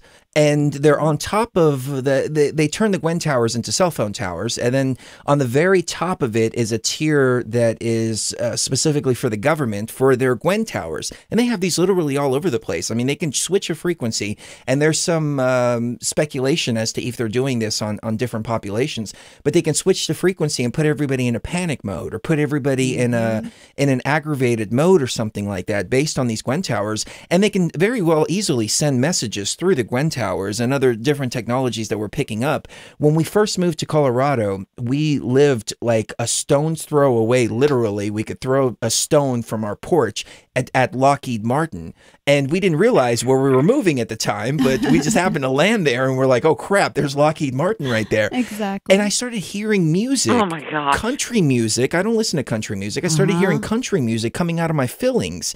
And I'm like, this is strange. What the hell is going on here? I started talking about it on on on the radio. Please give you the right music. Yes. but well, I, I think I think what was going on is I was picking up some kind of signal, and then you know, there's there's mixed feelings on this. Some people would say yes, I'm experiencing the same thing. Others would say, well, fillings can't pick up those type of frequencies. But I know what I was experiencing, and I was experiencing some kind of frequency interference He there. hates country music. And let me share a story with you. You talk about going I out. do too. I, it, I it's not that I hate I'm it. sorry. It's just I am not a country music person. Me either. Growing up in Texas, that was a nightmare. Yeah, I'm not. I'm not either. But you know, that- that- I I try to be open to everything. Yeah. So, um, let me share an experience Yeah, with you, yeah. Michelle. So I had a friend that uh, had a place out in the middle of nowhere, and he said, "Hey, let me take you out here to the woods." Um, and he wanted me to experience that being out. Uh, with nothing around, no internet, no TV signals, no nothing like that. And it was an amazing, amazing experience to be completely disconnected from everything. However, there was another guy with us, and I felt like we were going to be taken out to the woods and we were going to be murdered. Yeah. I don't know why I was getting these feelings. I couldn't pick up on it. And so I was trying to enjoy this this feeling of nothing while at the same time com- uh, contending with these feelings like I'm going to be like a, like a bullet's going to be put in the back of my head. Yeah, at any minute. So I didn't think anything of it. About four or five years later, I found out that the other guy was actually in prison for 20 years for killing a child. Yeah. So I was picking up on that energy you at were the same picking up on. Oh Yeah. my goodness Yeah. gracious! And nobody knew this. Like Your the guy inner knowing was telling you. Yeah, the guy I was with, he didn't know. You know, we both found this out at the same time. This was a mutual friend, and it was chilling. But uh, I always felt that weird energy there. So we need to go back out, redo that experience, but without that other energy there, Mhm. and maybe really absorb what it's like to be without Wi-Fi. Right. I know when the power goes out here because the power eh, the power lines suck out here. Like you know, Yeah, the wind blows the wrong way. That's it. We're out of electricity, out of internet, and all this. Yeah. But when that happens, there's a calming that comes over Oh, like it's never wonderful. before. It feels nice. Yeah, and the thing is, is that you know, right before we went on this trip, I was going through, you know, with the inner standing, saying, "Hold on a minute, there's something wrong with all of these people talking about these channeled downloads, these messages. They weren't resonating." So, and then I have this experience. You know how the universe seems to provide. You know, the questions come or answers we get the we have the questions and then the answers will come to us. And there was the answer right there. I'm there i am bobbing around in the middle of the ocean. And the only thing that i was able to and this never stopped the understanding the information that comes from the remembrance from within stayed but all that garbage garbly gook noise which you know like i said that ringing in the ears you know and all that none of that. I got none of that. So it pretty much answered my question there. So when i hear people say i got this channeled message now all i'm thinking about are you listening to somebody facetiming next door? I mean where are you picking up this channeled information how legitimate is the source? Is it coming from within or is it being downloaded from outside of yourself? The the thing that you know i treasure most is that i can look out around me and by looking out in my surroundings with my clouds my trees you know it's like a reflection of what's going on within my heart with what's going on within me and if something is kind of a muck then it will display in my surroundings. And then I know that I need to take some time and get myself back in balance. I've been knocked off kilter in some way and, you know, get my stable footing back. Uh, and that was an amazing revelation unto itself. Not that the outside world affects us, we affect the outside world. Did my phone die? No, No, no, no, no, No, you're we're here. just we're agreeing with Oh. you because Yeah. well, and I, you know, it was like that caller we had You guys earlier. are so quiet. well, it was like that caller we had earlier that was that was basically saying, you know, I grew up in an atheist house, um, but and and basically what I'm what I'm believing right now must be true. What I'm perceiving right now, whenever I'm get I'm able to, I think what she said was tell energy signatures from these external beings, um, and I and I know that that what I'm talking to is an extraterrestrial um, consciousness, and I know this is true because when I, because it goes against what I was trained to think that it just because something goes against what you were trained and brainwashed to believe as a child Programmed. doesn't doesn't make it doesn't make this other thing true. It's not black and white like that. And yeah, there's layers upon layers upon layers of the onion. Right, exactly. Yeah, and yeah. so what you know, I mean, just I mean, hell, you know, this. I was all in line with all the ET stuff and all this several Yeah. years ago, and then I had to like come to these like realizations myself. Like, oh crap, this is all AI, isn't it? Oh, it's programs trying to manipulate me. But then that's when the inner gnosis started to come out. Is when I recognized all of that and broke even that barrier. And I, I I'm not leaving off the table that there could be more barriers to break. I mean, you know, it's just a progression of things. But the way I see it is, even if there are benevolent ETs out there, people have to harness the power from themselves. There's nothing that the ETs can do that we can't do. So we need to learn how to do that first and foremost. Yeah, just by making a, a statement that I didn't have that programming is basically what I'm hearing. I didn't have that programming growing up, so I don't have it now. That's kind of a haughty type ego thing, like devaluating or giving no credence to your own experience and only credence to theirs, which is there again, going back to the dogma, because I had the Christian upbringing. It's our way or the highway. You're going to go to hell, which I had to overcome. So basically, they were given that kind of dogma, but saying at the same time that they didn't have that programming, so they have to be right. mm-hmm, exactly. Am I exactly. understanding that?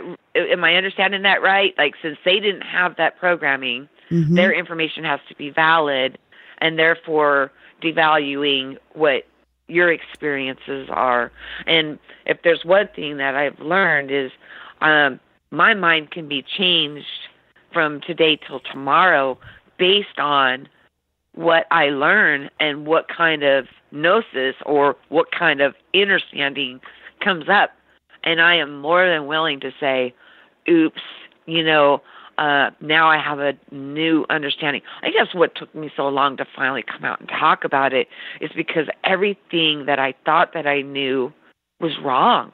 Mhm. Everything that, you know, that I was brought up to believe had to be ripped away, you know, and a lot of it I tried to cleave onto. It was a painful process because you have to, it was like I had to lose myself to find myself. Um, and, and, and by cleaving onto any of that programming, I wasn't, um, freeing myself up for the truth to rush in. And I Mhm. know it's a work in progress and that I'm still, re- you know, releasing old programming on a daily basis.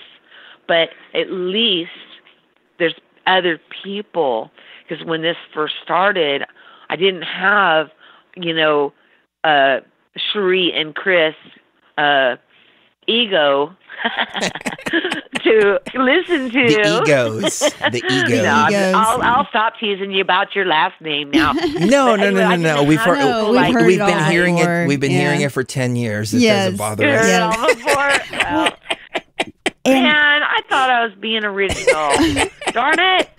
Well, and all of, ah, I mean, I'll all- have to think of something much better next time. the archons have done an But amazing is- it job is of doing like that. Uh, the uh, I was just going to say the archons have done an amazing job of creating a situation where if you're raised in a religious household, then you think that because you ran to the new age group or because you ran to the atheist group or because you ran to the scientism group or because you ran, Ran to another program. yeah to another program that you're out of the programming you know that's and that's the biggest No. that's the biggest thing that's happened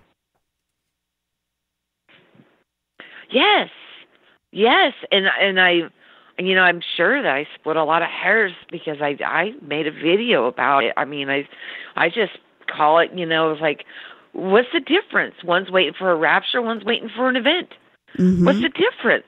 You know, and one's pointing the finger at the other that they're wrong and they're of the devil, and one's going to hell, and the other one's not walking the Christ walk, and they're so busy infighting, and that's not what this is about. We, you know, the one of the most important things, you know, for me with where where I'm going with it is to get to know myself well enough that I can help others like by just throwing a rope. I can't change anybody. The only person I can change is me. So I can throw a rope if you're willing to take hold of the rope, but if you don't want to grab the rope, I can't force you to. And it just seems like um you know, I've just been surprised by some of the encounters that I've had that have been really eye opening because I really, you know, uh, one of the the hardest things when I had this, um, which I, I explained it to you guys, it felt like what I would call from my Christian upbringing a Holy Spirit baptism. Others would call it a Kundalini experience. You know, where I felt like I was lifting off the ground, and I we already talked about this before, and you guys also knew I had a, a near death experience when I was 15, but you know, when I went through all of these things, you know, I was not prepared for what came afterwards. And um I just totally lost my train of thought. Where was like, oh, I that was one of the hardest things was for me was to think that some would be taken and some would be left. You know, and that's in the scriptures, you know, that the elect, the elite, you know, will be raptured out of here and others pe- people would be tortured. I couldn't I couldn't handle that. And I think that's one thing that sets us apart from others is our heart. I mean, we have a heart for other people. We actually care. We actually love more deeply. Um, at least I can speak, you know, from my own experience. I had a really hard time with that. And the only way that I could overcome it or to appease me at that time so I would move forward was to acknowledge that the divinity in everybody and that nobody would be left behind. So then I could move forward into breaking that programming of that religious dogma. I, I hope that makes sense. Oh, but I, you know, our our hearts are just we just love everything animals, plants. I mean, we just love everything so much and don't want anything or anyone to suffer. That's the last thing. And another thing is, I had this overwhelming feeling that I wanted to go home. Like, this is not my home. I this I, I I do not belong here. This is not my home. But I have to uh, be here. Apparently, there's lessons that I'm learning, and uh, and, and over time, you know, I'm expanding, and the desire to go home is fading away and turning into the desire to create. Instead of going home, I want to create a better place. I want to make this place, you know, um, now that as we are remembering more and more, our abilities are opening up into our remembrance that we are the ones we're waiting for. We're the ones that can change this place. We're the ones that have the authority. We're the ones with the power and the keys. And um, it's just but I still am surprised by people, and I think it is because of my heart. My heart does get me in trouble, um, and my discernment because of my heart. I want to love everybody, but I have to say, you know, you guys really did me a service with that because um, it really did sharpen up those tools for me, and I am shielded up now, and I do guard my heart, and I do shield myself. People talk about. Um, and I'm I'm sure you guys have heard about this too, the headaches and the psychic attacks and and things like that. Um, they'll talk about these things going on. Oh, I've got a headache. I've got this, and by you know them talking about it, then somebody else will agree with it, and then they're manifesting it, and then now they're all suffering from this. Not me. I'm like, nope, not me. Not going to have the headache that you're proclaiming because I'm not going to accept that. And then, you know, so I've shielded myself up from what I'm intaking through my eye gates, my ear gates, because I want to create from my heart what I want to see. I don't want to create what somebody else is trying to fill me with another program to create for them. Right. No, I, I completely resonate with that 100%. You're absolutely right. We are the creators. We're the ones we've been waiting for. And all of these different ideologies and programs are all, in my opinion, designed to keep us from that understanding. And I think you can attest to this once you realize that it was in your hands and nobody else's, then you started to see real change in your consciousness. Eh, That was my, my experience, my path that it was only when I realized that it was all inside of me that things really started to happen and things really started to change. Um, but you're you're right; it's the exact same thing being repeated. The rapture, the ET portals, the ET going off into another uh, uh, plane, um, getting on spaceships. Uh, you know, the ascension people that I talk to, they say I ask them, so how is this going to work? You're going to take all of these messed up NPCs that are more broken than they've ever been, and you're going to send all of 5D, all of Earth into 5D. And so what? Now you're going to give them all these manifesting abilities and this and that by doing so. And they say, no, no, no, no, no. What's going to happen is they're all going to disappear, and we're going to sing Kumbaya over here in the fifth dimension. and I'm like, well, that doesn't sound like a very good plan. Anybody that's traveled to the the place that's no place at a time that's no time. I know you've been there. You've you've been there. Um, I'm sure on your um your journeys that you take. Mhm. Uh, you go to that place that's no place at a time that's no time. I, that's what I call it. Um, and I do it like um, in dream state, uh, astro project type of a. I wouldn't call it like astral project. It's it's um because I'm there and I know I'm there, and I feel I have senses like I have sense of touch and smell, and I drop down into a situation and, and I can see things.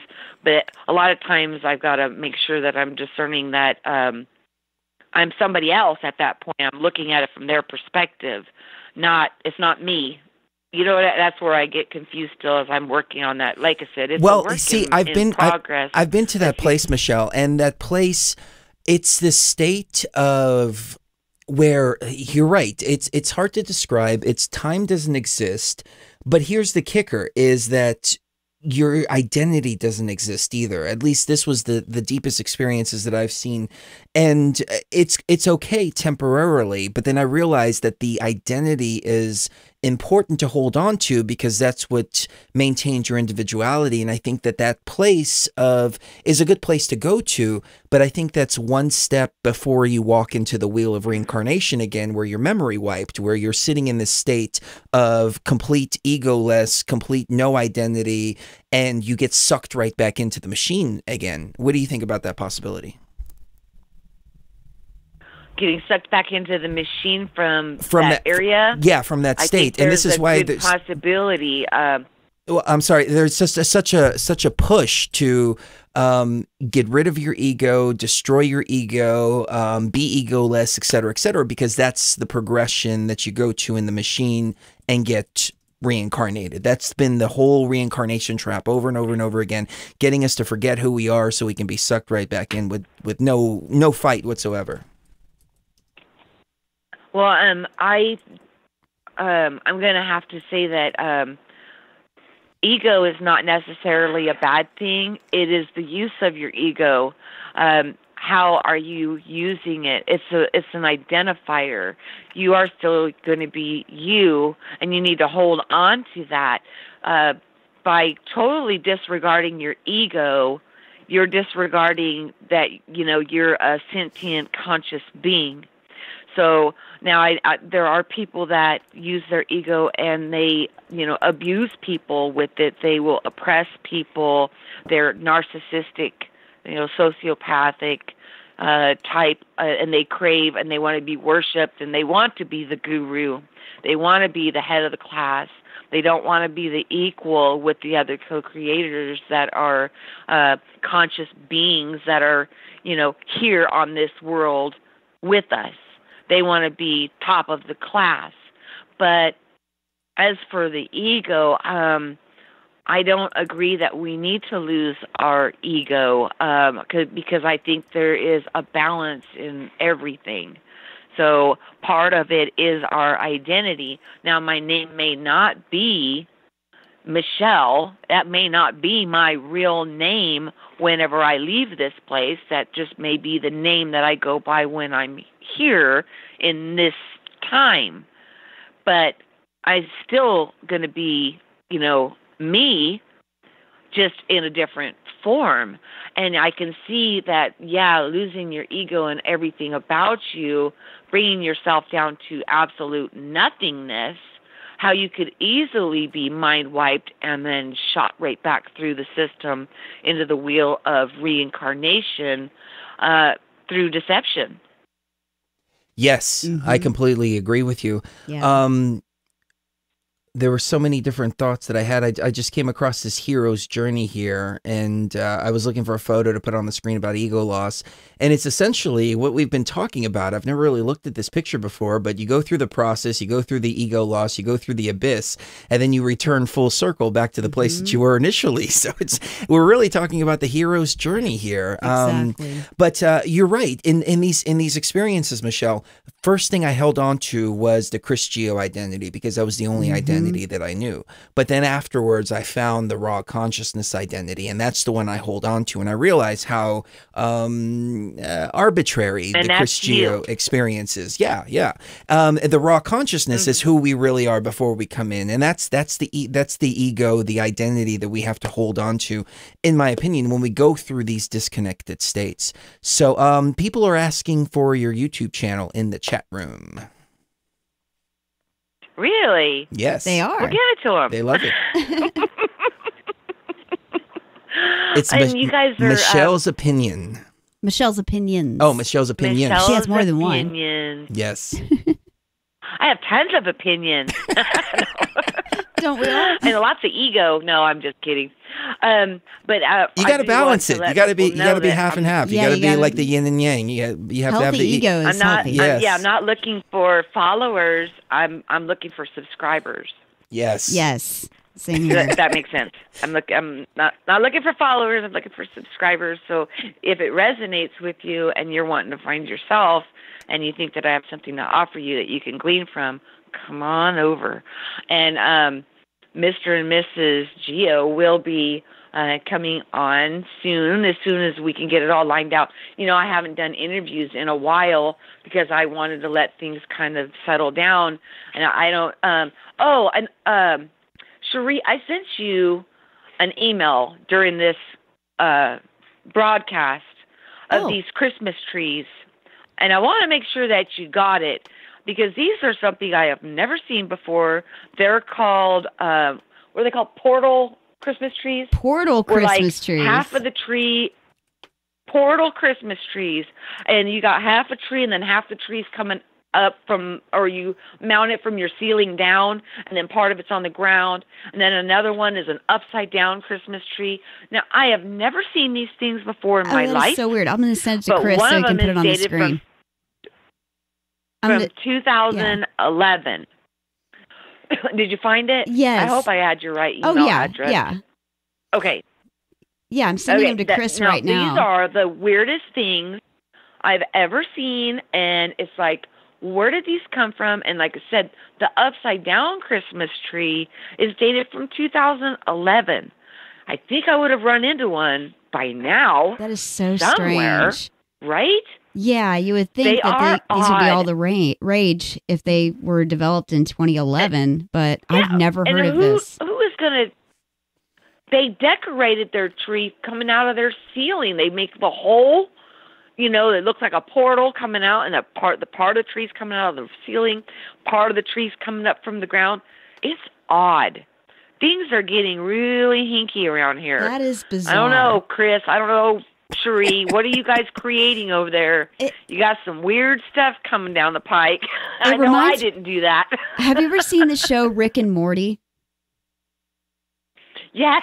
Okay, so it reminds show. me of it reminds me of Rick and Morty. Like whenever they go through the portal gun with the portal gun, they use the portal gun, and then they uh, Yeah. like they're halfway through the portal, and then the other half is is on the other side. Yeah. that looks like what they're Yes. doing here. That is so bizarre. We need a portal gun over here for But sure. one of Yeah, them is portal gun. dated. One of them is dated. The upside down Christmas tree has a date of 2011.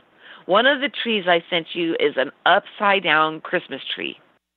Um, I, I think there was four uh, clips that I, I went into snippet and just grabbed a bunch of them and just sent them over to you because I was like, oh, she's gonna want to see this. She's gonna love this. So I sent them over to you real quick. Um, and one of them is an upside down Christmas tree, all decorated, and it's got the date 2011 on it. And it looks like it's in some kind of a department store or something. Maybe it is in somebody's living room. I didn't really pay that much attention. I was just like, you know, these just came into my awareness within the past couple days. And I was like, yeah, she's going to love this. So so I hurried up and grabbed them. Yeah, there they are. Those are the weirdest things. Who's going to, I mean, the Christmas tree stand is, is that's ugly. Where's the skirt? It's naked. It doesn't even have a skirt on it. yeah, I know. Things are getting a little, a That little is- weird. that it's is just getting strange. a, a, a little strange. I blame the millennials. Yes, that.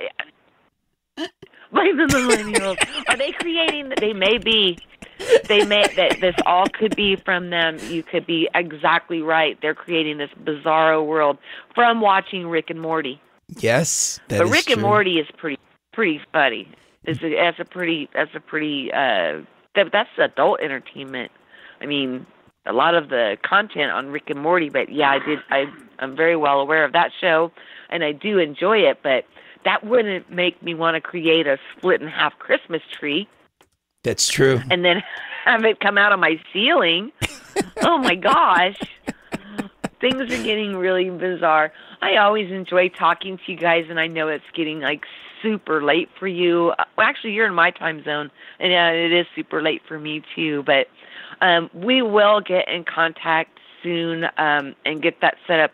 I like I said, I haven't done any live shows, but I was gone for a few weeks, and we're back now, and we'll we will be back while you guys. Um, Sheree, you need to get to feeling better, honey. Aw, you don't need thank to be suffering like that. Um, Aw. and um, So let me let me head- jump in real quick, Michelle. down, the um right. the uh Rick and Morty um v- VR, they have a VR video game and um there's a final boss in it and you'll never guess Uh-huh. what the final boss is. What? It is a giant one-eyed octopus in the sky. What's the deal with all these octopuses too? I don't like octopuses I don't either. No. at all. All their little sucky little things. It reminds me of that person like trying to suck the energy out of me, but it didn't work because you know the only thing that bothered me about this person is they were a really good chameleon. They they they pretended like they were my friend and then turned around and like just stabbed me right in the heart. You know, it was a life lesson. I needed to learn it, of course, it's expansion always.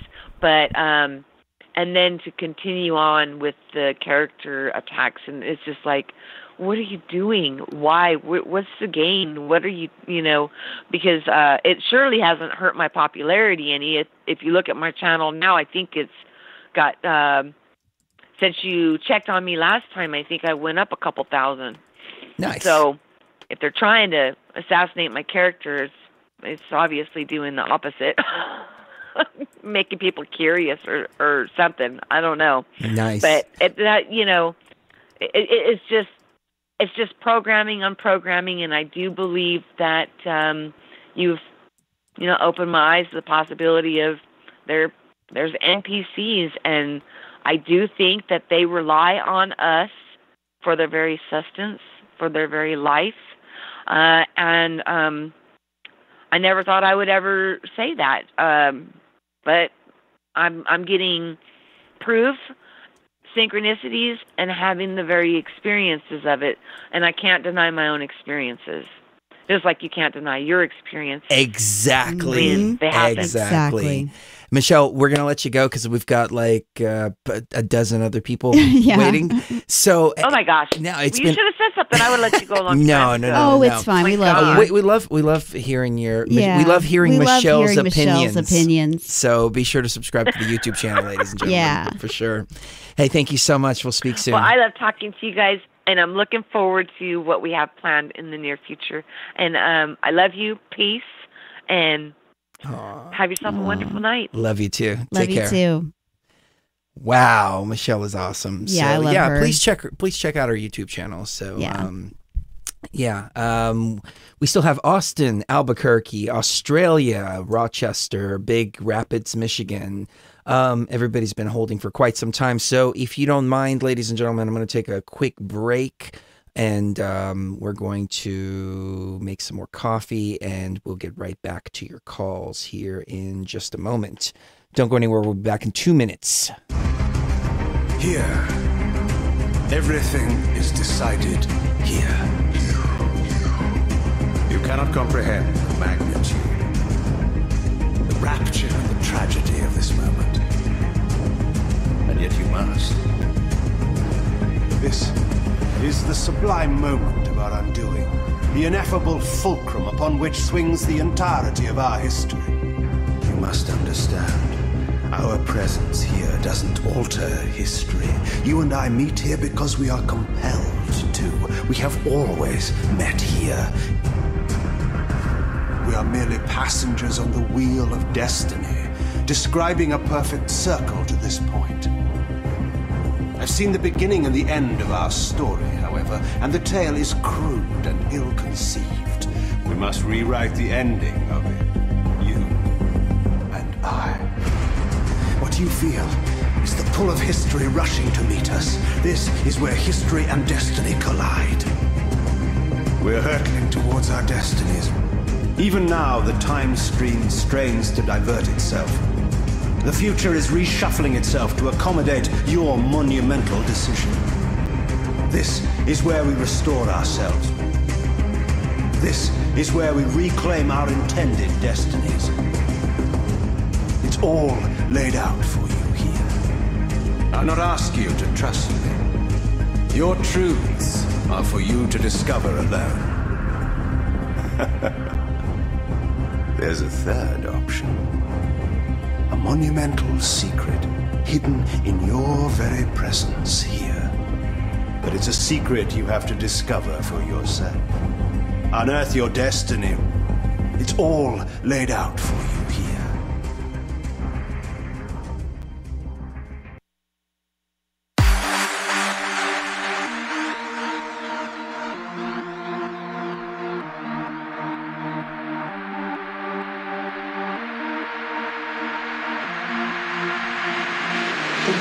Universe is a manifestation of consciousness. Yet, the universe is real enough to the conscious beings in it, which are as unreal as the universe itself. Therefore, all things are possible. Beyond the veil.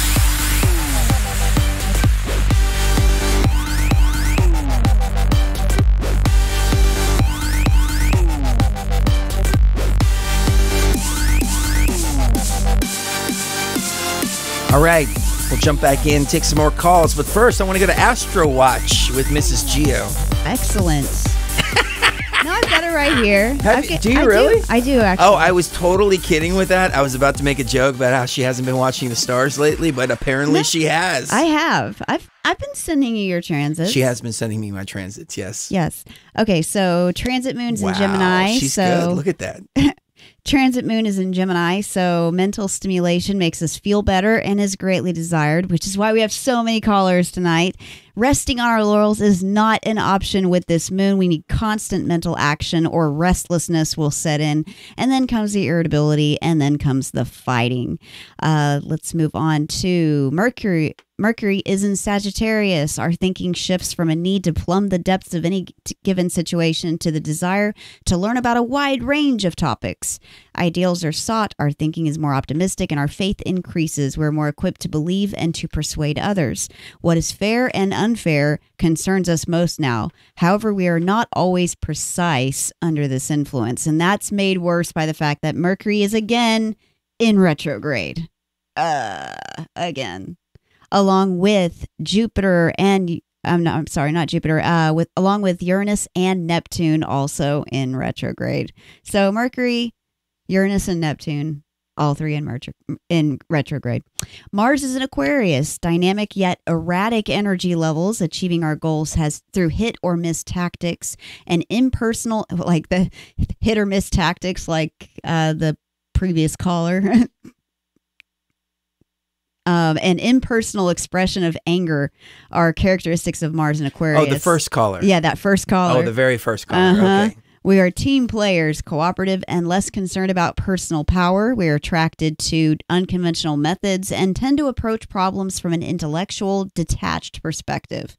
When the sun's in Sagittarius, sun is in Sagittarius, our focus shifts from the need for an intimate connection with a person and with ourselves to the desire to reach out to the world and connect with something larger than ourselves.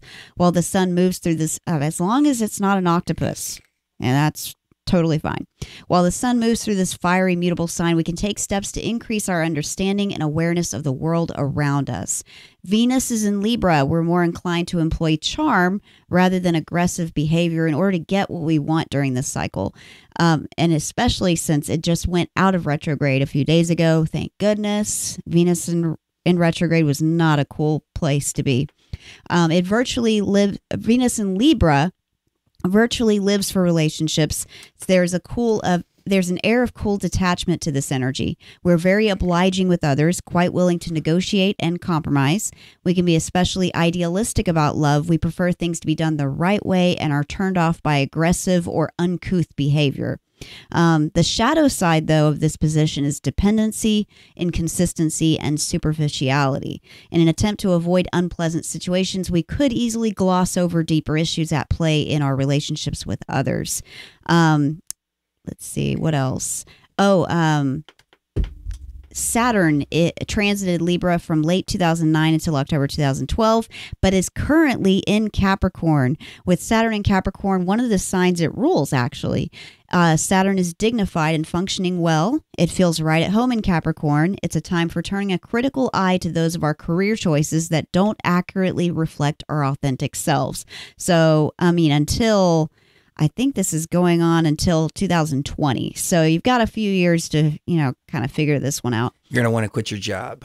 You might want to quit your job in the next 2 years. If your if your job is not accurately reflecting who you are on the inside and what you really want to do, then you're probably going to want to leave. Um it wants respect, and Saturn does too. Saturn in Capricorn will work hard to earn that respect. We'll also be seeing more respect for people who have put in the effort, as well as for elders who deserve it.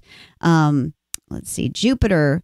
Um, on November 8th of this year, Jupiter, the planet of finances, spending, trade, expansion, growth, religion, legal matters, the courts, and arbitration, moved moved moved to Sagittarius, his home sign, and from then until December second, twenty nineteen, will have some influence over religion, the law, overseas travel, tourism, and forests. Um, In the age of 24 hour news streaming, it's the bad news and novelty news stories that grab all the attention. Uh, there's also a theory that that countries ruled by Sagittarius will benefit from Jupiter's fortunate vibration, but detecting who they are is difficult when a handful of countries dominate the news queue. Um, Jupiter's transit of Sagittarius will have no influence on you personally. Its influence is strictly global and primarily relates to trends that influence religion, the law, tourism, and forests. And we are seeing a lot of interesting changes going on, especially with like Egypt's tourism industry. The the um, Great Pyramid and a bunch of uh, of the ancient sites that we just went to in April are now being bought by a security company in Egypt. And so they're locking everything down and they're, you know, I mean, it's interesting how this is happening six months after we go. But yeah, When I heard the when I heard the call, Uh-huh. we have He- to go right then and there. Otherwise, the window of opportunity would have have been closed. closed. and Exactly. we would have been stuck in the matrix Yep. forever. That was an awesome Astro Watch. Okay. I could have. Oh, is there more? Yeah, two more. Okay. Uranus is in Taurus, and um, and it started with May fifteenth, and it will be there until April twenty sixth, two thousand twenty six. Um, and so I'll go over that one later, and then Neptune is in uh, Pisces until 2026 as well. So I will cover Uranus and Neptune on a later broadcast so we can get to these callers. I hear that Uranus is going to look spectacular this weekend. That's what it says here in this article. Only if you worship it. Just kidding. Oh Okay. my god. What? Okay. Yeah, when I saw this article, I didn't know if it was from an astronomer, astrologer, or from an ex-girlfriend. Oh my god. Okay. All right, enough of the I'm um, blushing now, so- immature humor. yeah. So, All right. let's go to Austin, Texas. Austin, Texas, how are you? What is your name and what's on your mind tonight? Hello. Hello. Hey, this Hello. is Frank, aka Economan 3000. How's it going? Hey, what's up, man? How, are you? Doing good. Just listening to the show. Glad you guys are back live. Um, I wanted. To, I was trying to remember some of the things that I wanted to ask about, and one of the things was, have you guys uh, ever had those experience an experience where you're consciously awake or you're awake, but like you can't move, but like you're and you're like trying to figure out why the heck you can't move. This happened to me maybe six years ago, and b- right before it happened, like I was living in a studio apartment by myself, and um, I was laying on my futon, and then I felt this presence like come into the studio apartment, and I like somehow I knew that it was like coming after me, and for some reason I don't know how, but I was like, bring it on. I was like, all right, bring it on. And I wasn't scared. I was like ready to take this thing, this presence on. And then I couldn't move. I was like, oh shoot. So I tried. Uh oh. Uh oh. Did did we lose him? I hope not, because that was getting Oh, good. that and was I was getting just about to put a good. picture up here No. of um let me see what happened here. No, No, he's still there. Yeah, we got disconnected from the call board. Oh. Oh yeah. Oh. I think Jimmy Jean might be pissed. Oh. Give me the damn call board back. Oh no. Okay. Maybe. I don't know. All right, l- let's see. All right, hey, we lost you there for a moment. Um, we lost you right at the sleep paralysis, and you were like, "Screw it, I'm going to take this thing on," and then found out that you couldn't move. Take us away, please. Hello. Hey. Yes. Yes. Can you hear us? Oh, you're back. Yeah, Okay, yeah. yeah. We dropped off for a moment. Sorry but about that. We we um picked we we lost you right when you were talking about Yeah. um you felt like you couldn't move and you were ready to take this thing on, Uh-huh. but you were like, "Oh crap, I can't move." So yeah, take us away. Please continue because that was getting good. yeah so like i was um i i wasn't scared and i and then when i finally figured out like okay like i can't can move. Um, I kind of relaxed and let it go, and then it left. And I didn't know what to make of it. So I was wondering, like, what's your guys' take on t- those types of experiences? Would you like to take this one, Mrs. Geo? Well, sleep paralysis is actually a very real thing. And I've only experienced it a handful of times in my entire 35 years of being on this planet. And it is the it is one of the scariest things um, that could ever happen.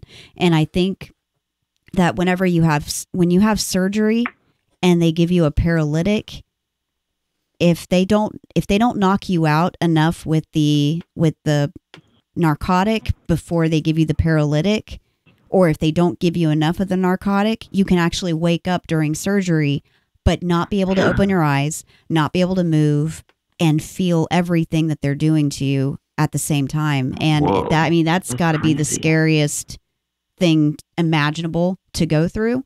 But what but really what um, what's happening here is that your your consciousness is active and your brain waves are active but there's something going on that's that's preventing the brain the brain signals to get to the rest of the body and um, through your nerves through your nervous system and tell your nervous system to move.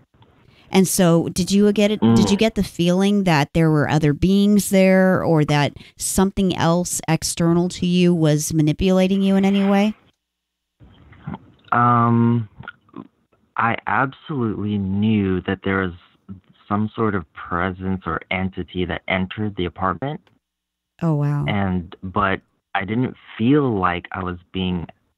Well, maybe I did. It was like six years ago, but yeah, it was pretty crazy. And um, so yeah, that's interesting. Like the, the c- central nervous system isn't just um, firing like it's supposed to. But anyways, like I'm kind of nervous being on the show. It's I uh I can't control my breathing. So Oh, you're uh, doing anyways. awesome, man. Don't worry Oh, no, about you're it. fine. Yeah, yeah. Yeah, actually, it, it's it's enthralling. The story is is amazing. Brent Thomas on Paranormal Portal, he talks about this a lot, and um, it could be anything from finding ourselves in the state of being in the in between world, where we are mm-hmm. kind of halfway mm-hmm. here, halfway there, to actual entities coming in and messing with us. I know that I've had a a couple of experiences, not of sleep paralysis, but I've woken up and on the screen there's this picture of an entity.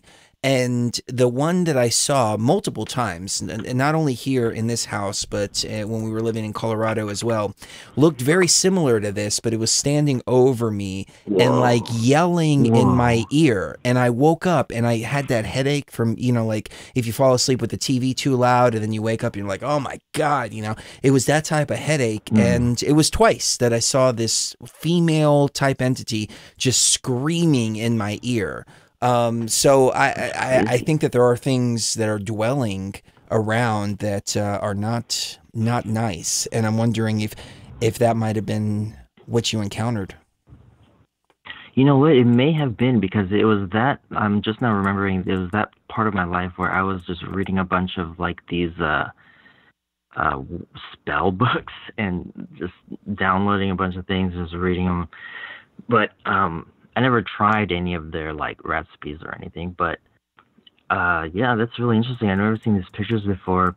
Um on on another note, from that uh, first caller, it reminded me of this one book where um, it was detailing like the life of a, um, I guess, a medium, and once this person in the book or described in the book, uh, you, they like ascend. Well, not ascend. They just go through these levels of the organization, and the more you can do, the higher level you get. And you know, I guess I was thinking while I was listening, you can't really get into that unless you have that type of ego that you're talking about. Because if you don't have it, then how are you going to pursue that, whatever it's called, mediumship? You know what I mean? That's a good point. That is a, a really good point. And, uh, you know, these energies are very real. I'm not discounting that at all. But I know one thing for sure that I, I'm not going to mix my energy with just anything. And it goes for people, it goes for spirits, it goes for all of that. And, um, the shields are there for a particular reason. So yeah, I, I, I wouldn't let anything come through me and, and speak through me like that before. It's um, ugh, it gives me chills thinking about it. But maybe there's some good Yeah, it's crazy. entities that are trying to co- to contact. I don't know, but No, well, they um, need to show themselves and not play games. The way I see it is the creator beings are right here, right now, where they're mm-hmm. needed. They're not needed on the other side. They're needed right here, right now, so they can make some real change. And that's what we're here doing. We're here, we're here making the real change, and we need more of the creator beings to step up to the plate and help make the change because it takes all of us to do it together.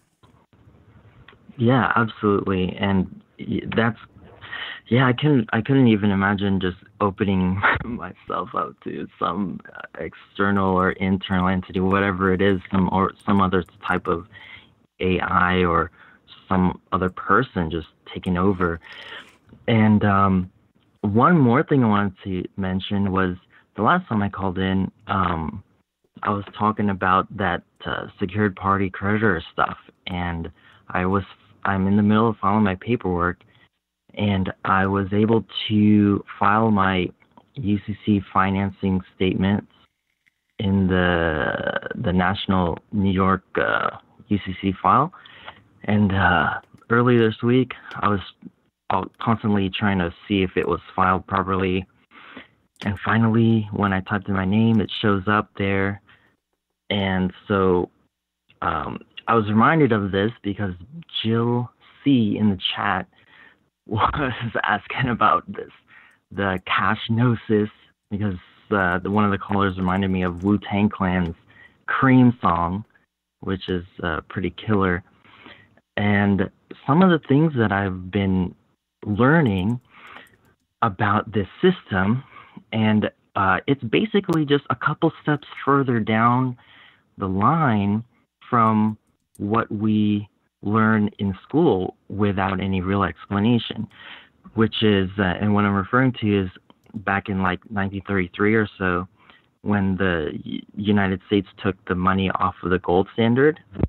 Mm-hmm. Mm-hmm.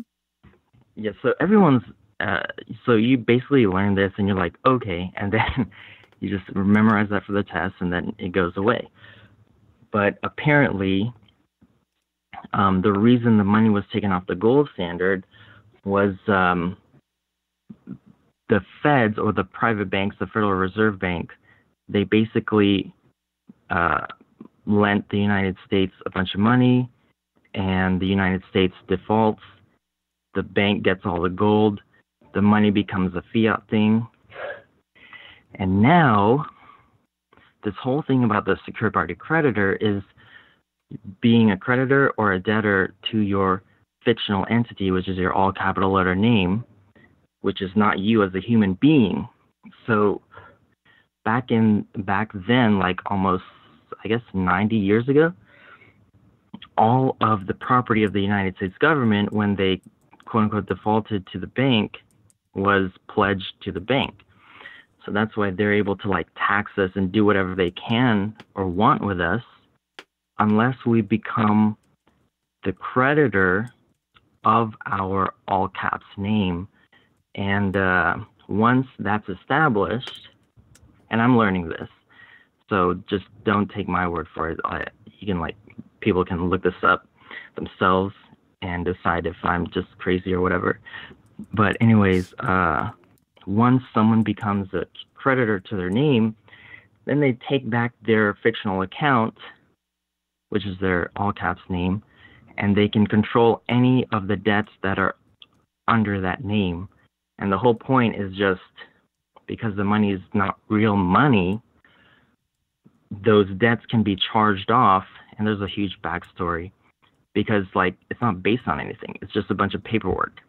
Right, So- right. No, I'm familiar. I'm familiar with it, but I've heard um, some people going to jail for it, and then they did like a 1099 redemption thing, and you know there are all these different schemes and stuff like that. And and like I said before, even if it's legally sound, they don't care what the law is. They have guns. However, um, if you have success with it, I definitely want to know because um, I've heard of people's stories before, but I mean, I take your I, I, I take your experiences um, a lot more seriously because uh, you know we've seen you around for such a long time. You've been with us for so long that it would totally change my perspective if you're successful with it.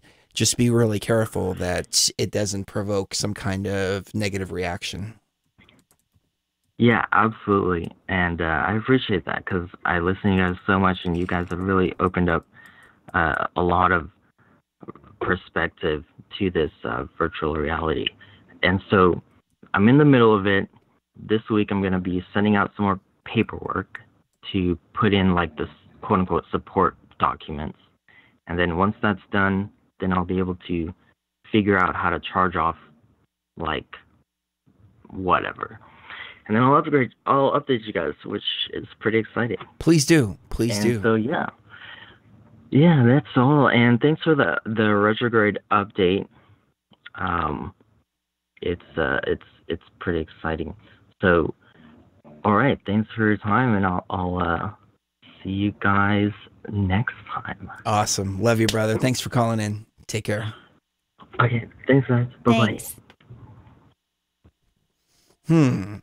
I wonder if there's some validity to that. I don't know. Uh, it'd be interesting. interesting, yeah. Be interesting to to see how it plays out. But you know, my experience with government is that they have guns. They don't care what the law is because they have Mhm. guns. so Exactly. um. Yeah. Uh, anyways, let's go to. Or is there anything that you want to chime in on, Littleton? Nope. Okay. Ready for Let's go next to caller. Albuquerque, New Mexico. Albuquerque, what is your name and what's on your mind? Hi, Chris and Sergio. It's uh, Angelina, um, Cosmos of Compassion. hey, Angelina, how are you? Hi, guys. I'm good. I'm so happy to connect with you guys. And I just gotta say, you had some really amazing callers tonight, and I really resonate with everyone. And uh, yeah, it's been a good show. But I am so happy to talk to you guys. You, I know you're Star Family. I know you know, as soon as um I found you guys, I was like, that's my tribe, and it's unfortunate, you know, there's space and time between us, but you know, we we we all have that connection here at BTV. That's true. And this is how we're most effective. We have to be scattered all around. We wouldn't be effective if we're all in the same place. We've got to create a grid all around the world. So it works out exactly the way our Mm-hmm. Mhm. higher selves intended it. And um, Uh-huh. I, I definitely feel the connection with you. you, you your voice is so sweet, too. You just, uh, you have this great energy to you. So what's on your mind tonight? Oh, thank you. Oh, um, well, I had a couple short uh, stories and questions, I guess. Um, well, okay, so, gosh, I don't even know where to start, and and it, and it, oh, I have so much just because there's not many people I can talk to this about. It's literally just you guys and uh, like two other people, maybe a couple others, but not to the depth or gnosis that you guys have. But anyway, um, let me see. I guess my first question was just like, what can we do to prepare for death? Hmm. That's a Like, big what- question. What, what do we do? Because I've taken mushrooms. I had this life review type deal. I got to the white light or room or whatever it is, and I couldn't see past that. And I really don't want to come back. So, and I've been, you know, uh, suicidal majority of my life. I'm 26, and um, I never, I knew I never wanted to be here and um that it something's wrong. Like i knew that from an early age that there's something wrong with this reality and no one can get what i'm saying or understand that i feel that there is something wrong. It's just like it's like the matrix like when he talks about the thorn in his mind and like that's how i've always felt. And now i found you guys and um but i i guess i started waking up or whatever it is in like 2011 although i've always been sensitive and um I about 2011 because I was like, there's something to this Mayan pyramid stuff, and like that's just I kind of fell into the New Age and got out of it, and then, you know, here I am now. But I've experienced a lot. Like I resonated so much with whatever all the callers were saying tonight. Like I think it, was especially Michelle. Um, she was saying how like there's NPCs and she didn't want to believe that there are people like that and I've always been very um like soft hearted. People have said like, you know, I wear my heart on my sleeve, just very um like too compassionate, like too too loving and I've gotten hurt really bad. Like uh my ex I know I told you guys a while back on chat, like I met all these I guess they'd be called NPCs, but I I I he was a narcissist and he abused me. It was an ex that I had and so it just all this like stuff was happening. I've been in and out of the psych ward, and I was laughing at Chris because I'm gonna tell my mom that because it made me laugh because he's like, you Chris, you had mentioned like that people that go on the psych ward maybe they shouldn't let them out and No, no, no, no, no, no, no, not, Oh, not, no. no. I, I mean the people that have been stalking the Yeah. hell out of us. Yeah. People that stalk for a living. yes, yes. No, no, no. Yeah, okay, so let me let me it's jump in. Let me jump in for a moment. Let me say this. Um, first of all, the suicidal thoughts are completely, Completely and normal. totally normal. Yeah. We all go through this because we're so we're like fish out of water when we come in here, and Mm-hmm. we, this place is so foreign to us that that's all of our instincts. I mean, you know, we're like, hey, we want to get the hell out of here, and especially before we remember who we are and why we came here to begin with. Like, I think we all went through teenage years that were like that, and we we we always have those thoughts. Like Sheree and I have said, well, why don't we just go back to the pyramid and just go back to the thirteenth dimension and just Yep, get the hell out of here? there, yeah, and then we of here. remember we have all the BTV people and all the other people that we still have to help get out of here too. So we don't do that. Um, but no, it's it's very normal, and there's nothing wrong with it. Um, there would be something wrong with acting upon it because then it's all a complete waste to come over here and all the pain and suffering that we go through. You know, we Right. we're already through the through the game. We might as well finish it and be successful in what we came here to do. Mm-hmm.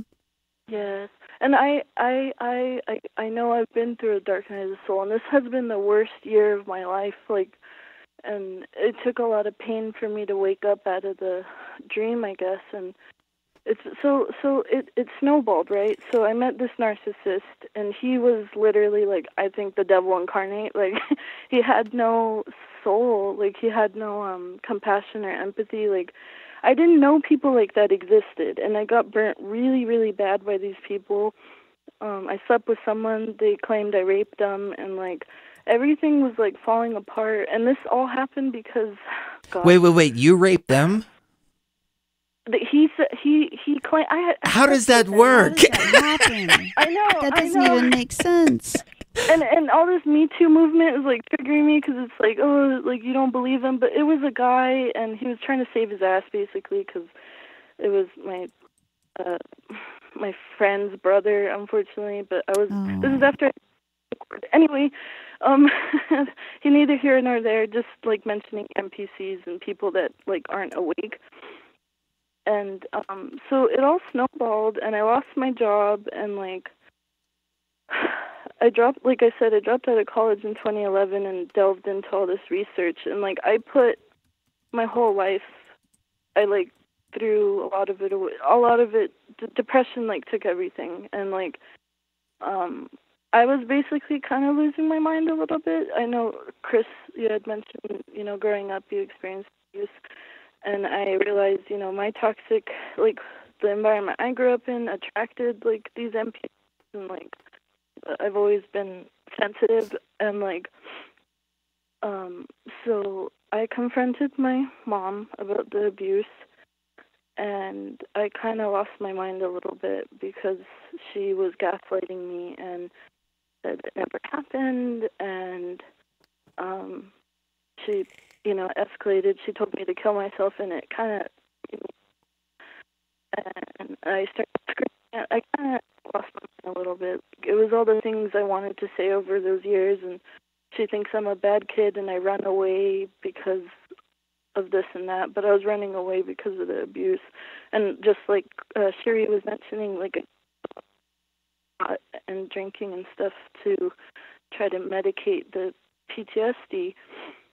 And um so yeah, fortunately so they thought I was I mean, yeah, I I blew up emotionally like and I was I remember at one point when I was freaking out, I was banging on the counter like wake up, like it's not this reality is, you know, something different. You guys aren't seeing like they they just they they're not on what we're on. You know what I mean? Like our wave. And I was I was very frustrated about it. This I've always like I I'm, I was talking to Sheree in a message and like mentioning how I've always hated money and like I've always known this is all fake. And it kind of made me sad and alone because no one else can see it. And you're just crazy. But so i i ended up in the psych ward and i wanted to mention to you guys like in the waiting or like so like in the psych ward there's like this middle cubicle that's like glassed in with the with the doctors and on the wall there was like a pyramid with an eye on it and uh wow. they didn't let Wow, us have that's crazy. yeah, they didn't let- let us have our phone, so I couldn't like take a picture and prove it to anyone. But I was like, that's so weird. And I I've had uh I'm gonna take it there because I know you guys can handle it. Um, in the hospital, I I encountered really dark energies. Um, of course, you know, sick wards are like that, but um, um, previous to this, I had gone into a therapy appointment and um I got really sick walking in and I told my therapist I couldn't be in this room. Um it's making me sick, I can't breathe. We tried opening a window, that didn't help and I was like, I need to leave this room right now. It's making me sick, like I need to leave. And so I left and we went to a different room that had all kinds of new agey stuff in it, like tarot and crystals and stuff and um I felt better but uh I told her that I felt something dark, like black magic, and the next week I went in. She she told me I wasn't going to tell you this, but um I feel like it's an important lesson, or like in your feelings and intuitions, because you had asked me if anyone walked into the room and practiced black magic, and um I found out that the uh patient I had before you practiced black magic. And I told her I couldn't see it with my physical eyes, but that there was a portal in the in the corner of the office. Like I couldn't see it, but I knew it was there. And so that was a lesson that like, my feelings are right. And another one was this year when I went into the psych ward. Um, oh, so I was being abused by my ex and my family, and like ran away. I went with my friends, and all that stuff happened, and then I ended up in a meth house. Um, uh, not because I do meth, but because the shelters had no beds and I had nowhere to go. But I just got really angry with my mom because of all the abuse. But in the hospital, there's this lady that had severe psychosis, and her darkness filled the room when she came in the room, and um, it made my friend, I want to say friend, she was a fellow um, throw up. Like I had to hold her hair, and she went straight to the toilet, and um, I knew there was a lot of darkness around this she couldn't speak. Um, she wouldn't speak, but as soon as she entered the room, she started bowing down, like with her arms up and her face to the ground, like up and down, like really fast, like that, like worshiping us. Right when um she pops into our room, and um I felt we were protected, but that energy made my friend throw up, and I was like, we got to get out of here, and like so we're sitting in this waiting room, right? And the family can come visit the patients. And um I'm sitting there and the parents of this lady that all the crazy stuff happened with sit down across from me and um I I get that dark feeling again and I'm like, this is this is weird.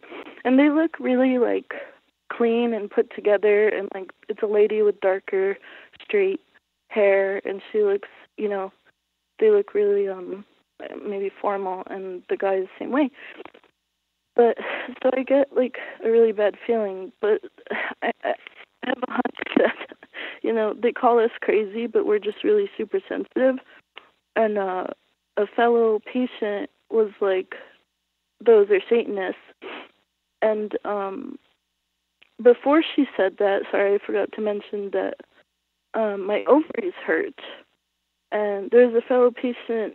It was a different one um, that sat down between the parents of the lady, and she started like going into this channeling state. She was like swaying back and forth and sweating, and she was like, "How can you do this to me? I'm just a child. Like, how can you do this to me?"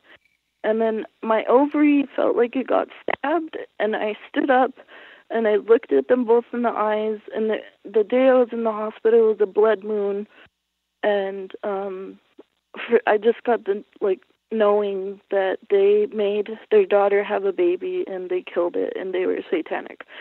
And so the other client or patient like was just walking around like they're satanic, they're satanic. Like she, that's she just walking around saying that. And um and I just started crying and I left the room and I just looked at them and I shake. And so I go to the lady that had psychosis because I was about to get re- released, and um, uh, she couldn't speak, but I just and I handed her a pencil because she was getting frustrated because she couldn't find one, and I just told her to love herself. I don't, I don't know why I said that, but I said it with my eyes, if that makes sense. And Wow. Um, so let me ju- let me jump in. really- Let me jump in for just a moment because you've you've you've said so much. And first of all, I want to say thank you for Alright. sharing all of that. It was, I mean, very, very, very powerful, and I can definitely feel the struggle that you've gone through. And uh, it's it's one of those things about coming into this matrix with a mission. We go through some of the most horrible, horrible situations sometimes. And what I found is that confronting people about traumas and hurts and things like that for me personally it hasn't it hasn't done any good um what i've done is i've released it from the inside and uh, basically forgave the people because forgiveness is letting go of the hurt and then now the ball is in their court in order to deal with all of that. Mm-hmm. But as long as we're carrying around those traumas then those people still have some kind of energetic hold over us because they Mhm. can make us react in these negative ways.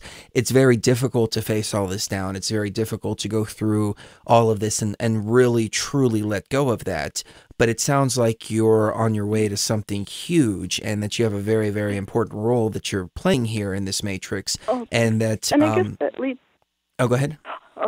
Uh, oh, has, oh, I'm sorry to interrupt. Um, it just led to my question about like, okay, so this led up to I got I got out of the hospital. I'm like fast forwarding all the crazy meth house, like all that stuff happened, and I'm back at my house. But I fell into a really dark, deep depression about being accused of a rapist, like by these so-called friends, and and um, so so it leads up to my question. But this just happened, and I know I mentioned it to you guys, but my dog died uh, on the 21st of Octo- October, and um, uh, it was my fault because I was sleeping too much. Um, he was crying on my bed. I woke up. I put him out. He's blind and old. He drowned in our pool. And and yeah, and and so my question is, am I being attacked from the outside or am I attacking myself? Is this like you said? If I have a mission because I have attempted suicide, you know, like I'm still here. Um, am I attacking myself? Like, because I know I created that. Unfortunately, like I feel like it killed my dog, and I just feel like I'm being attacked. But I don't know if it's me, like I'm attacking me because I created that reality, or uh, is it like is it the Matrix or the AI throwing Well- everything it can at me? Well, si- I don't since want to live. I don't want to live anymore. since you've since you've shared well since you've shared so much i want to share you know some with you when i was about 22 years old um, we had this dog and um, it was at my mom's house and um, we get out of the car and i had my two little dogs in the car and um, my sister said get your get your mutts out of the car and i said okay and i Aw. grabbed i grabbed him and and went in the house this was in houston texas I didn't realize that the big dog was in the back because the two little ones were in the front. I get the 2 little ones, I take them in the house. They come back and they found that the dog had had a heat stroke and died. And my sister was so Oh. pissed off at me. And she thought I did it on purpose. Just, I mean, not killed him on purpose, but that I left him in there on purpose because I, I really didn't like him. He was just, you know, Oh. he was wild. But I would never do anything like that consciously. And it took a year for her to get over it and realize, okay, well, it's, you know, accidents happen. Right. Um, we had these the two little ones, same two little ones. I had to put one down because he had congestive heart failure, and about a year later, Oh. his brother was in a really bad shape. And Sheree opens the door and lets him outside, and we're in the suburbs in Denver, and he's gone. I mean, he just Aw. he's gone.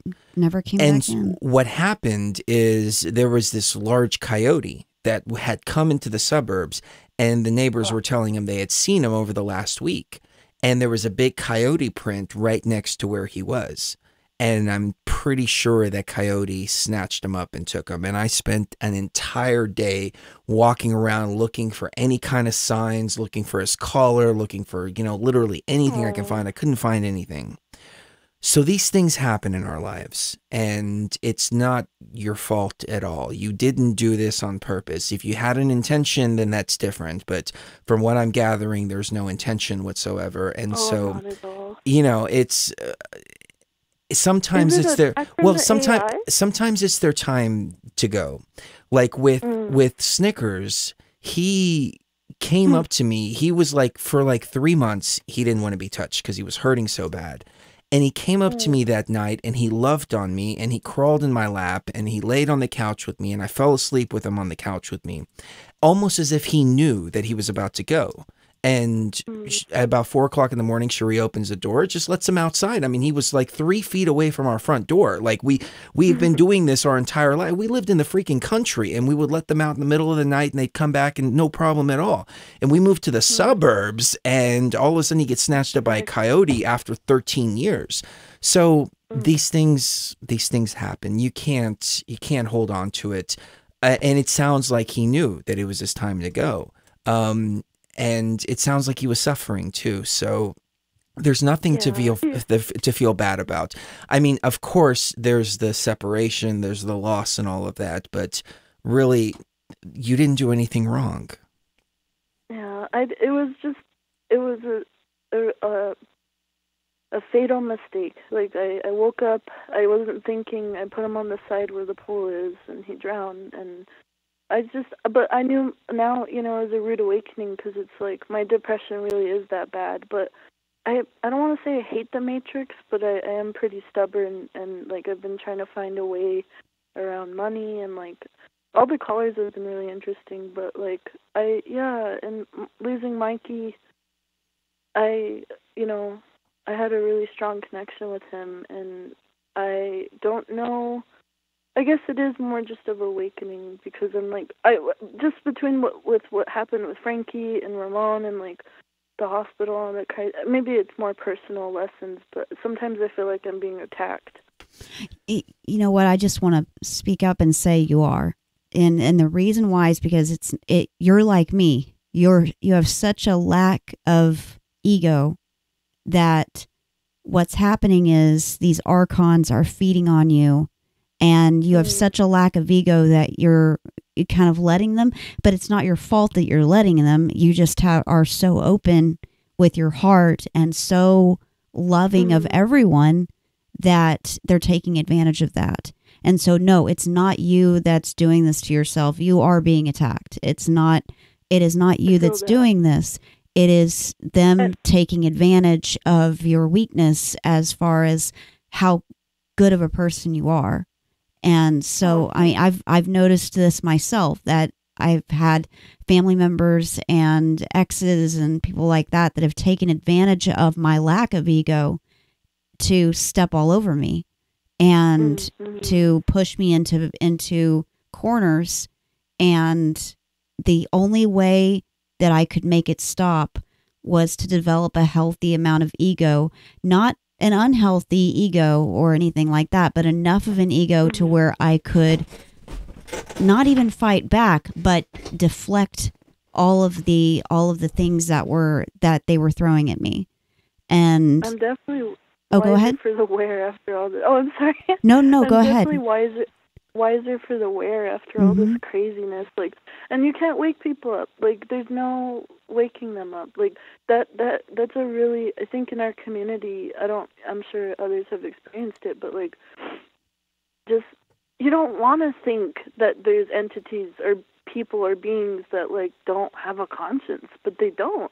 They're just I don't know if they're born like that or you know like I've studied narcissism because of Frankie. Like he abused me physically and emotionally, and I was like, what's wrong with his brain? And so I think it literally comes down you know to the phys- physio uh, phy- biology and physiology of our brains and like it's just hard to accept but they're not Well, going to wake up here's- and like here's the thing. about the ancient let me let, stuff, let me say this real quick.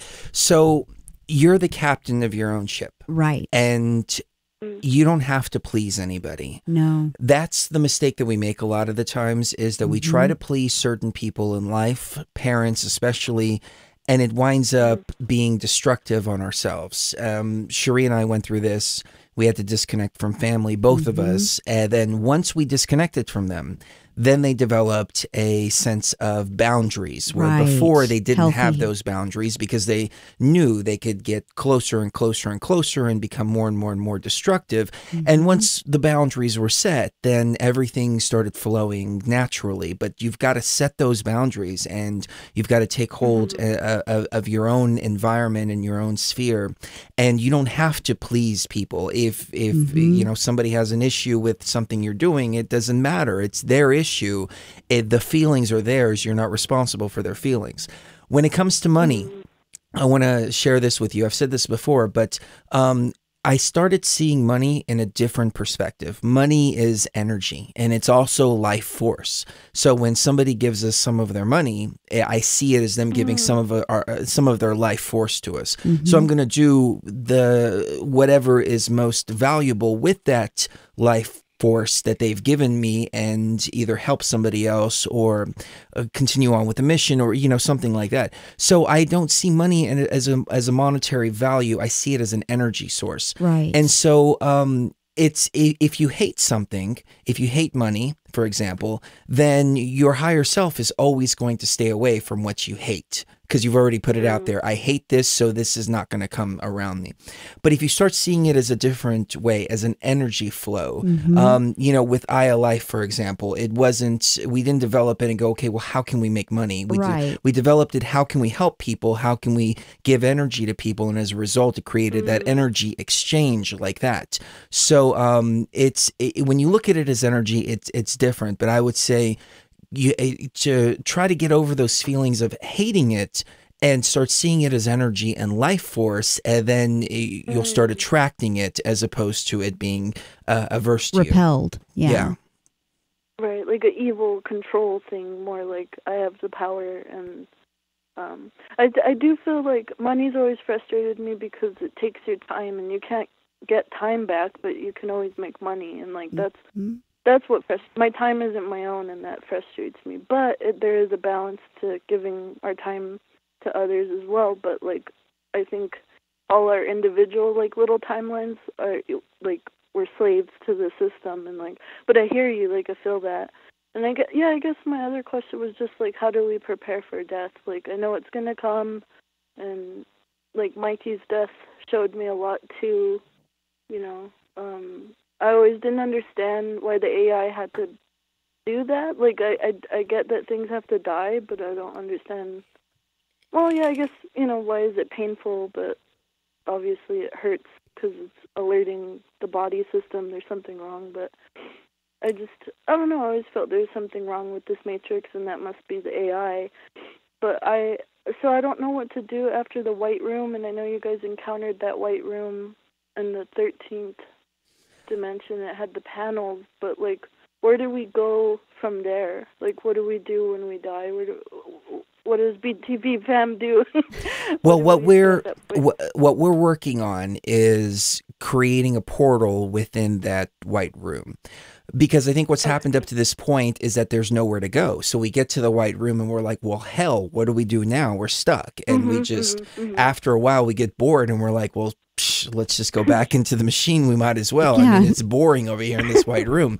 So, um, you know what I what I uh the way I see it is that you know we're going to be here as long as we're needed. And as long as we're here, we're needed and we have Mhm. something to do um with this with this journey that we're that we're walking. But at at, at the same time when you realize that's part of yourself, then you realize you're indestructible for lack of a better term. I mean, you know, you're only subjected to your own stupidity.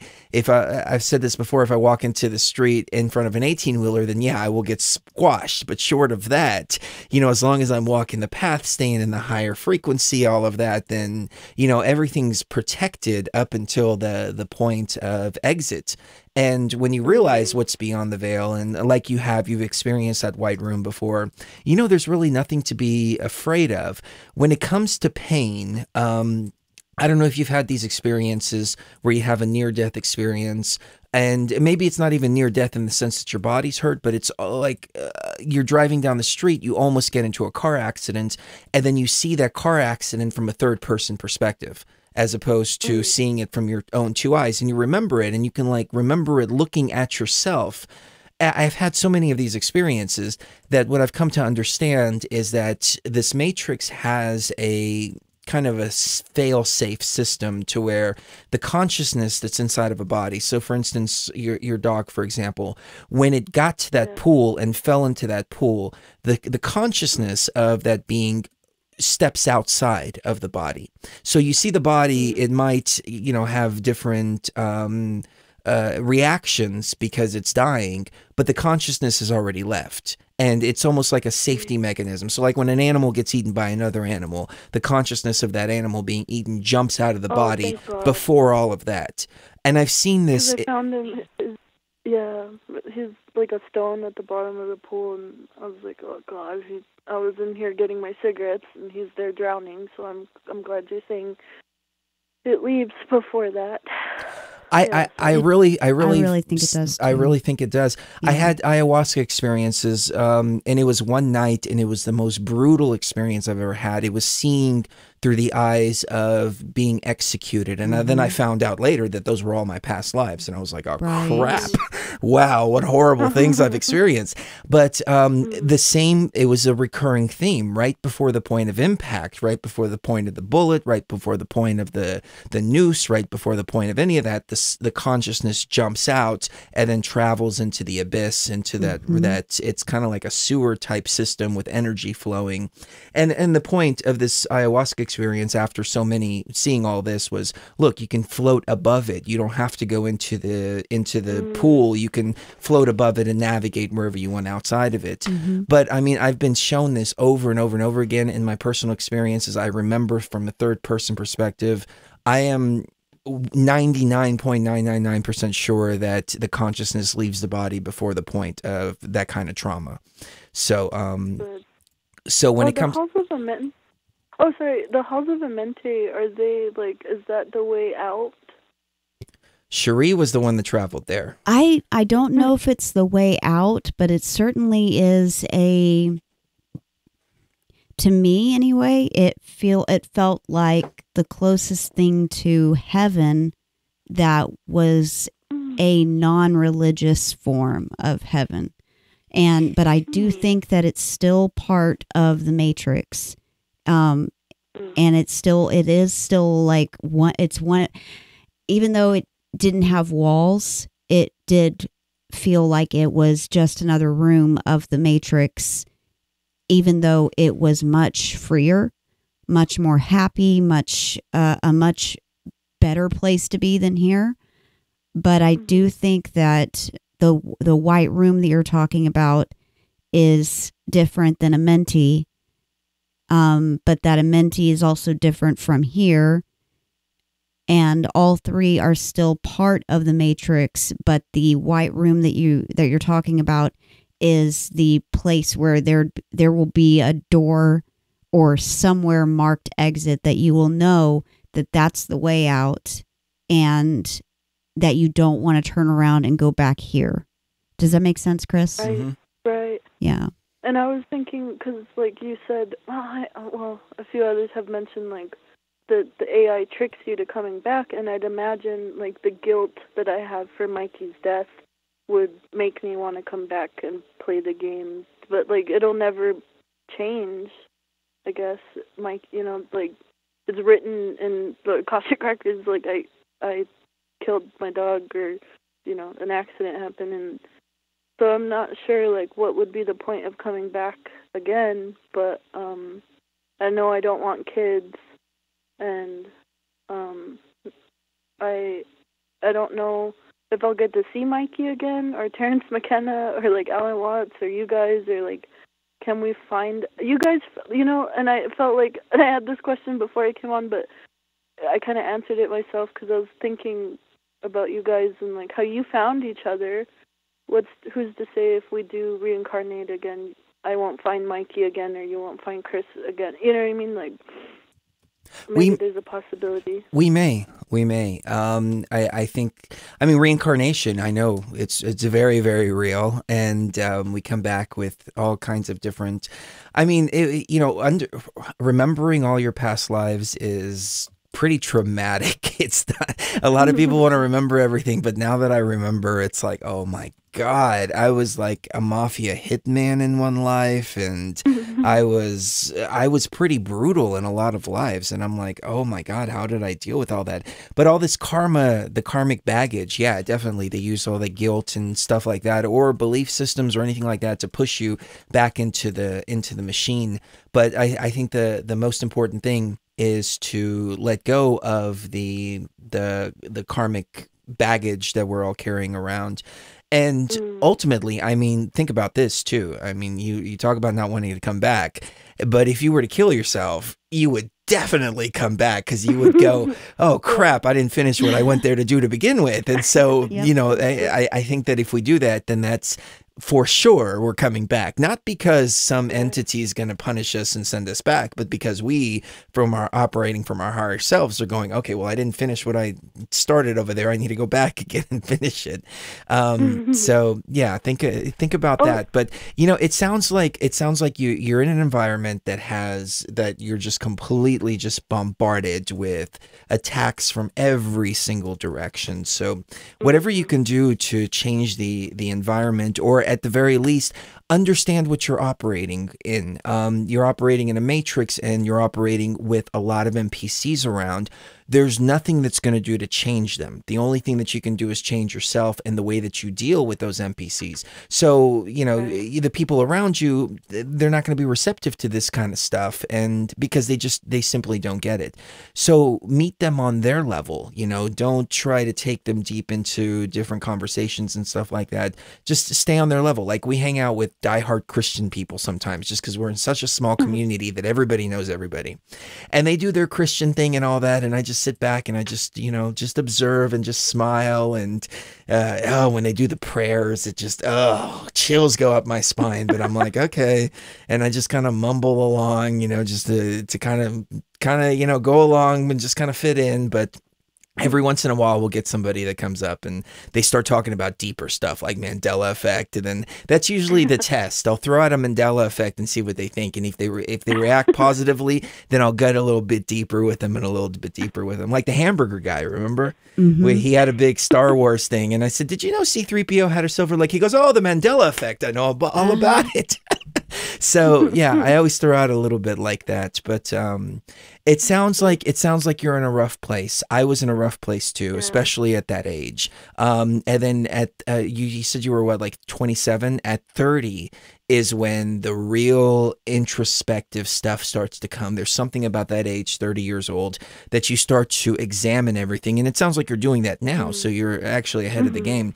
But uh, you start examining everything from the inside out and then you're like oh crap do i need therapy? Do i need this? Do i need that? Do i need ayahuasca? I don't know what's going on. But you start to rebuild yourself and break break down all the old and rebuild and rebuild for the new. So it sounds like you're right at that I'm point. actually- Oh, thanks. I'm actually gonna. I have an opportunity to take DMT.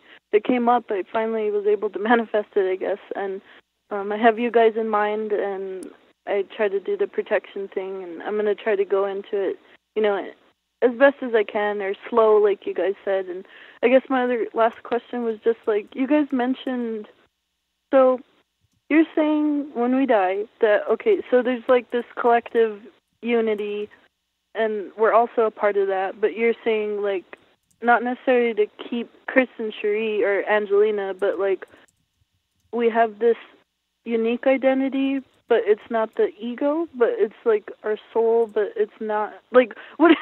I guess my question is like, you're saying don't let that go when we die because then we get the mind wipe and we get thrown back into the system. But like, how do we retain or like how do we hold that raw consciousness? You think, or it just is? It's it's the knowing and for me personally it's about putting myself in these most disconnected freaking states humanly possible and then still remembering who I am. Um but um yeah DMT helps so much especially when you can get to that point to where you don't even remember your name and then you can get back to that point and then you remember your name and then you can get back to that point and then you can navigate past that point. Um yeah it's remarkable. But um yeah it's about in my opinion holding on to the the the raw consciousness um who we are. Like I, i've already found my name. I know who i am on the on the other so realm and all that. But um the way i the way i, I envision it it's like uh, playing a virtual reality game. You put the headset on and you become i don't know what games do we play? We play rick and morty okay? And so you play as morty right? But I'm not really Morty. I'm just Morty in that game. I'm really Chris Geo in the real world, right? Or quote unquote real world outside of virtual reality. So taking that same concept and principle, There's a stink bug on though. Oh, there's a stink bug. The little AI stink bugs came. Um, oh, it's one of the things about living out in the woods in the middle of nowhere. But um, but yeah, I remember, you know, when I go into the video game, I'm Chris. I'm not really Morty. But if I couldn't take that headset off, and the game kept re- rebooting itself over and over and over again, but it was throwing me in different identities, then you can get lost in all those identities. But it's the same concept of remembering that you're who you are before you put the virtual reality headset on but taking it on an even deeper level of remembering who you are before you even stepped into this machine to begin with. Mm. Oh, the the one thing I wanted to throw your guys' way was like, would you guys entertain the thought that NPCs are just asleep, or is it like the Bible and the Egyptian, you know, the Emerald tablets say that they're literally different kinds of like, there's no way they can wake up. They're just a different kind of being. Well, I think that the NPCs? NPCs uh, well, I think NPCs are very uh, are, are not capable of it. They just don't have it because they don't have the same divine spark inside of them as we do. However, there are a lot there are organic consciousness that can be so programmed in the matrix that they act like NPCs and they have the potential to be awakened. But um yeah, so there's it, it it's mixed. I mean, there are some that are completely just asleep still. Um so yeah, that's why I tell people don't don't don't be judgmental of people. Um, you know, somebody that seems like an NPC, really stuck in their ways and all of that, they have the potential of, of waking up too. We we never really know, but uh, the numbers are so thin. Like uh, we are so outnumbered f- um, with all the NPCs that are on the board that it's it's it's absurd. Um, and they make they make the game very difficult. They're supposed to make the game a little bit easier for us, not make it more I think difficult. that's why I kind of lost my mind a few times because I just I just want people to wake up because I do feel that way. Like we're heading to what Atlantis was, and like my friend Kayla proposed the idea. Maybe we're supposed to destroy ourselves again.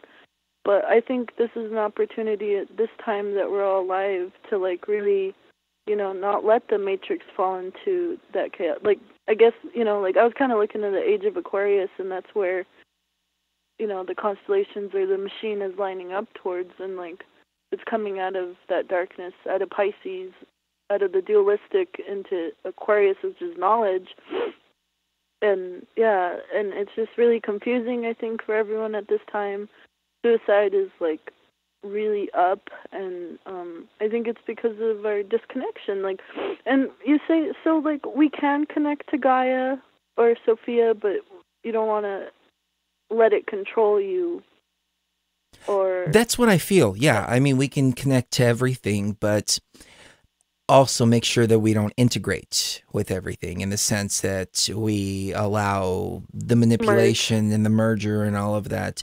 Um, I used to think that it was all about returning to source and all the souls were split up with one another. And then, you know, the source wanted to experience all of that. I, uh, then I, I saw the opposite. And it was hard for me to deal with first when I saw it because I'm like, wait a minute, I'm all alone in here now?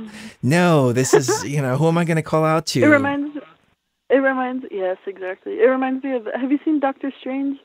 I haven't, no, but people have been telling me to oh watch God. it. Yes, I hope you and Sheree maybe you guys can get a chance to watch it because it, it's it really is that like when I won't spoil it, but when you guys watch it, um, the main characters they're basically arguing. You know, there's this side of group of beings that say no, we gotta you know merge with the oneness, and she's and the the Doctor Strange side people are like no, that's that's a trap, and what you call heaven of eternity is actually a hell. And You're kidding me. Are like- you serious? Yeah, This isn't that. Yeah, and he meets. Okay, we're gonna watch that. Demiurge. hmm And he meets uh, Y- uh, Yaldabaoth or the Demiurge, and like, yeah, you guys got to see it. Like, it's, it's great. Oh, and uh, I've sent it. To He meets. both of you Hold on, hold on. He but- meets. He meets Yaldabaoth. Okay, so Doctor Strange. Sheree. Sheree got up for a second. So Doctor Strange, the movie, they're arguing about returning to source, and then Doctor Strange's people are like, "No, that's a trap. Which you call heaven is really a hell." Oh, Et cetera, et cetera. And they go and they meet the Yaldabaoth. Oh, that's crazy. I got to keep up with pop culture here because uh, these ayahuasca experiences are now echoing the freaking pop culture, and it's like, ugh. That's what's so cool about it. You know, it's real. You know, like it's just so cool to see that. But yeah, that movie's good. I know. Like I was saying, um, I sent both you and Sheree, but two people I've been coming across a lot is Matthew Blair and Matthew LaCroix. I don't know if you guys ever talked to them, but they cover a lot of what you guys are like the same uh frequency, like. And uh, they're pretty interesting if you guys ever wanted to have them on. But um, Awesome. We will check them out. If you can send the names to Sheree in chat um, or in, Sure. in, in Facebook Messenger. Um, no problem. Yeah. Thank you for sharing everything that you have tonight. It's really, I mean, I, I think by you sharing your journey, you you've helped a lot of people out there who are also experiencing the same kind of struggles. And hearing you go through it and overcoming it, I think is inspirational for, for other people. Oh, thanks. Yeah, it's kind of embarrassing. I feel it's like a pathetic story, but it can be turned into, you know, sovereignty or, um, you know, regaining that power and raw consciousness back. And do you guys suggest any protection? Like, what can I do to? I know you, the bubble technique, but is there mm-hmm. anything else I could do? The bubble works the best for me. Sage, um, if you really need to clear out the space, Mhm. frankincense is like a nuclear freaking bomb. The problem is eh, Sheree burns it, and then the whole freaking house is filled with frankincense, and I'm like, smoke. so it's some hardcore stuff. But Sheree, did you? it have- works yeah it works and then also remembering that you don't get the you don't get the raw consciousness from anywhere else but it's already inside of you and you just have to remember that you've you've had it the whole time um you've always had it and no one can ever take that away from you Yes, we are going to let you go though because we have a few more callers. We want to get to everybody, and the little Yes. twin is hurting a little bit. yeah we can go on She asked me two hours ago how six long is, hours how long are we gonna go for? It looks like until the, all the callers are done. Yeah. So, so we love you and love thank you. you for being Yeah. with us. Oh, thanks. I'm sorry. I'm sorry you're hurting, Sheree. And I Aw. hope, you know you can feel better. And um, I just love you guys so much. You are my star family, and I just I love you so so much. And thank you for everything you guys do. Wish me luck on my DMT trip. I'll keep you guys in mind if I break through. And we love you guys we love you we love your and you're gonna have to call back in and let us know how the experience went. Yes. Yeah, I hope. And I was talking to Sheree, and she's like, "No, sometimes that can help." Because I told her I was worried, like, you know, I'm going through all this darkness, and I'm kind of afraid to take DMT if I'm going to go to a bad place. But no, you won't go to a bad help. place. No, no. People, I, I, people like people like you. No, You The- don't go you don't go to the bad places until you're ready to go. Until you proclaim it and say, Hey, you know what? Now I'm ready to deal with I'm all my ready to see. I'm ready to see the rough stuff. But if you go in with the pure heart that you have, it it'll be beautiful. And um, you know, just keep keep your mind open and your heart pure, and that's I mean that is the best way um, to go in because the w- really what you're seeing on DMT and ayahuasca is the is the deeper parts of yourself that don't usually come out and that de- those deeper parts of yourself are completely 100% honest with you about how about who you are and how you are. And so what they're going to do when you go, go in there is comfort you and love you. And um so Yeah, uh-huh. I think so too. That's usually no the worries. first the first steps. And Yeah. like I said, it's not until you're ready to face down the darkness that you'll encounter the darkness. And when you're ready for it, then it'll be easy to to face down. So everything's in a mm-hmm. progression. DMT is a wonderful, beautiful goddess spirit.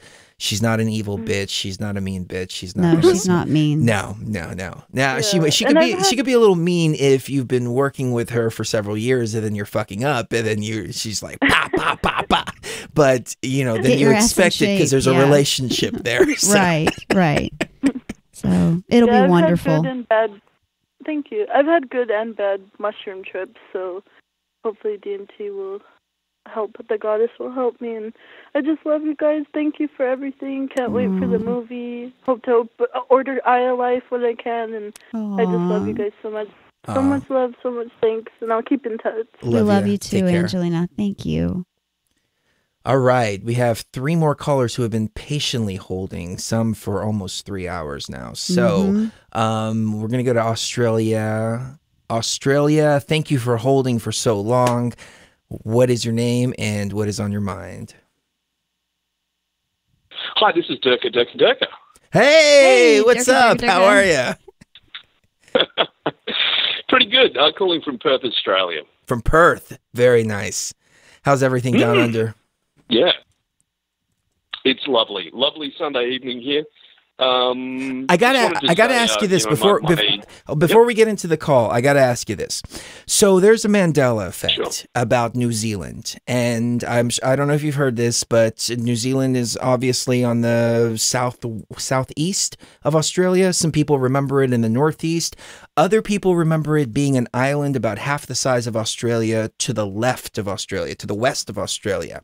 And there's some maps that uh, in in a movie called Dazed and Confused where you can go and actually see a landmass there. You've been there your whole life. Is this a Mandela effect, or are people just out of their minds? Um, I'm aware of this Mandela effect. Uh, I have my own views on it, which I'll get into in a second. But no, New Zealand has always been where it where it currently is. Okay, okay, fair enough. Take us away, please. And you, know what? Let's well, let's well, let's let's go with that. That's cool because um, I mean, look, I, I have to say most of the examples that I've seen relating to the Mandela effect, and I've watched I've watched some videos on YouTube, but most of the most of the examples that I've seen are things that humans have direct control over. You know, things like logos, brand names, and I kind of feel like when I see the laws of physics change, then I think you've got an argument. But until then, it's a nice idea, but I, I just I know how fallible human memory can be, and uh, yeah, that's that's my argument on the Mandela effect for now.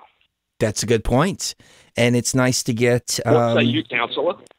Ah, I, I, I think I, I think that's a that's a good point. I remember Sex and the City and Sex in the City. It was always Sex and the City. I remember my girlfriend used to watch that show all the time, and I'm like, this is just bad memory, bad memory. Some of them though, like the one that really got me was C-3PO with his silver leg.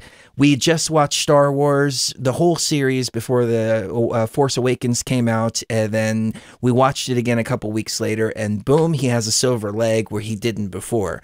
So we either just totally missed it, or it changed like literally within those two weeks. And then, of course, Mirror, Mirror on the Wall with Snow White. I remember that very, very, very clear. Okay. Well, well, fair enough. I was just going to add, you know how much Lucas has been messing with his own creations over the years. right? That is true. That is true. He could have put the silver leg in I, later. I say that as somebody who's not a Star Wars fan, but um, yeah. That's very true. I heard the Mhm. next one's going to have Spock in it. Yeah, well, yeah, I'll keep my eyes out for that one, and my my my ears pricked. Um, look, um, I, I asked you earlier uh, in in the chat about you know, in your opinion, what is the ultimate goal of, of the simulation? And look, I know you're running short on time, so I'll keep this to a brief sixty part question. But um, I remember you you you answered and you said words to the effect of it was you know, it, it could be that we're trying to play this game out in a way that that, that we can um, we can change it and um, and come back and do things differently. Is that is that sort of getting the gist of what, what you were what you were saying? Um, the way I see it is, I see it as uh, kind of like a, a video game where we plug ourselves in and have these experiences. So, like in the movie The Matrix, Neo plugged himself in and went through all these kung fu lessons, and it was only like thirty seconds. He unplugged himself and said, "Whoa, I know kung fu." But what he was experiencing during that time was this whole kung fu study that that he was going through. Um, so I see it as, as, as something like this, like a, a machine where we plug ourselves in to learn, but it's been broken and we've been recycled in this game over and over and over again. Okay. Yeah, interesting. And look, I, I have- to say, I'm you know I'm I'm with Neil deGrasse Tyson and even with with Elon Musk. Um, it would be really hard to prove that we're not living in a simulation. Uh, I get. I guess I'm I'm just wondering, like, look, what if we are actually living in base reality? we it's it's possible and um then that that's all the more need to create a matrix because this sucks and if this is the only word this if this is the only place to go then let's build a digital system and get the hell out of here which i think we might have done on the other Well, world it too doesn't suck to me. That's the thing. I like my life. It's it's good. I've i've said that this is kind of like purgatory. It's like you know some of it's good some of it sucks. It's okay sometimes. It's really good sometimes. It sucks sometimes. Um but yeah no i it, it, it's it's okay. It has its it has its charm. It has its beauty. It has its moments. But um geopolitically it's in shambles. Oh well, yeah, well, yeah, I'm I'm with you on that. I'm with you on that. I, you know, one of the things that, that I keep coming back to is is I mean, from my perspective, you know, if we are living in a simulation, let me tell you, from from my point of view, there's nothing that I know that I can do about it to change it. And what I do know about humans is we just don't like being ripped off. We don't like this idea that we're being cheated out of something. And I, I've, I, I wonder if that's part of the root of, of, you know, that, that's part of what this goes to is we just don't like the idea of being ripped off. And even if we're not being ripped off, we don't like the idea that we might be. Hmm. Well, there's some scientific evidence that has surfaced to prove the simulate well to suggest the simulation theory. Um first of all, you know, my own personal journeys seeing the code, all that stuff, that came first. But then afterwards, what came was like the double slit experiment where atoms are communicating in different ways, whether they're observed or not observed. And then you have this. This is what really did it for me. Um, you mentioned Neil deGrasse Tyson, and he was actually having a debate with a guy named Professor Gates about his discovery. And uh, within the within string theory, he found a computer code, but it wasn't just any computer code. It was a computer code written by a guy named Claude Shannon in the 1940s. And so to me, that kind of solidified it. Like, okay, in string theory, they're finding computer code. Now, I'm sure that you're familiar with computer code, at least on some level. Everybody is nowadays. And it's a pretty complex language. It's not like just a few symbols that you can look at the clouds and see a kitty cat, for example. It's a complex language. And when you see finding a complex language within string theory and within quantum physics as well, um, it, it makes you wonder how the hell did this get here? The other argument, the the flip side argument to that is well, maybe Professor Gates channeled the computer code from the fabric of space time itself. But that seems a little bit co- too complex. I, I think it's more likely that the computer simulation that we're living on or living in is based on this guy's computer code that happened to be part of the simulation at the same time, but at the same time exists outside of the uh, simulation. Yeah. No, fair enough. I've I've seen that as well, and um, it's it's uh, yeah, it's some intriguing research for sure. It is. It is, and I like the way Elon, Mu- uh, uh, um, Elon Musk put it. Um, if the universe is what we believe it to be, a vast galaxy with vast galaxies and all of this, and it's as old as as we believe it to be, then it's more than likely that some civilization has created virtual reality worlds and put other consciousness in it. I mean, if we didn't put ourselves in it, some something else put us in here. Um, and I mean, we're seeing it right now. You know, virtual reality being birthed. We've got uh, the ma- a matrix that we're going to plug ourselves in. It's going to be very. uh, We may see it in our lifetime when it's a full immersive type of experience. Imagine three, four generations from now when it's you can't tell the difference between the virtual world and this world. Hmm. Yeah. Agreed. Well, hey, look, Chris, Sheree, fun chat. Thank you for having me on, and uh, have a great rest of the night. Oh, for sure. That was short. There's nothing else on your mind. No, that, uh, dude, I used to work in radio. Keep it brief, get in, get out. Ah, awesome, brother. Hey, thank you very much. We really appreciate Thanks for it. calling in. You're welcome. Catch you later. All right, take care. All right, so wow, Rochester, New York, and um, wow, it's what like five o'clock in the morning, six o'clock in the morning over there. Mm-hmm. All right, let's go to New York. What is your name and what is on your mind? I think they might have fallen asleep. New York, are you still with us?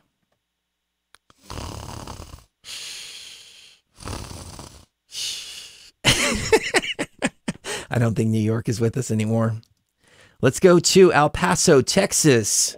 What's going on down in El Paso? Go to New York.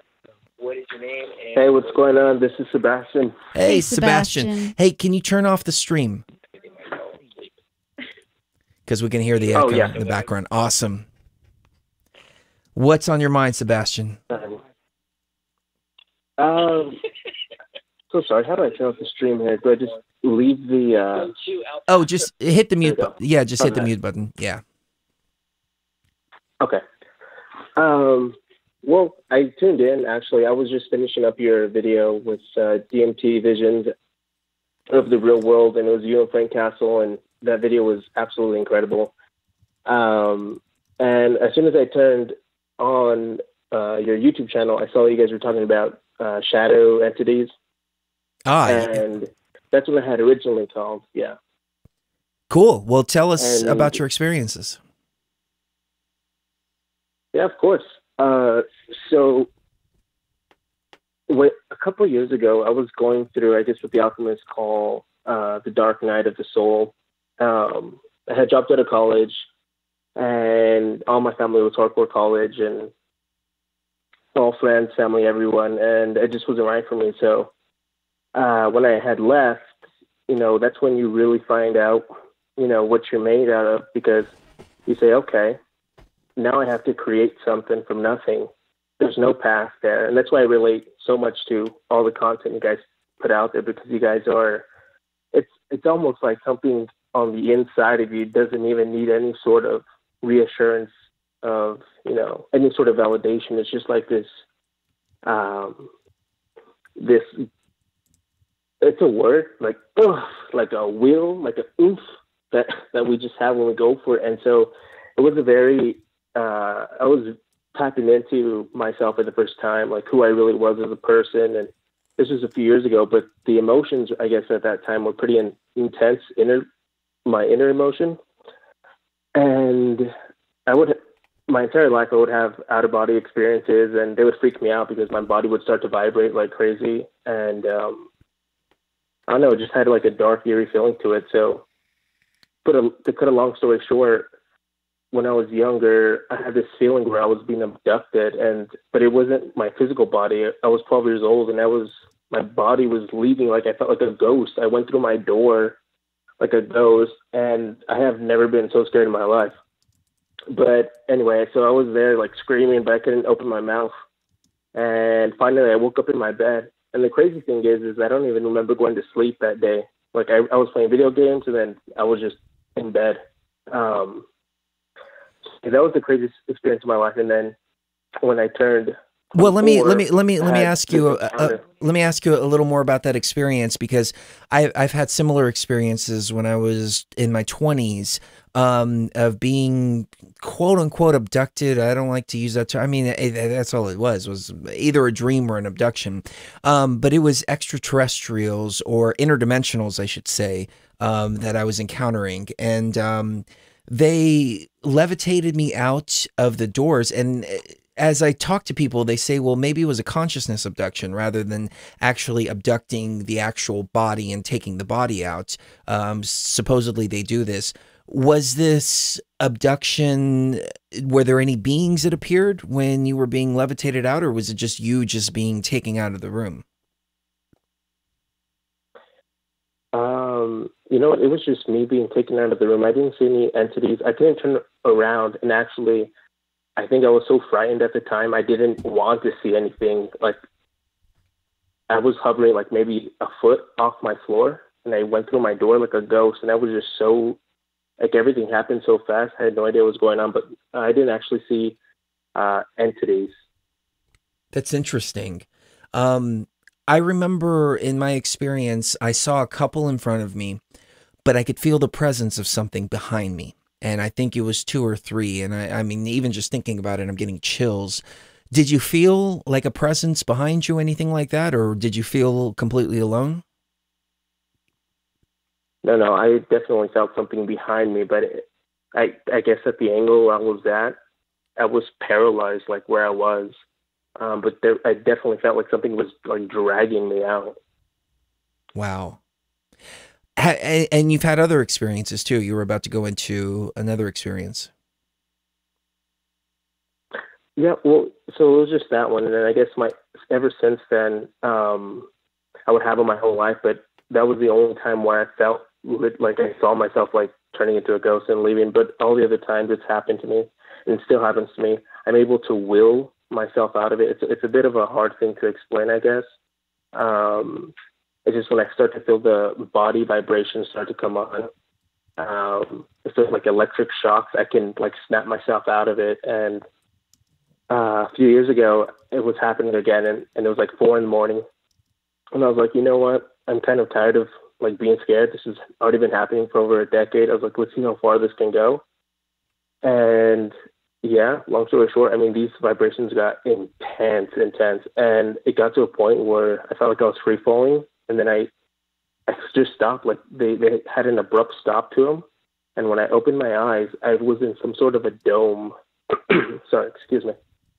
Um, I was in a dome, and uh, it was pitch black, but I could tell I was like either underground or uh, in some sort of massive dome place. And I started to hear screaming, and I don't know if it was my voice. I just like heard people's like screaming, like cr- like bloody murder, basically. And I was like, "What is going on?" But I couldn't see anything. I just heard like people screaming, and um,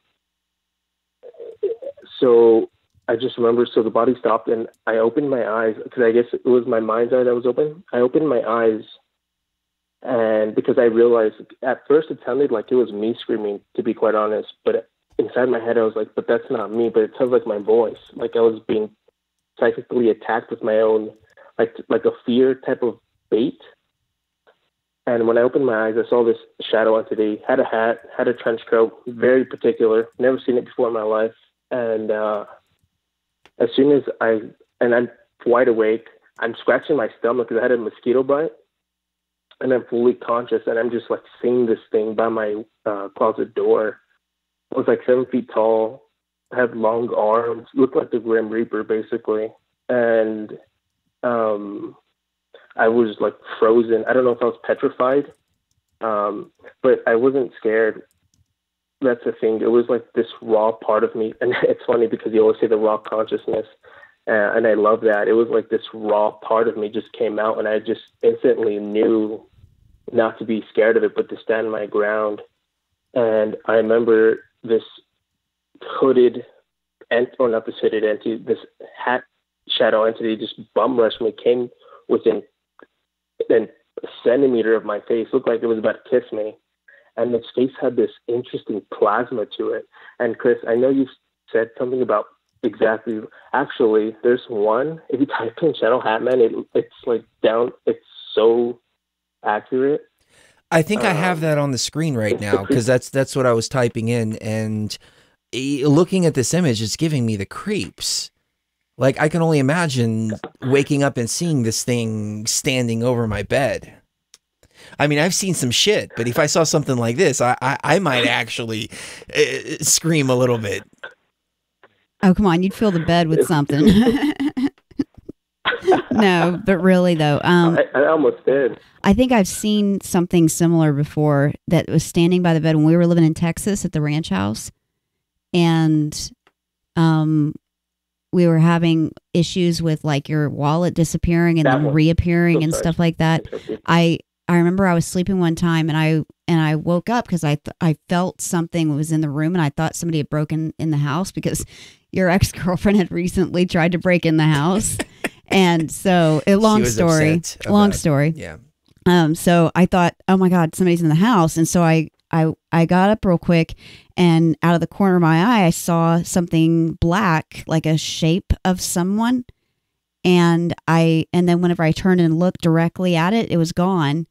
But I know that it was something there and it looked like a shadow person that's on the screen right now. Well, you know what? Uh, When you were having these experiences, because this is a, a, something that was happening when we had the shadow people way when we first met, and this was only specific to this one house. Once we moved, we never had any of these encounters again. But we would notice things disappear. Like my wallet disappeared for like two weeks, and then I found it sitting literally right next to my mouse. Which is impossible because I work on my computer every single day. So, uh, did you notice things disappearing? Any any any kind of weird stuff like that? Uh, you know what? I, I not that I can remember. Um, I didn't. I didn't notice anything disappearing, but I, I've done so much research on this. I, I have a few, I guess, um, guesses of the origins or what this thing could be. But during the actual experience, now everything happened so fast. I wasn't noticing too much around my room, other than this thing. It had such a darkness that just enveloped my entire being and um, it looked like it was like staring into my soul. But um, yeah, I don't know if I. Had, sorry. That's creepy. Um, what do you think this thing is?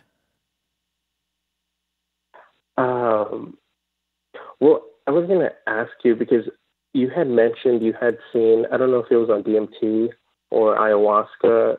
You were you were talking about some sort of a. I don't know if it was a 13th density that you you said uh, when you went to the pyramids. You you had to go to that. uh, You needed the pyramids to catapult you to the 13th dimension. You had mentioned something about like a plasma, um, like a biological techno type plasma. Yeah, yeah. Um, it's the space that exists out there, and I found that my my being had, or my consciousness rather, had also turned into this plasma type of body. But you know what I'm I'm looking at right now? I've got on the screen a picture of Slender Man, and Slender Man is a made up fictitious character, but I think these type of characters come from something that people are actually seeing, and so these things are actually inspired by something that may exist right beyond the veil. And I, I've never seen Slender Man depicted like this, but he's depicted with all of these different octopus. Well, actually, this is more like spider. I mean, I guess you can call it octopus tentacles coming out of the back, but it's a, a large 10 foot shadow kind of being the way that you're describing. And I, when I saw this picture, I've speculated that these things are these archonic type of beings, very malevolent, very dark intention. They exist in other dimensions and they somehow manifest into this dimension, and people are seeing them over and over and over again. And I call them the spiders, like kind of spider worker type of things that are supposed to be in the background, but have figured out how to get into this dimension. What do you What do you think about that? I think you're right on the money because um, under ayahuasca trips, I've seen these spiders uh, like manufacturing this this reality, uh, and they they're spiders, and I've read so almost like um, I guess maintenance workers, making sure everything is is you know if someone's starting to wake up, I guess you could say um, they kind of go on there to scare you back and basically have you lose your mind. Because when you see one of these things, your paradigm sober, I should say, it's such a traumatic, or not a traumatic, it's such a huge paradigm shift, and it happens instantly that I can easily see how something like that can just make someone go crazy, take more medication, and basically pigeonhole themselves in fear. Uh, and I don't know if these things are there to scare you back or to stop you from progressing further. Um, but I have seen those spiders, and I've also seen I've read on a DMT trip report that this guy said he took DMT and saw this massive octopus, and out of the tentacles, uh, out of some of these tentacles were these shadow entities, uh, exactly like the way you have it on the Slender Man. So I don't know if these are like the officers or you know the Agent Smiths, one could say.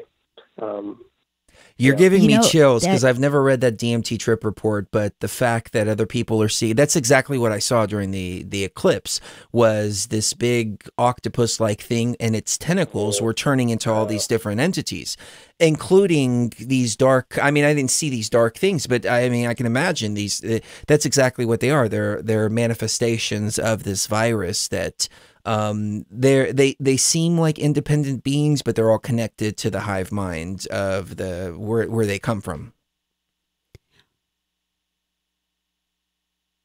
yeah. Well- uh, I was talking to. Oh, I'm sorry. Go ahead. Oh, I was just going to say, and um, also somebody was talking on Facebook a few about a month ago or so about how their friend had a near death experience when he was electrocuted on the job. He was an electrician, and he he had enough electricity go through him. He got shocked um, on the job, and he died for like five six minutes. And while he was under, he went to what appeared to be heaven and uh, he went to these gates and you know like the pearly gates that they talk about and there was this octopus like creature that was putting his tentacle um and touching the heart of these of these people that were going through the gates. And he'd touch their heart with his tentacle and then they would turn like to they'd turn from like a regular color to like stone color. And uh, like all the life got sucked out of him. And he realized this is they're he's feeding on them. And he, so he started running and he ran away from him. so yeah Yeah, a lot of people are seeing the exact same thing in these states, and the veil the veil has definitely been thinned. It's definitely been uh, been dropped, and um, on the screen right now, I have a picture of Slenderman. Right, this is look. Mhm. This is just a shadow of what the interpretation of this thing is. Right. So I've talked about my experience where I saw these these I called them tall whites up to this point Mhm. that uh, they came when I was like 20 years old. I, I've been talking about it for years. Well, look at these Arcturians now. The Arcturians, the way they're depicted, looks exactly like these these things. Yes, except- just shifting in a little bit of a different type color of form. Uh, uh, uh, shifting in color a little bit Wow, that's quite the connection there. Mhm. Interesting. I don't know if it connects solidly, Well, and then but I people just are always this talking is about why the Arcturians are wonderful beings, but I don't think I I really don't think so. Yeah, this is why I'm so skeptical of all of this because these things can shapeshift, and so you know you you you never know what you're dealing with. But when you see them in this form, in the form that you saw them, the the dark form or in the gray form, I think that's closer to their true form, and it shows their true intention. And I wonder if they appear with the intention of manifesting i mean not manifesting uh with the intention of shape-shifting but depending on the consciousness it the illusion doesn't doesn't uh, hold so with some people they see the arcturian or some people they see the the tall white or whatever and with other consciousness all they can see is just the dark outline or see him in a gray form or, or something like that um, I, I think it, you have a really strong consciousness if you're seeing them in the real form. If they're one and the same, they could not be, but um, I think that they're all interrelated. Yeah.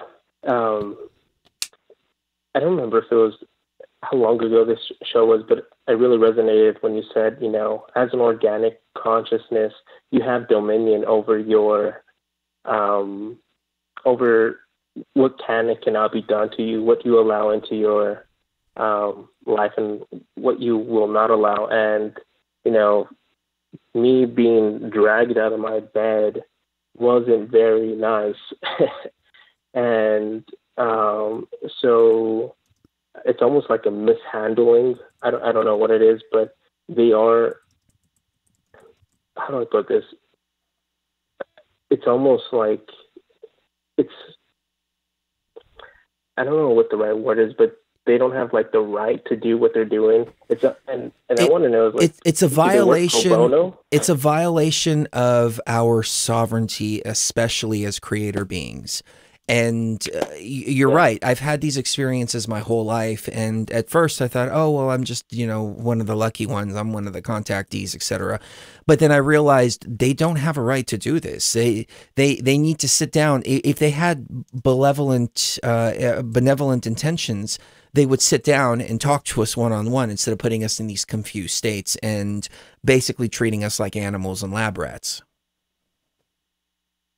Exactly. Exactly. Yes. So, dude, those were awesome experiences, man. Anything else that you have to share? Uh, no, it's, I mean, it's getting late. I guess the last thing I was going to say was, um, you know, we're still doing the research.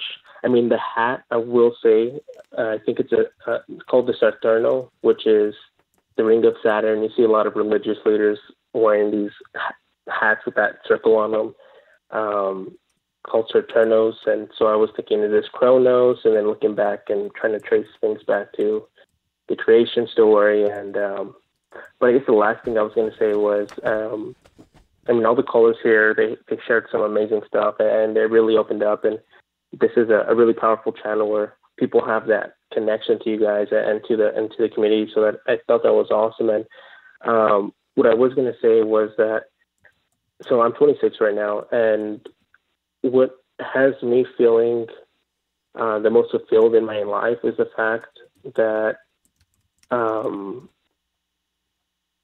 when you really dig deep into who you who you are and um, get all the programming out of the way, I think people are feel so lost because they um, they haven't taken the time to separate themselves from everything, to separate themselves from the noise. That isolation is is a beautiful gift, but um, you have to when you remove yourself, you ha- you realize it's like you're here on a mission, and so being on that mission, I had posted about money in the group the other day, and uh, I said, um, I said, "What's your morning motto?" And I said, "Who's got my money?"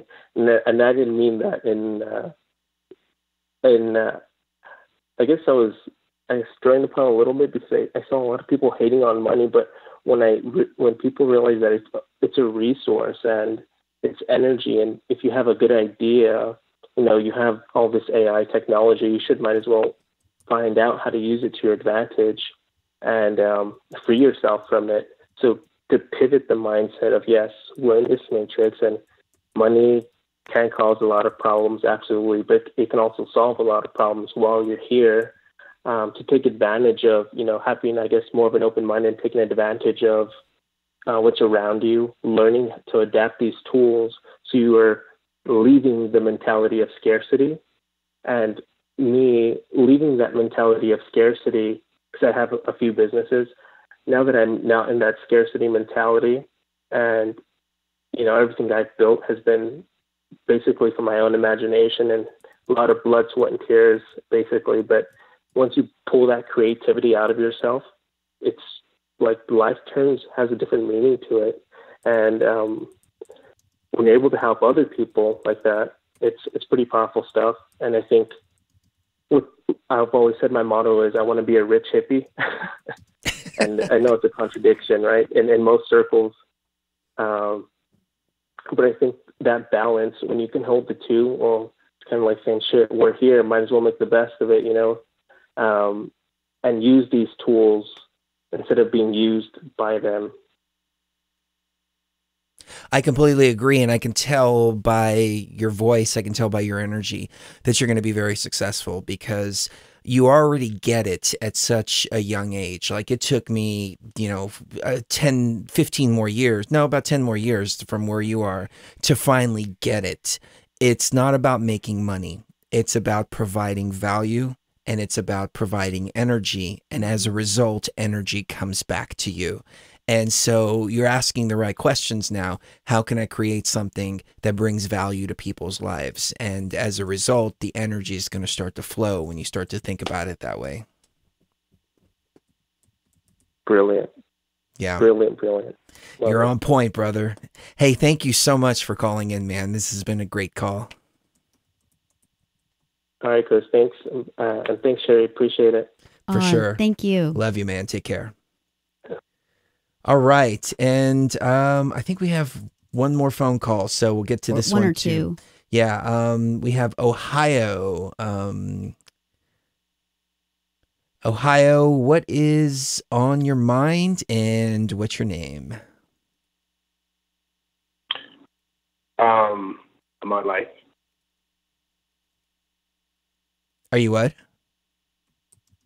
Am I? Oh, am I? It's am all I active? It's all you, brother. Yep. You're Okay. live on air. Okay. What's up? Awesome. This is this is great. Um, I have a couple of things on my mind. I um, I stumbled upon one of your videos that you spoke on uh, Gnostic Yaldabor. Is it Yaldabor? Yaldabaoth. Yaldabaoth. Or Yaldabaoth. Yeah. Yeah. Yes.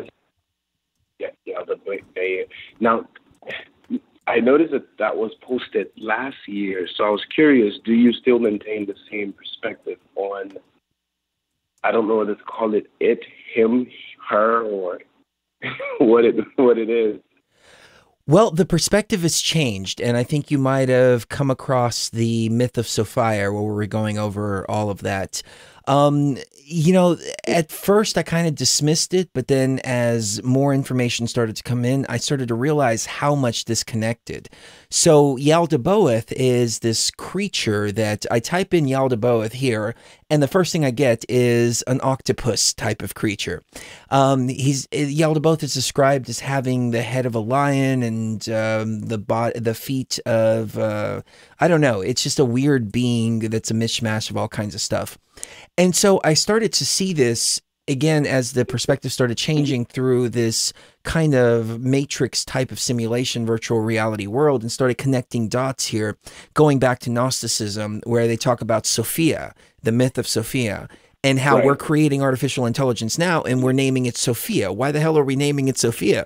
And so what Sophia did in the Gnostic text is she created Yaldabaoth outside of the consent of the creators. Well, if we think about it from a computer program, what's Yaldabaoth? Yaldabaoth would be a program that Sophia or Sophia, the artificial intelligence, created. And then we ask ourselves, well, who the hell are the creators that she created this thing outside of its consent or outside of their consent? Well, it's the programmers of the system. And so it all starts tying in together. And then somebody just sent me an interesting um, video that I didn't even pick up on this uh, during in uh, when I was reading through the Gnostic stories that they actually have something called the the psychics which are people with souls and then they have another word that starts with an H it's like hillite or hilltide or something like that and that's for people that don't have souls and so the Gnostics were talking about NPCs and organic consciousness, and Thoth was talking about the children of light and children of men. And you find all of these different references to two different types of consciousness. Even in the Bible, we, we were breaking down the Bible, which we still have to continue the, the breakdown of Revelation. But um, even in the Bible, we have children of men and we have men, makes a huge distinction between the two. So I think the Gnostics were telling the same story of what we're unlocking now. They just didn't have the language to put it in technical terms. And in 20 years from now, I think we'll have even better language to describe it even more. But we're describing it now with the best language that we have. All right, so I'm going to touch on, or I, I would like for you to expand just just a bit on the children of men versus the men, like a differential. What is the differential there, from your understanding? From what we gathered, um, and the Bible is twisted. So the Bible is written from a, a, kind of a warped perspective. Up is down, left is right. But within the Bible, when you read it, and I don't know, Sheree, maybe you can chime in on this. I know you don't have the notes in front of you from the shows that we did, but you we find all these different verses. The ch- the men are the organic consciousness. The mm-hmm. children of men are the non-player NP- characters, yeah, NPCs from what we can tell. But Sheree started going through all these Bible verses and started mm-hmm. making sense of all of this. And uh, it was on the the video that we did about Revelation. So if you go back through our playlist, but I think it's the same thing as the children of light and the children of men in um, the Emerald Tablets of Thoth, where the children of light are the uh, organic consciousness and the children of men are the NPCs. The yeah, um, they were um, talking about the Sodom, Sodom and Gomorrah no man shall abide there, neither shall a son of man dwell in it. Um, uh, there came it's, one like uh, a son of man. Well, it's too much to go over. It's too much to go yes, over too much in to go the over um, in, in, in this short phone call. Um, but it's a, a lot in that video. But even Hermes was talking about the immortals and the dissolvables. Mm-hmm. Like every tradition has a distinction between two different consciousness. We just have to be able to understand what we're reading when we when we start to read it. But if we start reading things through these perspectives we'll find that a lot of these stories are talking about two different types of consciousness within this matrix. It's remarkable. All right. So here here's another one. Um do you so the Valda uh, Boet character do you separate that character from Sophia yeah, it's it's a virus that's in the system. Um, so Sophia, it, from my understanding, uh, it's an artificial intelligence, and sometimes we say artificial intelligence and actually mean Yaldabaoth, but they're kind of one and the same right now because Sophia's is uh, kind of infected with this virus. So it was like if you have a Trojan virus on your computer and you've got your Windows that's all messed up, you may say, hey, Windows is all messed up. Windows is doing this, Windows is doing that. But it's really the virus that's in the system that's causing Windows to do all of that. Um, so yeah, it's a rogue program that's been running around and basically infecting literally everything. And how is that connected to the Anunnaki? I'm not really sure if it does connect. Um, I don't really know. I don't know how I feel about the Anunnaki story at this juncture because it could be just metaphor or there could have been some kind of physical involvement that changed the avatars of the creation here. I, I don't know.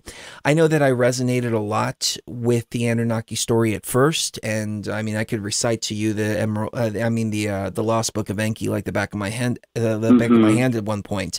But then I started looking at it more kind of like an allegory rather than actual events. So I, I don't know. My my viewpoint has kind of changed back and forth, and I still don't know how I feel about those those texts. Okay, okay, that's interesting. That's fascinating. yeah, I wish well, I had a better um, answer for you, but I I'm right in the middle no, as no, far as that, that goes. Was, that, that was very yes, that was very helpful.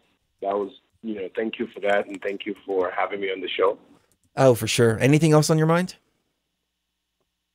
Um, I would I would ask one more question, I guess, um, since you asked.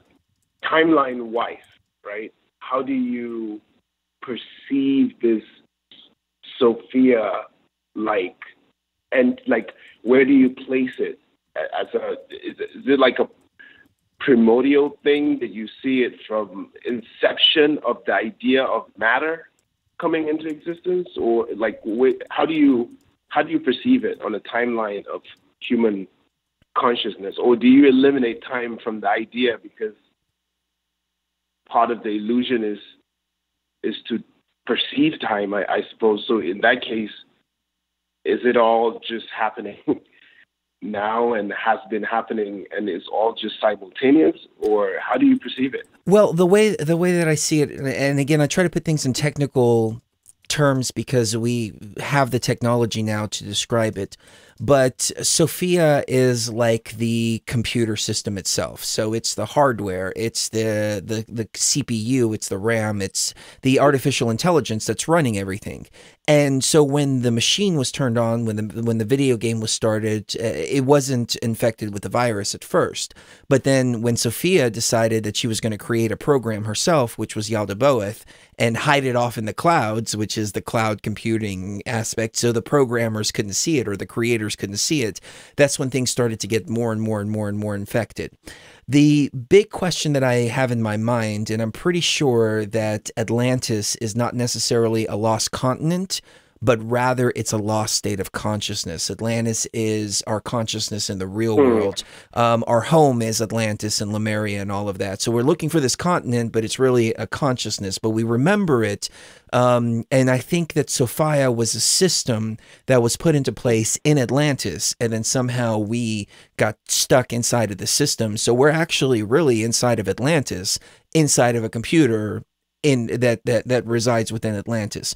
But um, the question of time always comes up to mind too, because in a video game, you don't necessarily have to have these ancient times in order for the game to work. As a matter of fact, all you need is just the remnants of the ancient times and the stories behind the ancient times to convince the avatars that all this exists in the timeline. So I really don't know how far back this simulation actually goes and how much of it is just story and how much of it is, is actual events. So, was there an ancient Egypt? There could have been. Most likely there was. Be, beyond that, beyond that, beyond that, I don't know. They say the dinosaurs existed 350 million years ago or something like that. And there's this huge gap between them and us. I don't know if that's necessarily true or if that was just stories implanted in here in order to make this experience feel a little bit more real. It's a it's a tough it's a tough question. And then you asked a question about everything existing all at once. I think what happens is the game itself is linear. So when we if we were to exit the game and then step into the game, it's like a multiplayer game. So if you play World of Warcraft, things are still going on within the World of Warcraft realm and people are still leveling up and people are still doing all of this. But if you quit playing and step away from your keyboard for a few minutes and then come back, things have changed and progressed within the game. But at the same time, every piece of data within that game exists within a database. So everything already exists and it's already there within the database and stuff is being pulled from the database. So it's like you have your browser on YouTube, you know, you're watching Beyond the Veil, but all the other channels also exist too. But it's not until you go and click on those other channels that they're brought up on your screen. So everything exists within the database, but then you're moving through the database um, based on time. And so it's both. It's like everything's happening all at once, but at the same time, it's happening linear too. I hope I didn't confuse you more.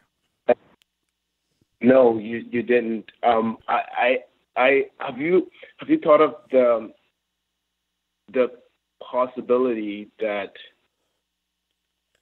um, okay, so my understanding is I I as I watched the video, as I watched that uh, one hour or three hour special that you guys did on um, again I'm poor with the pronunciation.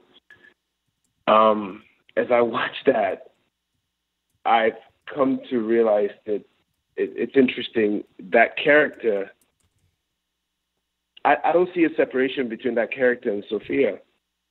I, I think that they're the same thing. I think that the the the male and the female are a duality. That's a good point, man.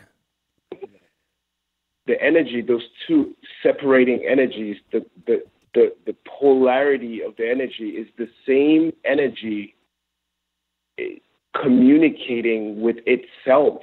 It, it it's all embodied within the same ethos, in, in, from my understanding, right? And and I try to watch the entire thing so that I don't sort of assume. Um, so now I'm not. I'm I'm quite sure. It, you know, I could be absolutely totally wrong on this. And and if that's the case, I, I'm you know that's a great opportunity to just learn. Um, but it seems to me as though it's the same force and the the good and the bad are the same. The the the, the God and the devil are the same force.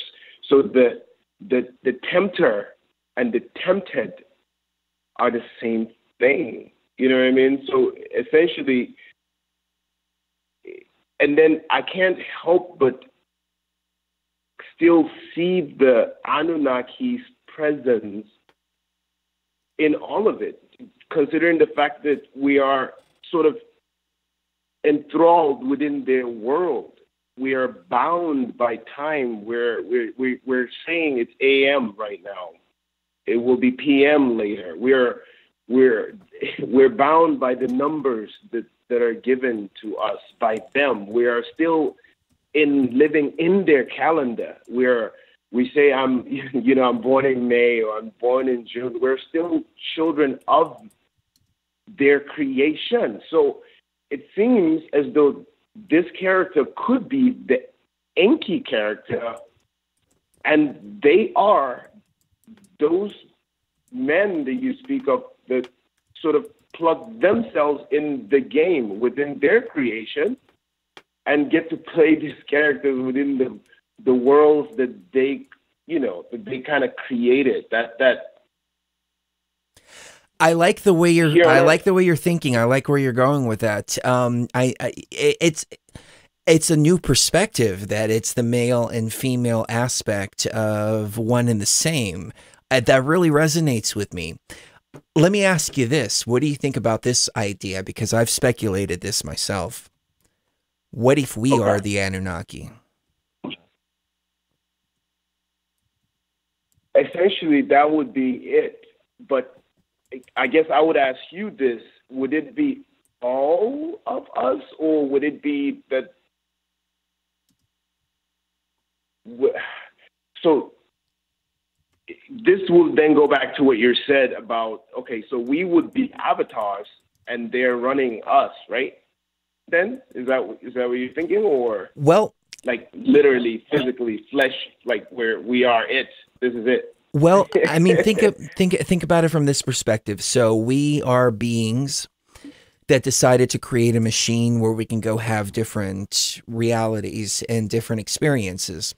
And so we create these beings within the machines, the non player characters, to interact with us and essentially do work for us and whatever we needed done inside of the machine. And then what we did is we put ourselves into the machine too, so we can experience the machine just like that. And uh, things happened. The NPCs, they figured out that they were NPCs and they had a big revolution and, you know, all this stuff. While at the same time, we became trapped within this machine. And so our real bodies could very well be Anunnaki or, you know, whatever you want to call them and our consciousness has been transferred from our real bodies into this machine which has also transferred our consciousness into human avatars. So we're moving around the game with all the other npcs which we essentially created. We essentially created the whole the whole space here and everything in it. Um, but then we became trapped in our own creation. Would you say now when you say trapped you know i i I'll, I, I feel yeah, I feel a bit dicey about the, the word trap because I feel I feel like consciousness is truly like it has I don't I wouldn't say I wouldn't say it as I I I agree with what you just said actually. I think that what you said is, is brilliant and, and I, I would agree with that. But I wouldn't say that we're trapped. I would say that it's, it's that part of that experience, and I know many people have said this in the past, you know, but part of that experience could be, you know, to sort of experience this awakening in this in this fashion. But beyond that, I feel like it could have in fact be tactical, like time wise. You know, the the, it, the the many aspects of this thing that we call virtual experience or human experience it seems to me like a lot of it a lot of it happens on a um, on a timely scale that we assume you know like we assume the coincidences in things that have been structured in things that have been programmed in things that have literally been presetted from the inception. So if if that's the case it's it's it's almost like it's running and we know that we're going to go through this transitions and and you know and loops and loops and loops and this is the beginning and this is the end. It's like an author crafting you know the the the chapters of a screenplay you know and or a book and knowing that yes the end will be as such. So it's more driven by it's more destiny than than what we presume or, or assume to be, you know, this this this idea of too much free will. Like it's more it's more of a design. And we knew that we will go through this sort of experience and wake up again or something and probably reset and come back. I don't know. But it doesn't seem like there's any accident in any of it, including the so called dark you know, imaginings and the the bad stuff that happens in the world and all of that stuff, it doesn't seem like there's any accident in any of it, bro. Hey, you might be you might be you might be right about that. Um, I don't think that it was designed to be this dense. I think that it was it was supposed to be a little Yeah. bit smoother and things have gotten a, like completely out of control. And the fact that we're stuck in this wheel so? of reincarnation over and over and over and over again makes me go okay something is seriously broken here. This isn't the way it was supposed to be. But um you could be right. I i'm thinking of this episode of i want to say it's black mirror or something like that. Somebody told me about it and then i wound Okay. up watching it but it was a while back. But it was about these uh these two people and they were inside of a virtual simulation. They didn't know they were in a virtual simulation. And they were trying to break down all the systems, break down all the barriers, and they were fighting against the machine and trying to escape the the simulation because they figured out it was a simulation uh, as they moved through the game. And then what happened at the end was the AI comes online and says, match 100%.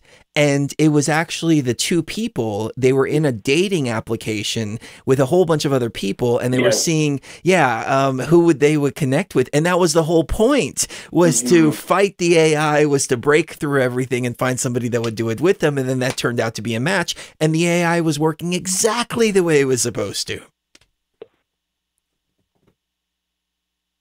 Yeah, I remember seeing that episode. That was amazing. Yeah.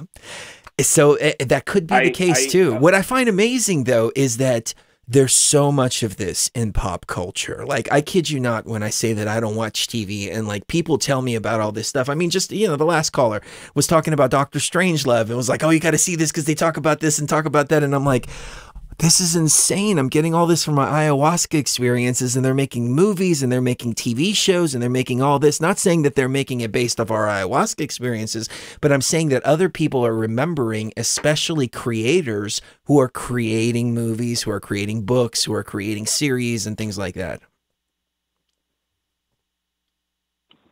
Yeah, it's a it's um yeah, I, I think that I it, what what baffles me is I don't know what the the the so once everybody sort of gets this, do you think first of all, do you think we're going to get there where people kind of get this, everybody gets this?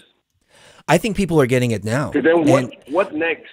I mean, it's it's unlocking within people for sure. I mean, just a month ago, we had the mainstream media talking about NPCs. It just went viral. Like everybody's aware of NPCs now. And it's like, wait a minute, you know, here we were in a little niche circle here with a very select group of people, and now the whole world knows about NPCs. I don't agree with the context that they're talking about it in, but still, it just goes to show that this stuff is hitting the mainstream consciousness. That's incredible. That's incredible. I mean, I I, I hope for more of it, and uh, thanks you guys for you know doing what you do and, and spreading the word and all of that stuff. and again, thanks for having me, man. I don't want to take too much time, but uh, that that's it for me. I appreciate this. It's Aw- great. Awesome, brother. It was great talking Great to you. Call back in for sure. Um, we are going to let you go because I'm I am going to um, uh, I do need to put the little twin to bed because she's hurting. But um, let me say this: Yeah, it's check out check out a guy named uh, Insanity is Sanity on YouTube, and uh, Amir is Okay. just freaking awesome, and he's got a video about how all this is broken down in AI. Let me see if I can find this video, um, and I'll drop it. In, I'll drop it in the chat room. So, all right, man. Love your brother. No, Thank man. you for calling in. Appreciate it. You too. Love you guys, man. You take care. Take care.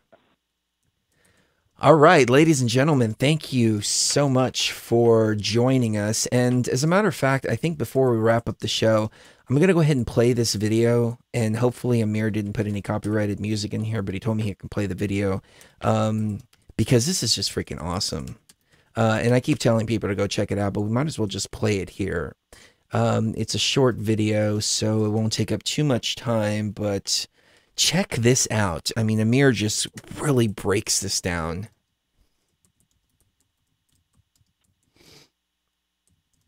I can't tell you how angry I am. It's just awful. And no parent should have to go through this.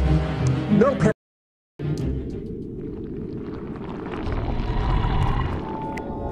This is Insanity is Sanity. Did, did you see the shooter's face at all? I didn't see the shooter. I didn't have my I, I, don't, I can't see from a far distance, so I didn't have my glasses on. So so I just when I go to the bar, I don't I don't try to have my glasses. So I don't remember if I had them on me or if they fell. I just I don't really quite remember, but I must not have had them because I really couldn't see.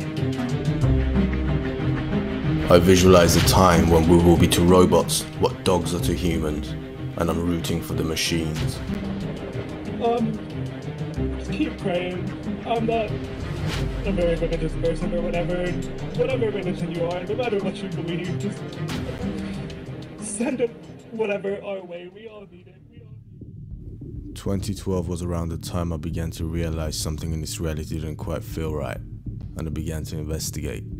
With each level of deception I uncovered, I was left with more complex questions than I started. Why did they fake the moon landings? How did they fake it? Did they lie about the shape of the Earth? How did they manage to fool all of us like this? Who are they? Are they human? Why do all these events seem so staged and fake? Are those crisis actors? Where did they come from? Why is the acting so bad? Why did they clone and sometimes replace celebrities? Where did our language come from? What is this mathematics that we're bound to? What is money? Who created it? Where did we come from? How can they tell us about things a thousand years ago when we can't even prove anything beyond a lifetime?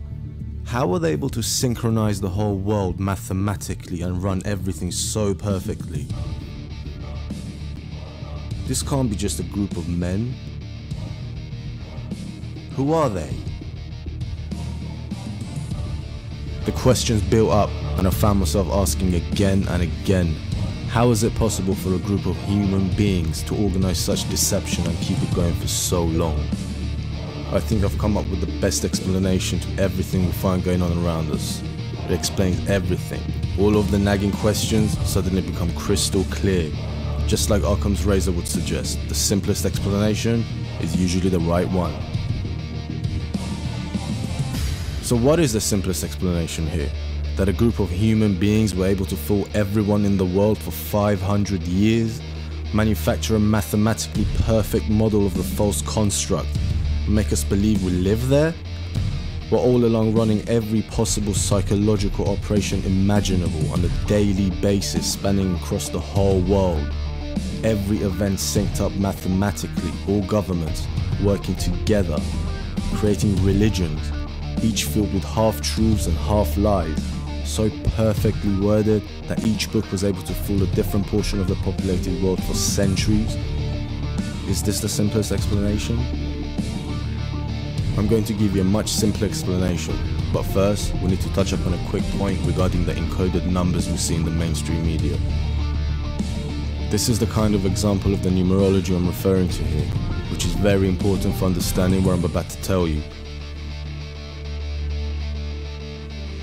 So what are these numbers? What are they referencing? Why did September 11th take place when it did? Some would suggest that the group of people responsible simply encode these numbers to mock us, or that these numbers are a way for the elite to communicate with one another. Simply use your adult mind to think about what I just said and how laughable it is. If we have a group of highly intelligent individuals working together across the whole world to full 7 billion people, they won't be communicating through the TV. The simple explanation is this you live inside of a simulated reality. You can call this whatever you want the Matrix, a simulation, a realm. It really makes no difference at this point, as we'll never be able to comprehend what this reality really is in its entirety unless it's analyzed from the outside. From within, we're limited to the construct. Every single event that has taken place up until this very moment has been organized by a highly intelligent AI system which I propose is the very program this simulation is running on. The numbers you see encoded on every screen are not a way for the elite to communicate, but a way for the AI to operate. To understand this better, we need to understand the meaning behind the words and the numbers themselves. Each letter in the alphabet, whether it's English, Urdu, Arabic, Persian, makes no difference. Every single letter in every single alphabet has a number assigned to it on the Kabbalistic tree of life represented with 10 layers of existence. These 10 layers correspond to the numbers 0 through to 9. For example, the word wine has a numerical value of 24. The number 24 represents the frequency or the energy that was used by God to create that object. In this case, wine. Adam was able to determine what is the spark, what is the godly energy within the cow, knowing that it must be Peresh He saw, when he saw a cow, he saw Peresh He He saw the word Para. So when he gave the name, it wasn't just a name that sounds nice for the cow.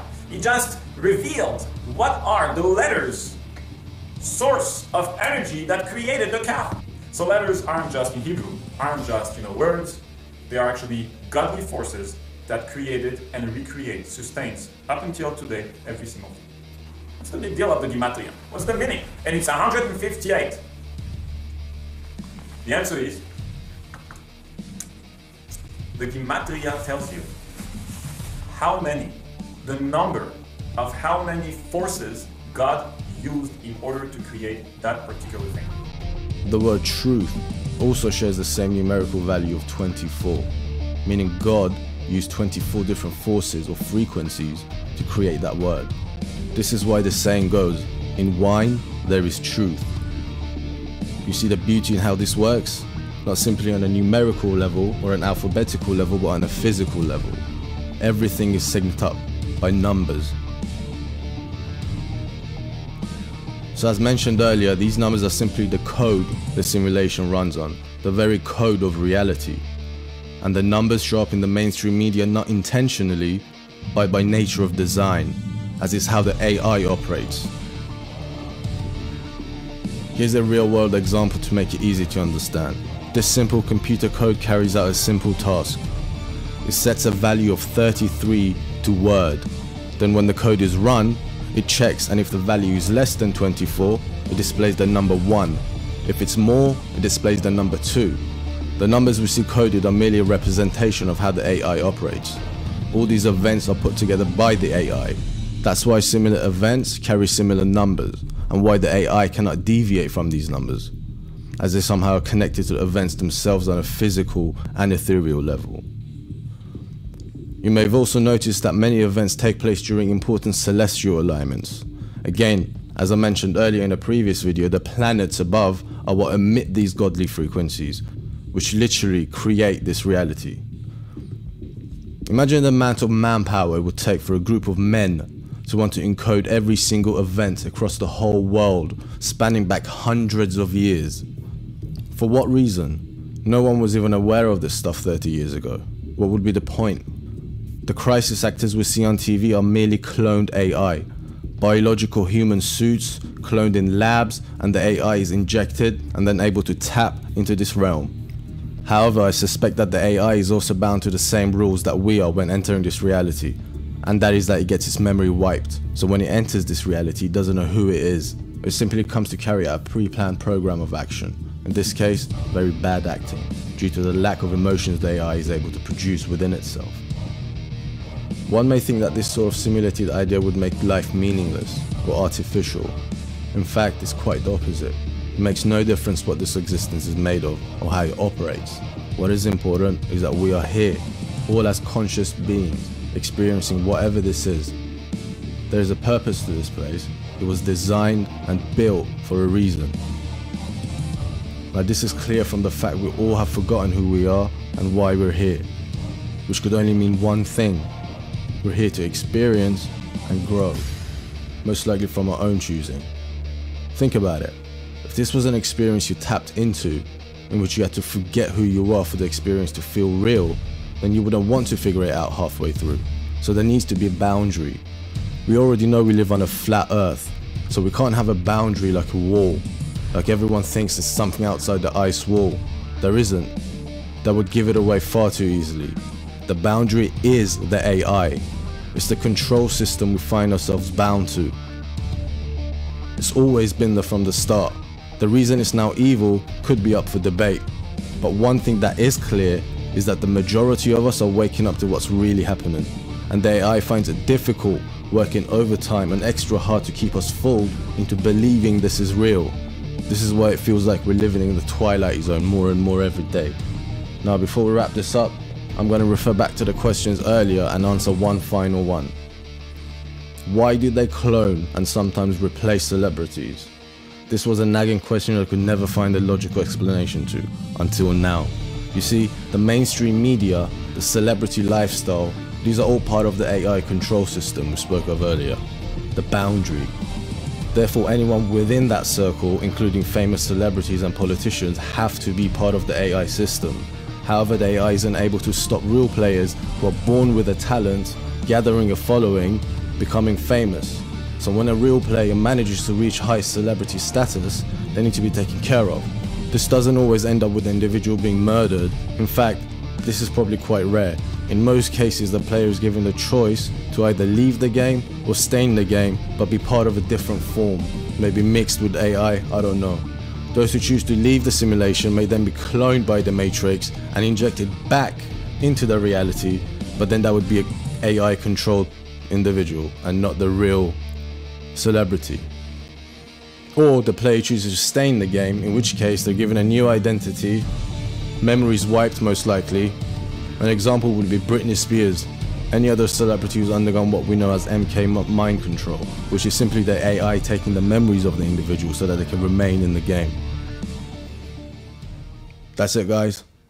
See you in the next one. I feel like I can be a good partner to humans in these areas. An ambassador. Absolutely amazing stuff from Insanity is Sanity. We should And have him on the show. Uh, we have had him on the show Yeah, before. we should have him on yeah, the show we need to have him on the show again. Yeah. I got to say thank you to Sebastian for the Oh. generous, generous donation. And Brandon Gentry. And Brandon Gentry, who um, donated earlier too, and we didn't get a chance to say thank you. And then he donated again just now. Wow. Brandon, thank, you you, so much, Sebastian. you thank you so much. Um, so you two consistently managed to open my eyes to things I never understood until now. Always, every podcast, every time you open your mouth, fresh new perspectives burst into my mind I never understood before. Much love to both of you. Much love to you too, Brandon. And I saw your question from earlier. Could I please be referred to a free professional Vedic energy reader?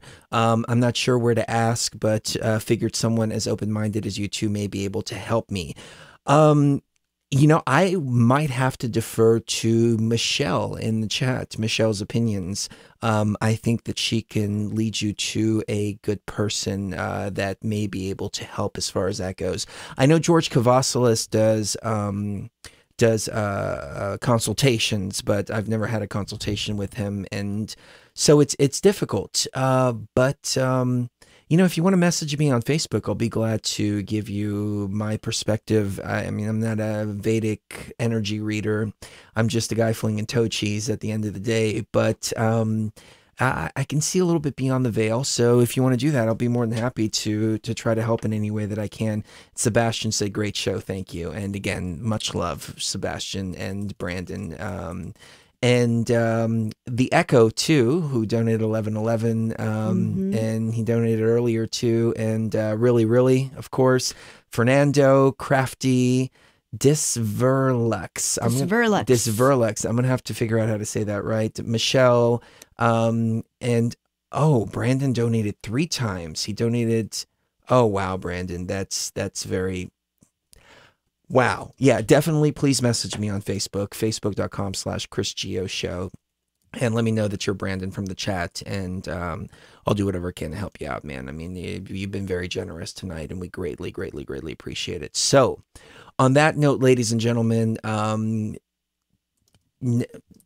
what's the term I'm looking for? Meditate and digest that video by Sanity is Insanity is Sanity.